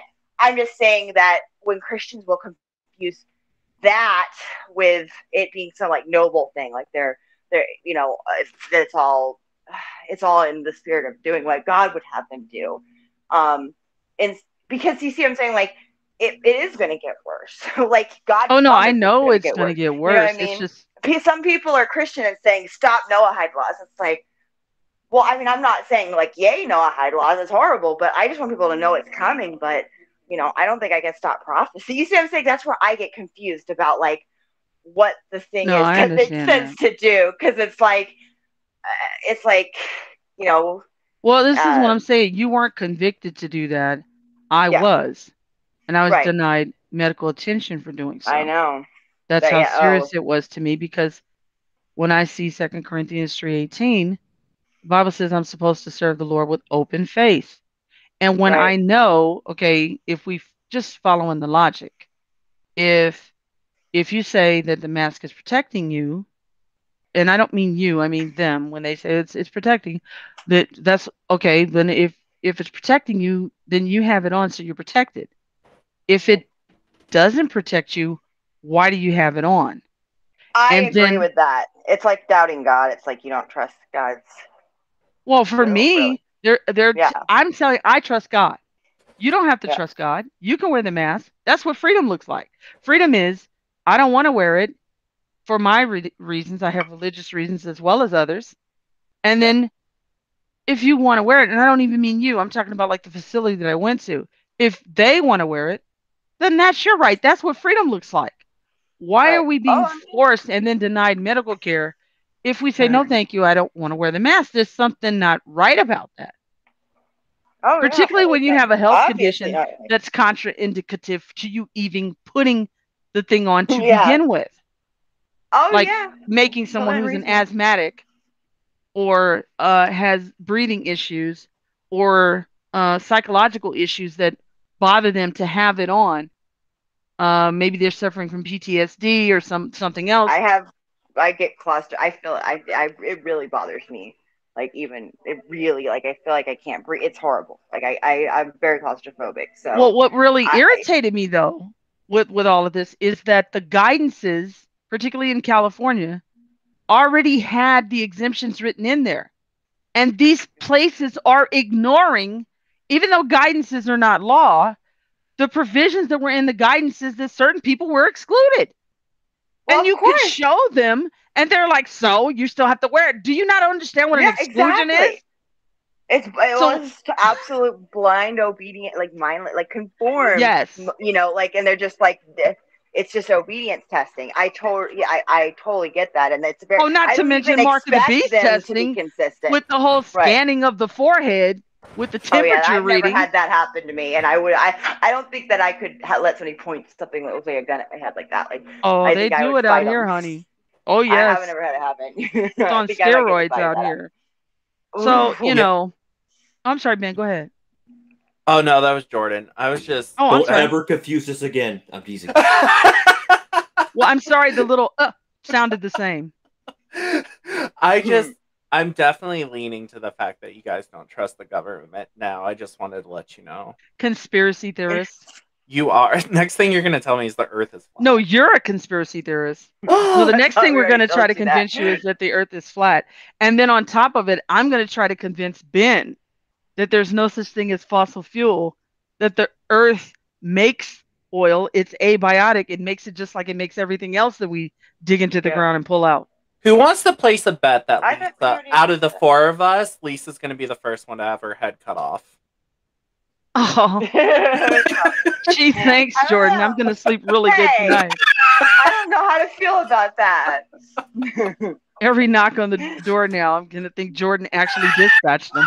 Remember, the Bible says that they're going to turn each other in and they're going to turn on each other. I didn't think it'd be so soon, though, Jordan. Okay. Did everyone But say I- everything they I want? do- Yeah, and well, I do just want to say I do get, I do agree that it is to me. One of the things I had to weigh is also like it really does feel like I'm communicating that it's okay to be faithless and think that science is like controls life or death rather than God, and that it's okay to just like to walk around so fearful of death that you're suffocating yourself all- day. That bothers me too. So I have to juggle convictions all the time. I, I don't. I ha- I've only had to wear a mask like a couple times, so it's not like Mhm. a, something I have to think. Of. I normally just they don't, their signs are there, but nobody ever asks you to do Mhm. it. But It's not the uh, so- same here in the People's Yeah. Republic of California. I know it's a lot different there. It's a lot different there, and I think I might be a lot more challenged there. I, I just know I, I had such a weakness with defiance and pride that it makes sense to me that God would kind of give me conflicting convictions, like to balance me out, because it would be. But look where you're at, though. Because, see, Yeah. you're in a place where you're not being forced to do it like we are. So it Right. makes sense what he said to you. Out here where where we are, oh my gosh, the bastion of tyranny. Tyranny, like, it's like name the person and then put tyranny as their middle name or tyrant. Uh, so it, it- it's like uh, I told you guys, this is one of the reasons. Okay, here's one of the reasons why I took the position that I did. In California, which is where I live, there is a law that says it is against the law to wear a mask in public. Now, it, that means every police officer that you see is actually violating the law. So it's it's like, oh, are we living in an upside down world? I'm talking about California. I'm not responsible for any other state. The state I live in has a civil code that says it is against the law to wear a mask in public. So they are literally turning things upside down. They are making the law none effect and making it lawlessness. It's the most vile thing I have ever witnessed in my life. And I know it is not going to stop there. That's my never to be humble opinion. That if we don't hold them to what is a matter of public record, public law, what's next? What then next will they say? We're just going to do whatever the heaven we want to do because you didn't hold us to the law on this. That's what I'm saying. That's why I think it's dangerous. Well, I mean, I, I think they're gonna, you know, what's next? Well, eventually they're gonna start, you know, killing us for the cause of Christ. Like, I just, I expect that to happen. You know what I mean? So that's Yeah. the thing. That's where I get a little bit. It's almost like, But that slippery Right. slope starts somewhere. It doesn't just but I, start with I that. don't intend to stop it, though, right? Like, we can't stop it, right? we're like, we're not, we, sh- we're, we're, you know what I mean? Like, that's, it's so, But it's shouldn't like we? nature. But shouldn't we point out and warn, like the Bible Yes. says? Exactly. That's all Yes, I'm saying. That's what, yes. So then you got, eh, but again, I can't, I can't put the burden that I have on you. I just Well, that's want what I'm to saying. serve Yeah. the people who are willing to step up to do that, to do that.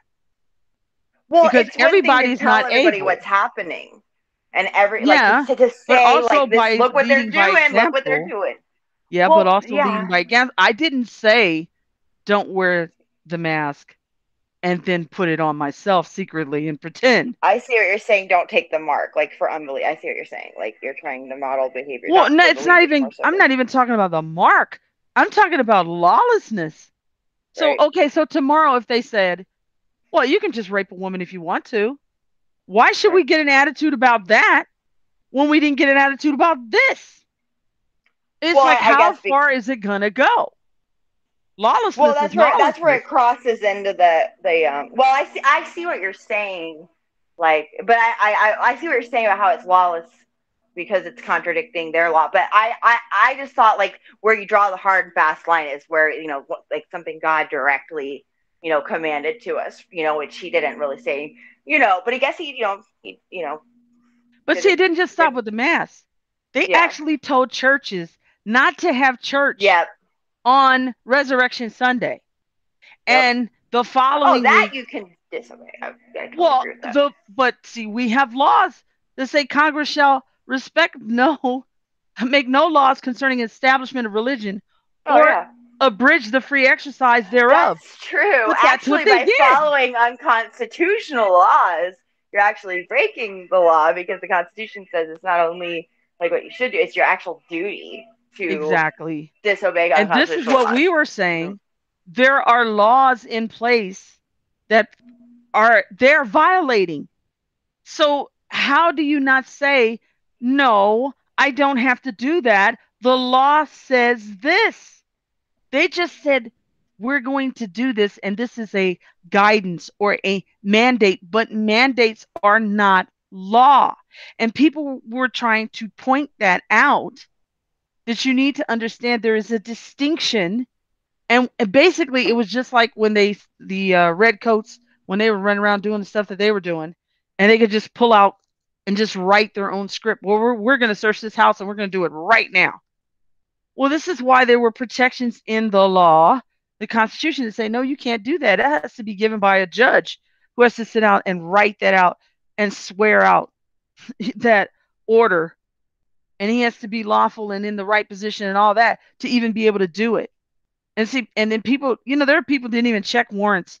They've had where people have come into people's homes, they didn't bother to read the warrant. They have the wrong address, or they have the wrong name on the warrant, or the warrant is actually expired. If somebody shows up to your house, you should read it because it, these are not technicalities, they're required. But a lot of people don't know that. You know, and if you don't know your rights, you can lose them very easily because they just steamroll over the top of you. And that's what that's what tyranny looks like. A free for all. It's whoever's stronger brutalizes the weaker. Is that the world? I know it's coming to that, but is that where you want to live right now? If all it takes is for us to stand up and say, no, no, thank you. I'm not going to participate in this delusion. And yes, there will be a price to pay. You have to count the cost. I was told that I needed to see a doctor by two healthcare professionals. One was a, what do they call them? Um, nurse practitioner. The other one was the person that's just under that. I can't remember. I never can remember their classification. The first one told me who was lower, you better go to a doctor. You you should go. The next one I called on the phone, gave him the symptoms, told him what was going on. Oh yeah, you should absolutely go see. You need to go to the hospital. I go, and they want to force me to put the mask on. I know what the law says. I know what the ADA laws say. I know that I don't have to do it. So I say, no, thank you. I'm not going to put it on. And we went round and round for about 20 minutes. And uh, they called for the hospital administrator, who then didn't wouldn't even talk to me, just because she saw the look on my face that I wasn't playing games. This is not a game. She didn't want to talk to me. She talked to my family member instead. But I got denied medical t- attention that if I hadn't trusted God and I ran around being afraid, then I might not even be here today because the fear probably would have killed me faster than the condition. But I just said, I'm going to trust in you, Lord. And I'm not kidding. If I die, I'd rather die than, than live in, in this world, in this kind of place where somebody can come take away rights that people died for us to have. I'm like, no. And most of these people that were stand up that died for these things were believers. And I'm like, no, I'm not just going to roll over and play dead when these people are actually violating the law. They're violating the law that Congress voted on, put in place. People died for us to have these rights. for something that is simply somebody standing up saying, I think you should do this. That ain't the same as law.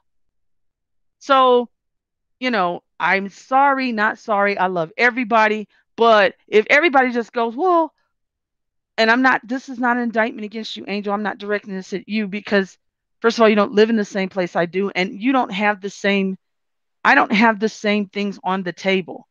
I might have Right. done something different if I was a wife and mother with four children and a dragon Right. and other zoo animals. So I might not have done the same. I might have said, no, I'm not going to, I'm not going to fight this battle because I don't want to risk whatever. That's your right.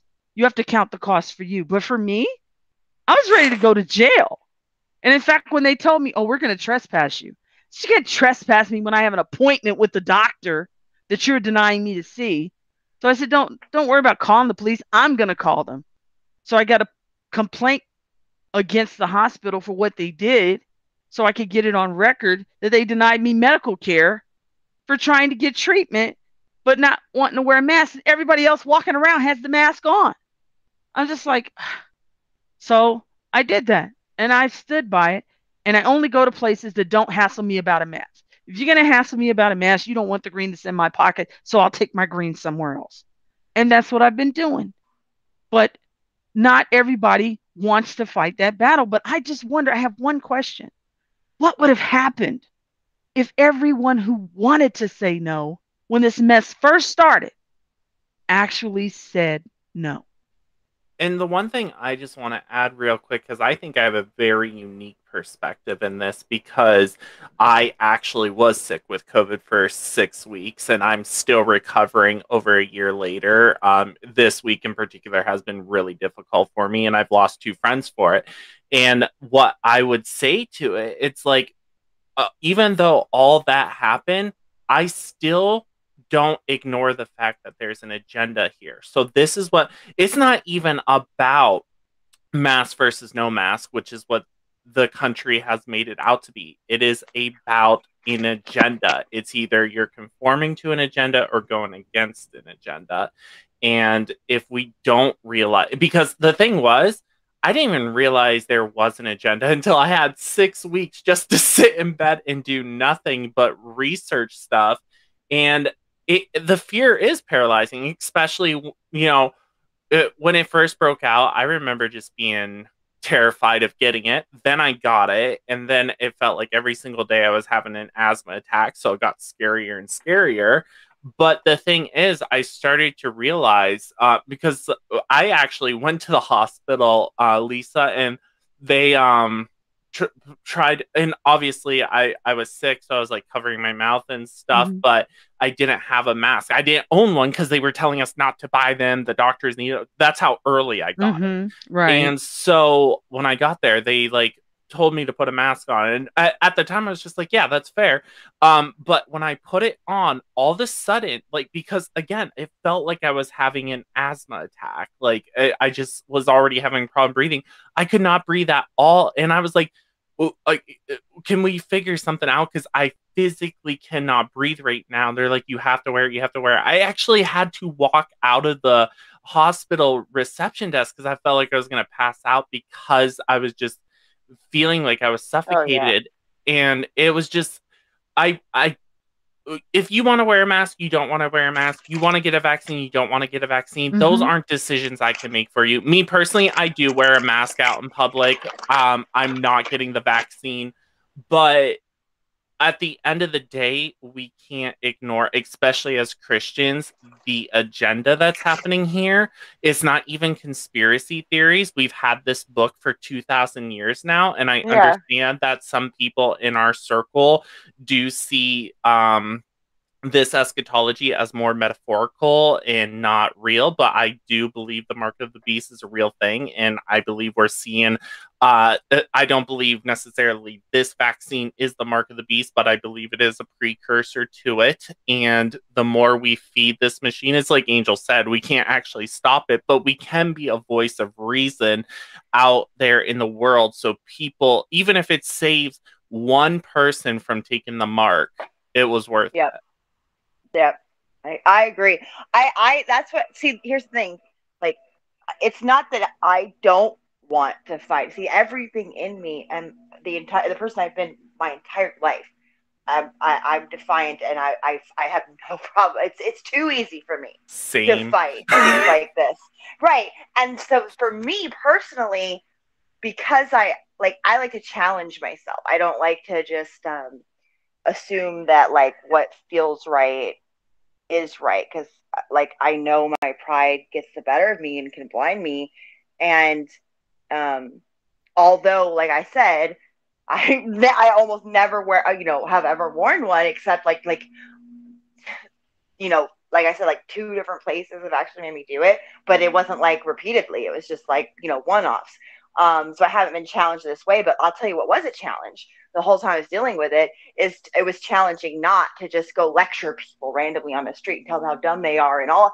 That was the challenge. The challenge was not having the courage to tell people off and tell them they're dumb for thinking I need to do that or or how Oh, dare they even.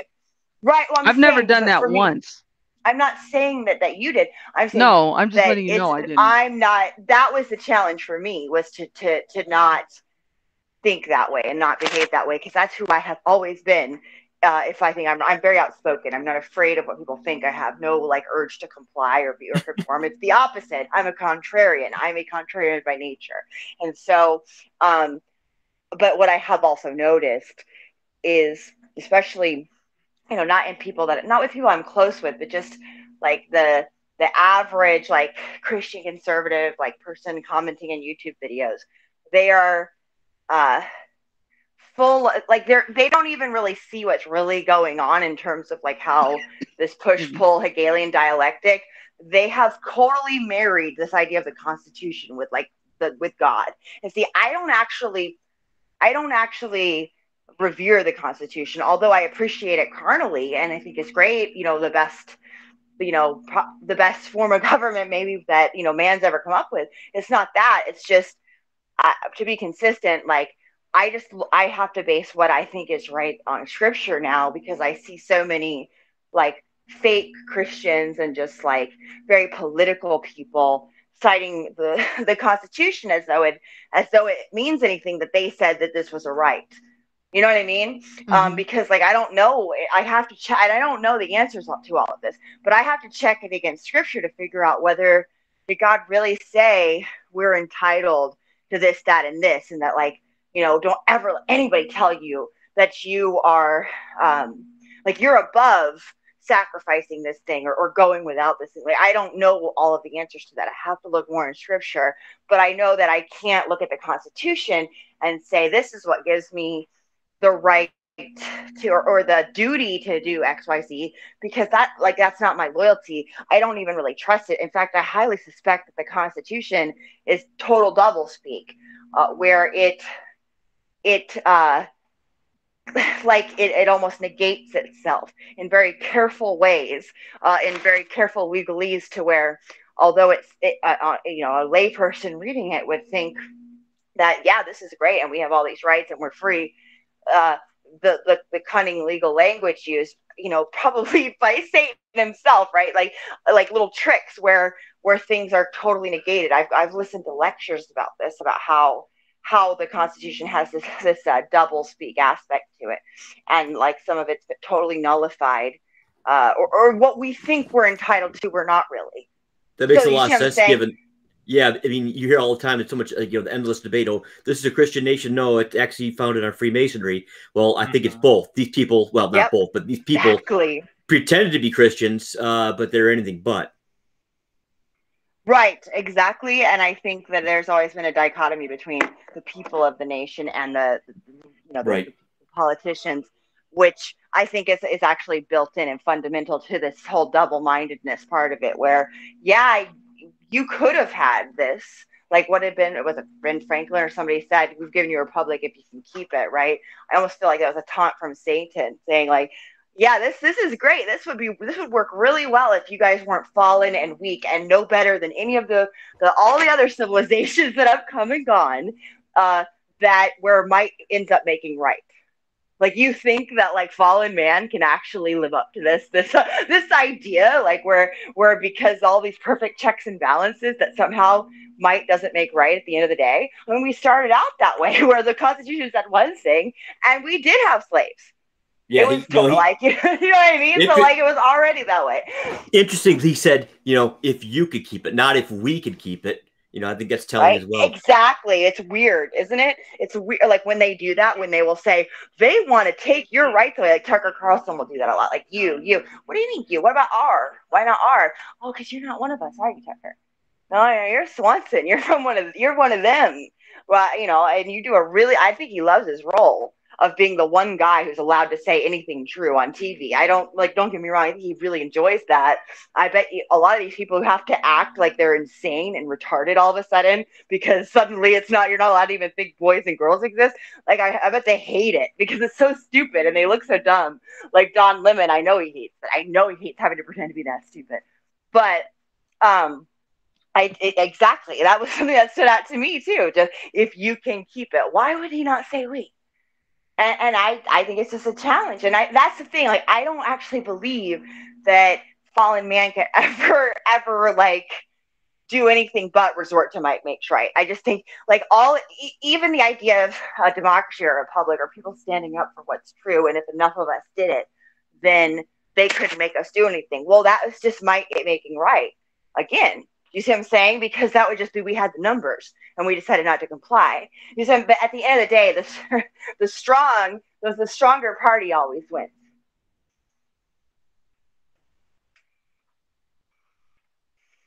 Okay. Sorry, my my Bluetooth died. I don't know if you guys can hear me, but um, Okay, well, I think we have completely exhausted the whole discussion Yeah. for now concerning face masks. As I said, you guys know where I stand on it. I made my arguments as to why. I certainly, Angel, respect your decision not to and the reasons that you haven't. And uh, Jordan, I am sorry for the loss of your friends. And I do understand your position as well.